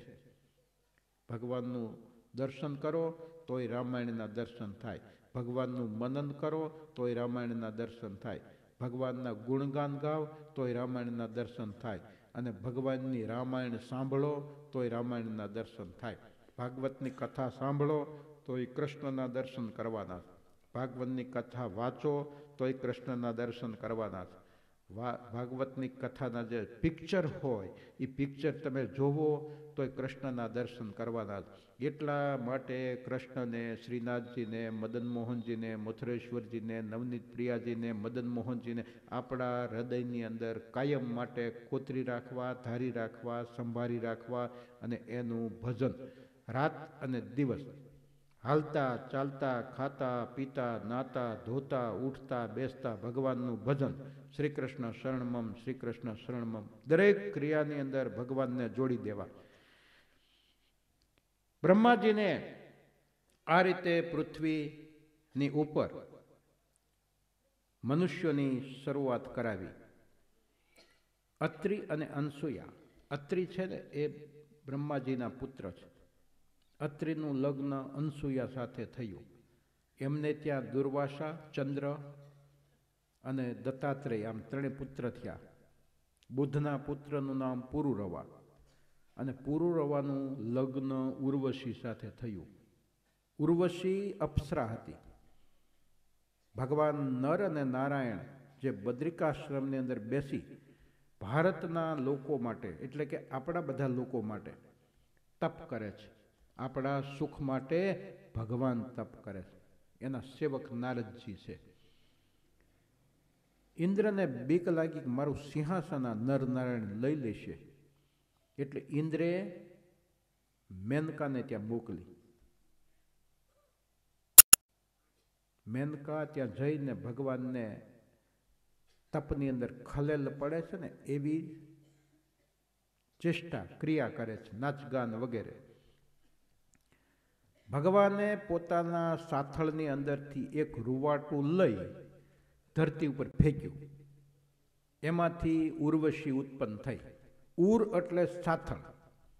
ઉર્વશી એટલે સાથળની અંદરથી, વાળની અંદરથી જે ઉત્પન્ન થઈ, એનું નામ ઉર્વશી. બ્રહ્માજી પહેલા ભગવાન નારાયણ, પછી બ્રહ્માજી, એના દીકરા અત્રિ. એનો, એના લગ્ન સતી સાથે થયા. અનસુયા સતી સાથે. એનો દીકરો વચલો દીકરો બુધ. એનો વચલો દીકરો ચંદ્ર અને ચંદ્રનો દીકરો બુધ. અને બુધની સાથે આ અપ્સરા ઉર્વશીના લગ્ન થયા. એને આયુ, શ્રુતાયુ, વિજય અને જય અને રથ એમ પાંચ દીકરા થયા. વિજયના વંશમાં ભીમ અને ભીમના વંશમાં જૂનું. જૂનુના વંશમાં ગાદી રાજા થયા. વિશ્વામિત્ર જે ઋષિ કહેવાય છે ને, એના પિતાનું નામ ગાદી રાજા ગાધી રાજા ગાધીની કન્યાનું નામ સત્યવતી. અને સત્યવતીનું લગ્ન રુચિક ઋષિ સાથે થયું. આ રુચિક ઋષિ છે ને, એ બહુ જ્ઞાની, બહુ તપસ્વી વચન સિદ્ધ સત્યવતીનું લગ્ન એની સાથે થયું. એટલે સત્યવતીને ભાઈ નથી, માત્ર એક જ દીકરી છે ગાંધી રાજાને એટલે સત્યવતી એના પતિને કહે છે કે મને પુત્ર આપો.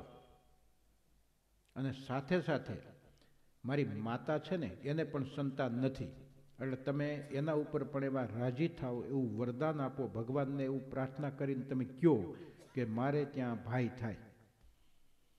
એટલે આ રુચિક ઋષિ હોય છે ને, બે ચરુને મંત્રે છે. અને એ બે ચરુ એક પોતાની પત્ની સત્યવતી એને આપે છે એક ચરુ પોતાના સાસુ જે કહેવાય, ગાદી રાજાના પત્ની એને આપે છે. એટલે સત્યવતીને એમ થાય છે કે મારા પતિએ મને સારું સંતાન થાય એટલે મારા ચરુની અંદર વધારે સામર્થ્ય મૂક્યું હશે. એટલે એ ચરુને અદલા બદલી કરી નાખે. છે પોતાનો ચરુ માતાને આપી દે છે, માતાનો ચરુ પોતે રાખે છે. ટાઈમ પૂરો થતાં ચરુની પરિપક્વતા આવવી જોઈએ, પૂરી થતાં ગાદી રાજાને ત્યાં વિશ્વામિત્રનો જન્મ થાય છે. અને રુચિક ઋષિને ત્યાં જમદગ્નિનો જન્મ થાય છે. જમદગ્નિ છે ને ઋષિ જેવા છે. અને વિશ્વામિત્ર છે ક્ષત્રિયનો બાળક છે. પણ ધીરે ધીરે ભવિષ્યની અંદર પોષે બ્રહ્મર્ષિ જેવી કક્ષા પ્રાપ્ત કરે છે.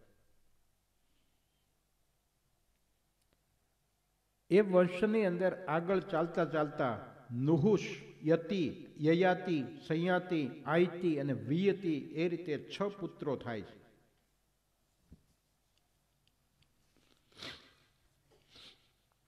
યયાતિને ત્યાં યદુ, તુવર્ષ, પહન, અનુ, પુરુ આમ પાંચ પુત્રો થાય છે. અને પુરુ નાનો હતો ને, છતાંય રાજની ગાદી એને મળી છે. ત્યાર પછી સુદ્ય શયતુ, સુમતિ, રભ્ય વગેરે પુત્રો થાય છે. આ વંશની અંદર દુષ્યંત અને એનો પુત્ર ભરત થાય છે. ભરતના વંશની અંદર સંકૃતિ, સકૃતિ, વંશ અને રંતિદેવ નામના રાજા થાય છે. રંતિદેવ રાજાની કથા આવે છે ને, એ વંશની અંદર દેવાતી અને શાંતનું રાજા થાય છે. શાંતનું રાજા એટલે જેણે ગંગા સાથે લગ્ન કર્યા છે. એ શાંતનું રાજા. શાંતનું રાજાને પુત્રનું નામ દેવવ્રત છે, જેને આપણે ભીષ્મ તરીકે ઓળખીએ છીએ. અને ગંગાજી છે ને, એ ભીષ્મના માતા છે. મત્સ્યગંધા જેનું નામ પણ સત્યવતી કહેવામાં આવે છે. એને ચિત્રાંગદ અને વિચિત્ર વીર્ય નામના બે પુત્રો શાંતનુ રાજાથી થાય છે.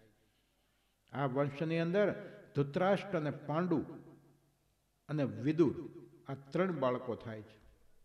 ધૃતરાષ્ટ્રને ત્યાં સો પુત્ર છે, એને કૌરવ કહેવામાં આવે છે. પાંડુને ત્યાં પાંચ પુત્ર છે, એને પાંડવો કહેવામાં આવે છે.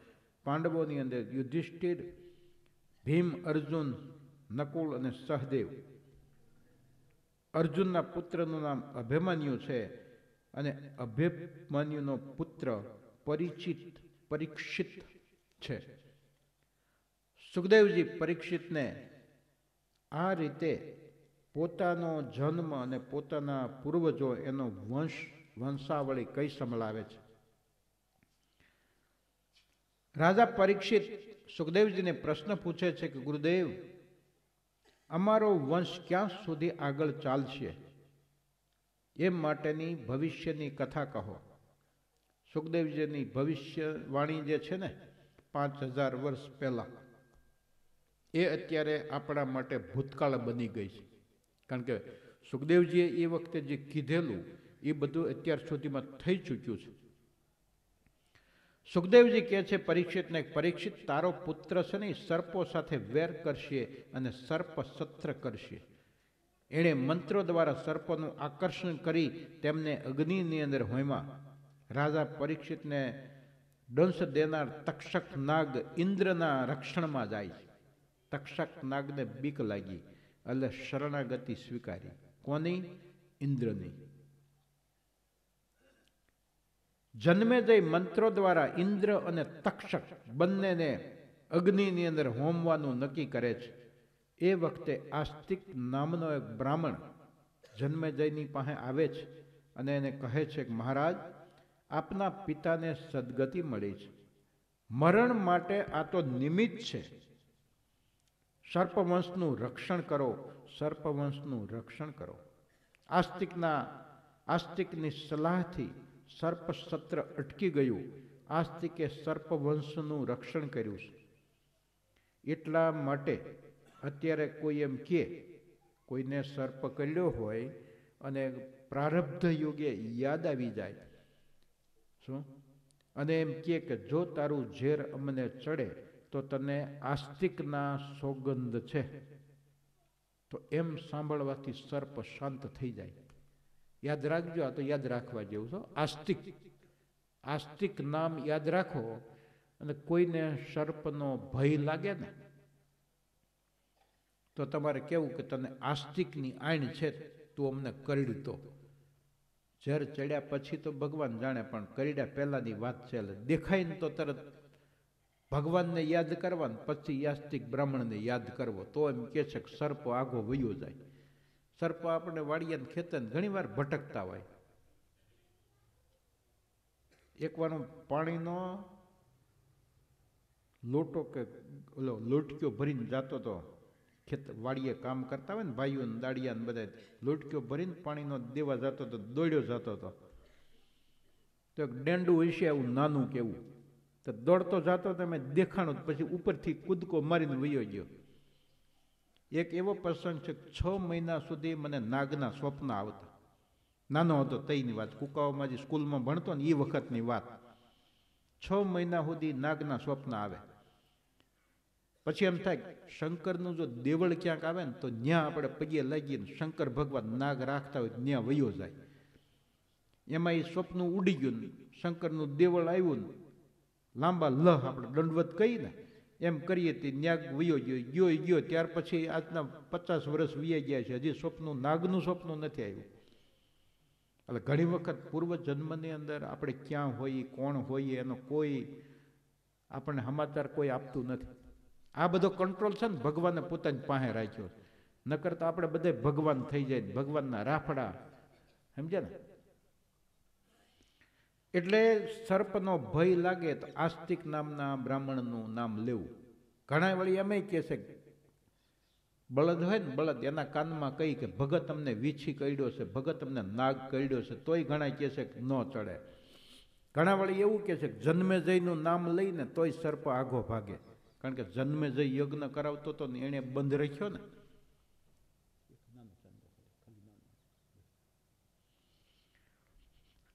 આ રીતે પરીક્ષિતનો પૌત્ર જન્મે જઈ એણે યજ્ઞ કર્યો. યજ્ઞ સત્ર બંધ થયું આસ્તિકના કહેવાથી અને એ રીતે સર્પવંશનો ઉગારો થયો. નહીતર પૃથ્વી ઉપર કે સર્પ રહેત નહીં. જન્મેજય રાજાના વંશની અંદર શત્રુસેન, ઉગ્રસેન, ભીમસેન વગેરે અનેક રાજા થયા. પાંડવોના વંશમાં છેલ્લે ક્ષૈમક નામનો રાજા થયો. ક્ષૈમક રાજા સુધી આ વંશ રહ્યો. પછી આ વંશનો અંત આવ્યો. પુરુરવાના પુત્ર યદુના વંશની અંદર સહસ્ત્રજીત કૌશ- કોટા, રીપુ, સહજીત, કુતવર્ય, કાર્તવર્ય વગેરે રાજાઓ થયા. કેતવર્યના વંશની અંદર જયધ્વજ થયા. યદુના પુત્રો કોષ્ઠાના વંશમાં દેવવ્રત, વૃષ્ણિ, સુરસેન થયા. અંધક રાજાને દેવક અને ઉગ્રસેન થયા. ઉગ્રસેન એટલે દેવકીના પિતા. ભગવાન કૃષ્ણના જન્મ તરફ આગળ વધી રહ્યા છીએ. એટલા માટે કૃષ્ણ ભગવાનનો વંશ કયો? કયા વંશની અંદર ભગવાન પધાર્યા? એની આ વંશાવળી છે. પૂર્વ જન્મો એના મત પિતાના એના એના વડવાઓના. અંધક રાજાને ત્યાં દેવક અને ઉગ્રસેન બે થયા. દેવકની દીકરી દેવકી. અને ઉગ્રસેનને દીકરી નહોતી, એટલે ઉગ્રસેને દેવકીને ખોળે બેહારી.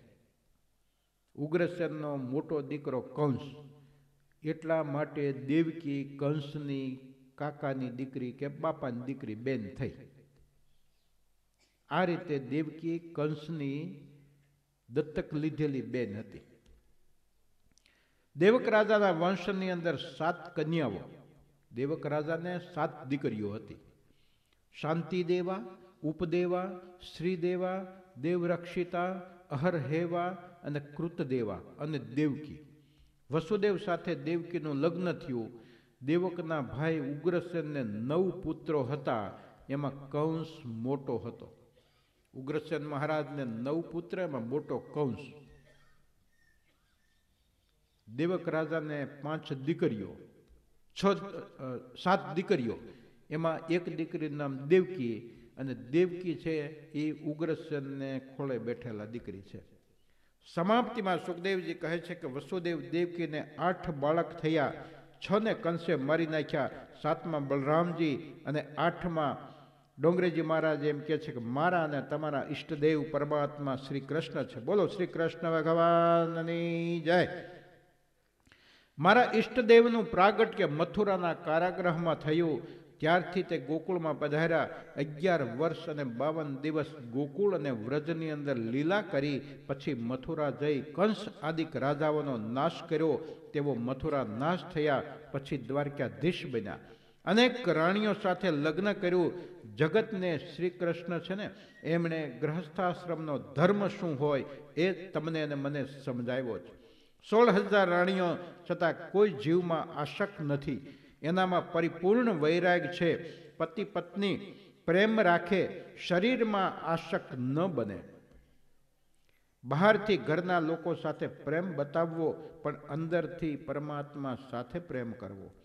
આ મળ અને મૂત્રથી ભરેલું શરીર છે ને, એની અંદર પ્રેમ કરવા લાયક કાંઈ નથી. પ્રેમ કરવા લાયક માત્ર અને માત્ર એક પરમાત્મા છે. કૌરવ અને પાંડવનો યુદ્ધ નિમિત્ત રૂપ બનાવી તેમણે પૃથ્વીનો ભાર ઓછો કર્યો. અર્જુન અને ઉદ્ધવને તત્વજ્ઞાનનો ઉપદેશ આપી અને તેઓ ગોલોકની અંદર પધાર્યા. આ રીતે આપણે નવમ સ્કંધને પૂર્ણાહુતિ આપી આપણે અત્યારે દસમ સ્કંધની અંદર દાખલ થઈ રહ્યા છીએ. દસમ સ્કંધના બે વિભાગ છે, પૂર્વાર્ધ અને ઉત્તરાર્ધ. પૂર્વાર્ધ એની અંદર ભગવાનનું ક્યાં ક્યાં ચરિત્રો, કઈ કઈ લીલાઓ આવે છે એ હું તમને કહું છું. અને જ્યારે આપણે ઉત્તરાર્ધની અંદર દાખલ થઈશું ને, ત્યારે એ પ્રમાણે એમાં આવેલી કથાઓનું વર્ણન તમને કહીશ. દસમ સ્કંધને નિરોધ લીલા કહેવામાં આવે છે. શ્રી કૃષ્ણનું પ્રાગટ્ય. આ સ્કંધની અંદર કઈ કઈ કથાઓ આવે છે? તો કે શ્રી કૃષ્ણનું પ્રાગટ્ય, એની કથા આવે છે. લાલા તરીકે કૃષ્ણ ભગવાનની બળ લીલાઓ એના ચરિત્ર આવે છે. કનૈયા તરીકે ભગવાનની માખણ ચોરીની લીલા, એ કથા આવે છે. ત્યાર પછી ભગવાનને દામથી બાંધવામાં આવે છે, જેને ભગવાનને દામોદર કહેવામાં આવે છે. અને ભાગવતની શરૂઆતમાં દરરોજ આપણે દામોદર સ્તુતિના શ્લોક બોલીએ છીએ. એ દામોદર લીલા વર્ણન આવે છે. ત્યાર પછી વૃંદાવન લીલા આવે છે. ત્યાર પછી બકાસુરને માર્યો. બકાસુર એટલે કોણ? બક એટલે બગલો. બક એટલે દંભ. દંભને મારવાનો વાત છે. બગલા નામના રાક્ષસને મારવાની વાત તો ઠીક છે, એ તો રૂપક છે. પણ બગલો એટલે, બકાસુર એટલે દંભ.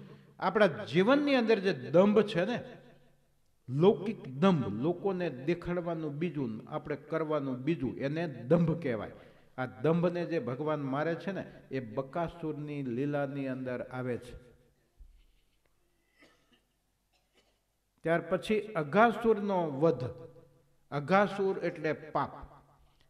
જીવનની અંદર આપણે જે કાંઈ પાપ કરીએ ને, એને અઘાસુર કહેવાય. એટલે બને ત્યાં સુધી પાપ ન થાય એવા પ્રયત્ન કરવા. બને ત્યાં સુધી દંભ જીવનમાં ન થાય એવા પ્રયત્ન, એવી કોશિશ એ રીતે આપણું જીવન જીવવા માટે પ્રયત્ન કરવા. ત્યાર પછી ધ્યનકાસુરનો વધ. ધ્યનકાસુર નામનો રાક્ષસ, એનો વધ કરવામાં આવે છે.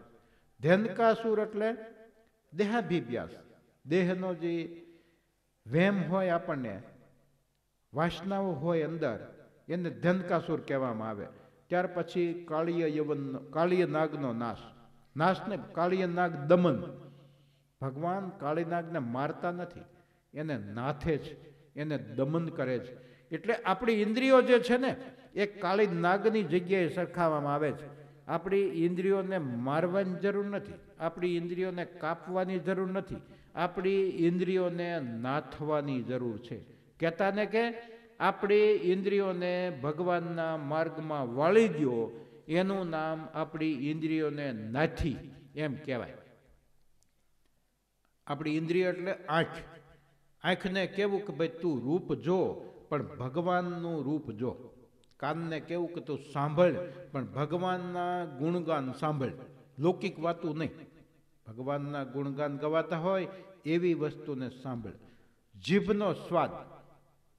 લુલીના લાડ જેને આપણે કહીએ ને, કે ભાઈ બહુ મીઠું મજા આવશે અંદર લંબુ લીંબુ નાખો એટલે વિશેષ મજા આવે ને, છાશની અંદર જીરું નાખો એટલે વિશેષ મજા આવે ને છાશની અંદર ચમચી ભરીને મીઠું નાખો એટલે વિશેષ મજા આવે.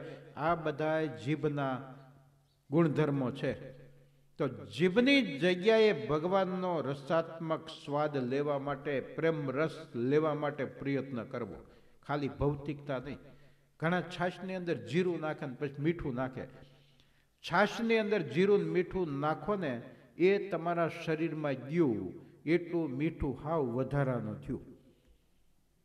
શાકમાં મીઠું મસાલા ન હોય શાક તમને ફીકું લાગે. તમે ટેવાઈ ગયા હોય તો ઠીક છે. પણ છાશની અંદર જે ચમચો ભરીને કે ચમચી ભરીને મીઠું જીરું નાખો છો ને, હાવ વધારાનું તમારા શરીરમાં ગયું. જેટલું વધારાનું ભેગું થાય ને, મરી મસાલા એ લીવર ઉપર જમા થાય.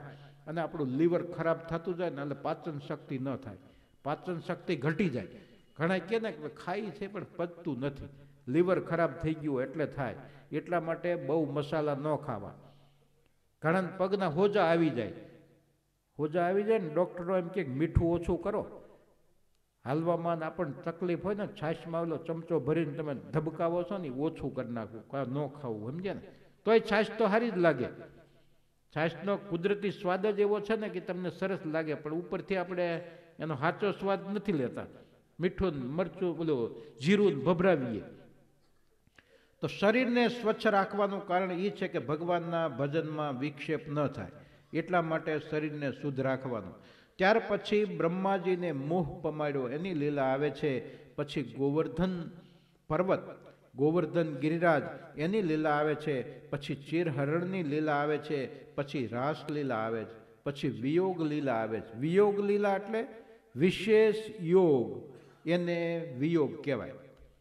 ભગવાન જ્યારે આપણને પોતાનો વિયોગ દેખાડે, ભગવાન આપણાથી દૂર છટકીને ઊભા રહીએ ત્યારે આપણને ભગવાન દેખાય નહીં, એટલે શરીરમાં વિહવળતા થાય, દુઃખ થાય. એને વિયોગ કહેવાય. વિયોગ એટલે વિશિષ્ટ યોગ. વિયોગની અંદર આપણે જેને યાદ કરતા હોઈએ, એને વિશેષ યાદ કરીએ. એનું નામ વિયોગ. ત્યાર પછી અક્રૂરજીનું મથુરાની અંદર આગમન અને પ્રતિગમન. આગમન એટલે મથુરાની અંદર જવું.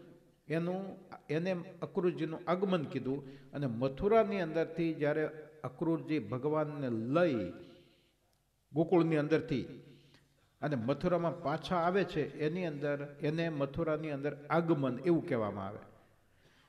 શ્રી કૃષ્ણની રાજસ લીલા. આટલી લીલા થઈ ને ત્યાં સુધી કનૈયો, વ્રજ અને ગોકુળની અંદર છે. અગિયાર વર્ષને બાવન દિવસની એની ઉંમર થઈ છે. અગિયાર વર્ષને બાવન દિવસ પૂરા થયા, એટલે અગિયાર વર્ષને ત્રેપનમે દિવસે કનૈયાએ મથુરાની અંદર પ્રવેશ કર્યો. ત્યાર પછી એમ કહેવાય છે કનૈયો કોઈ દી ગોકુળને વ્રજમાં પાછો ગયો નથી. ત્યાર પછી કંસનો વધ એની કથા આવે છે. ત્યાર પછી ભગવાન મથુરા નરેશ બને છે. ઉદ્ધવજીનો વૃંદાવન મોકલવા. પછી ભગવાન છે ને, એ ઉદ્ધવજીને વૃંદાવનની અંદર ગોપીઓની પાસે મોકલે છે. ક્યાં મથુરા ક્યાં વૃંદાવન ત્યાં મોકલે છે. પછી રૂક્ષ્મણીજીના વિવાહની કથા આવે છે. પછી ઉષા અને અનુરુદ્ધનો વિવાહ એની કથા આવે છે. પછી મુચકંદ ઋષિ અને સુદામાજી એની કથા આવે છે. ત્યાર પછી જરાસંઘ અને શિશુપાળનો વધ કર્યો. એની કથા આવે છે. એટલે દસમસ્કંદ જે પૂર્વાર્ધ છે, એની અંદર આટલી કથાઓ મેં હમણાં બોલ્યો ને એટલી કથાઓ આવશે. દસમસ્કંધના પૂર્વાર્ધને નિરોધ લીલા કહેવામાં આવે છે. સુખદેવજી દસમસ્કંદની શરૂઆત કરે છે.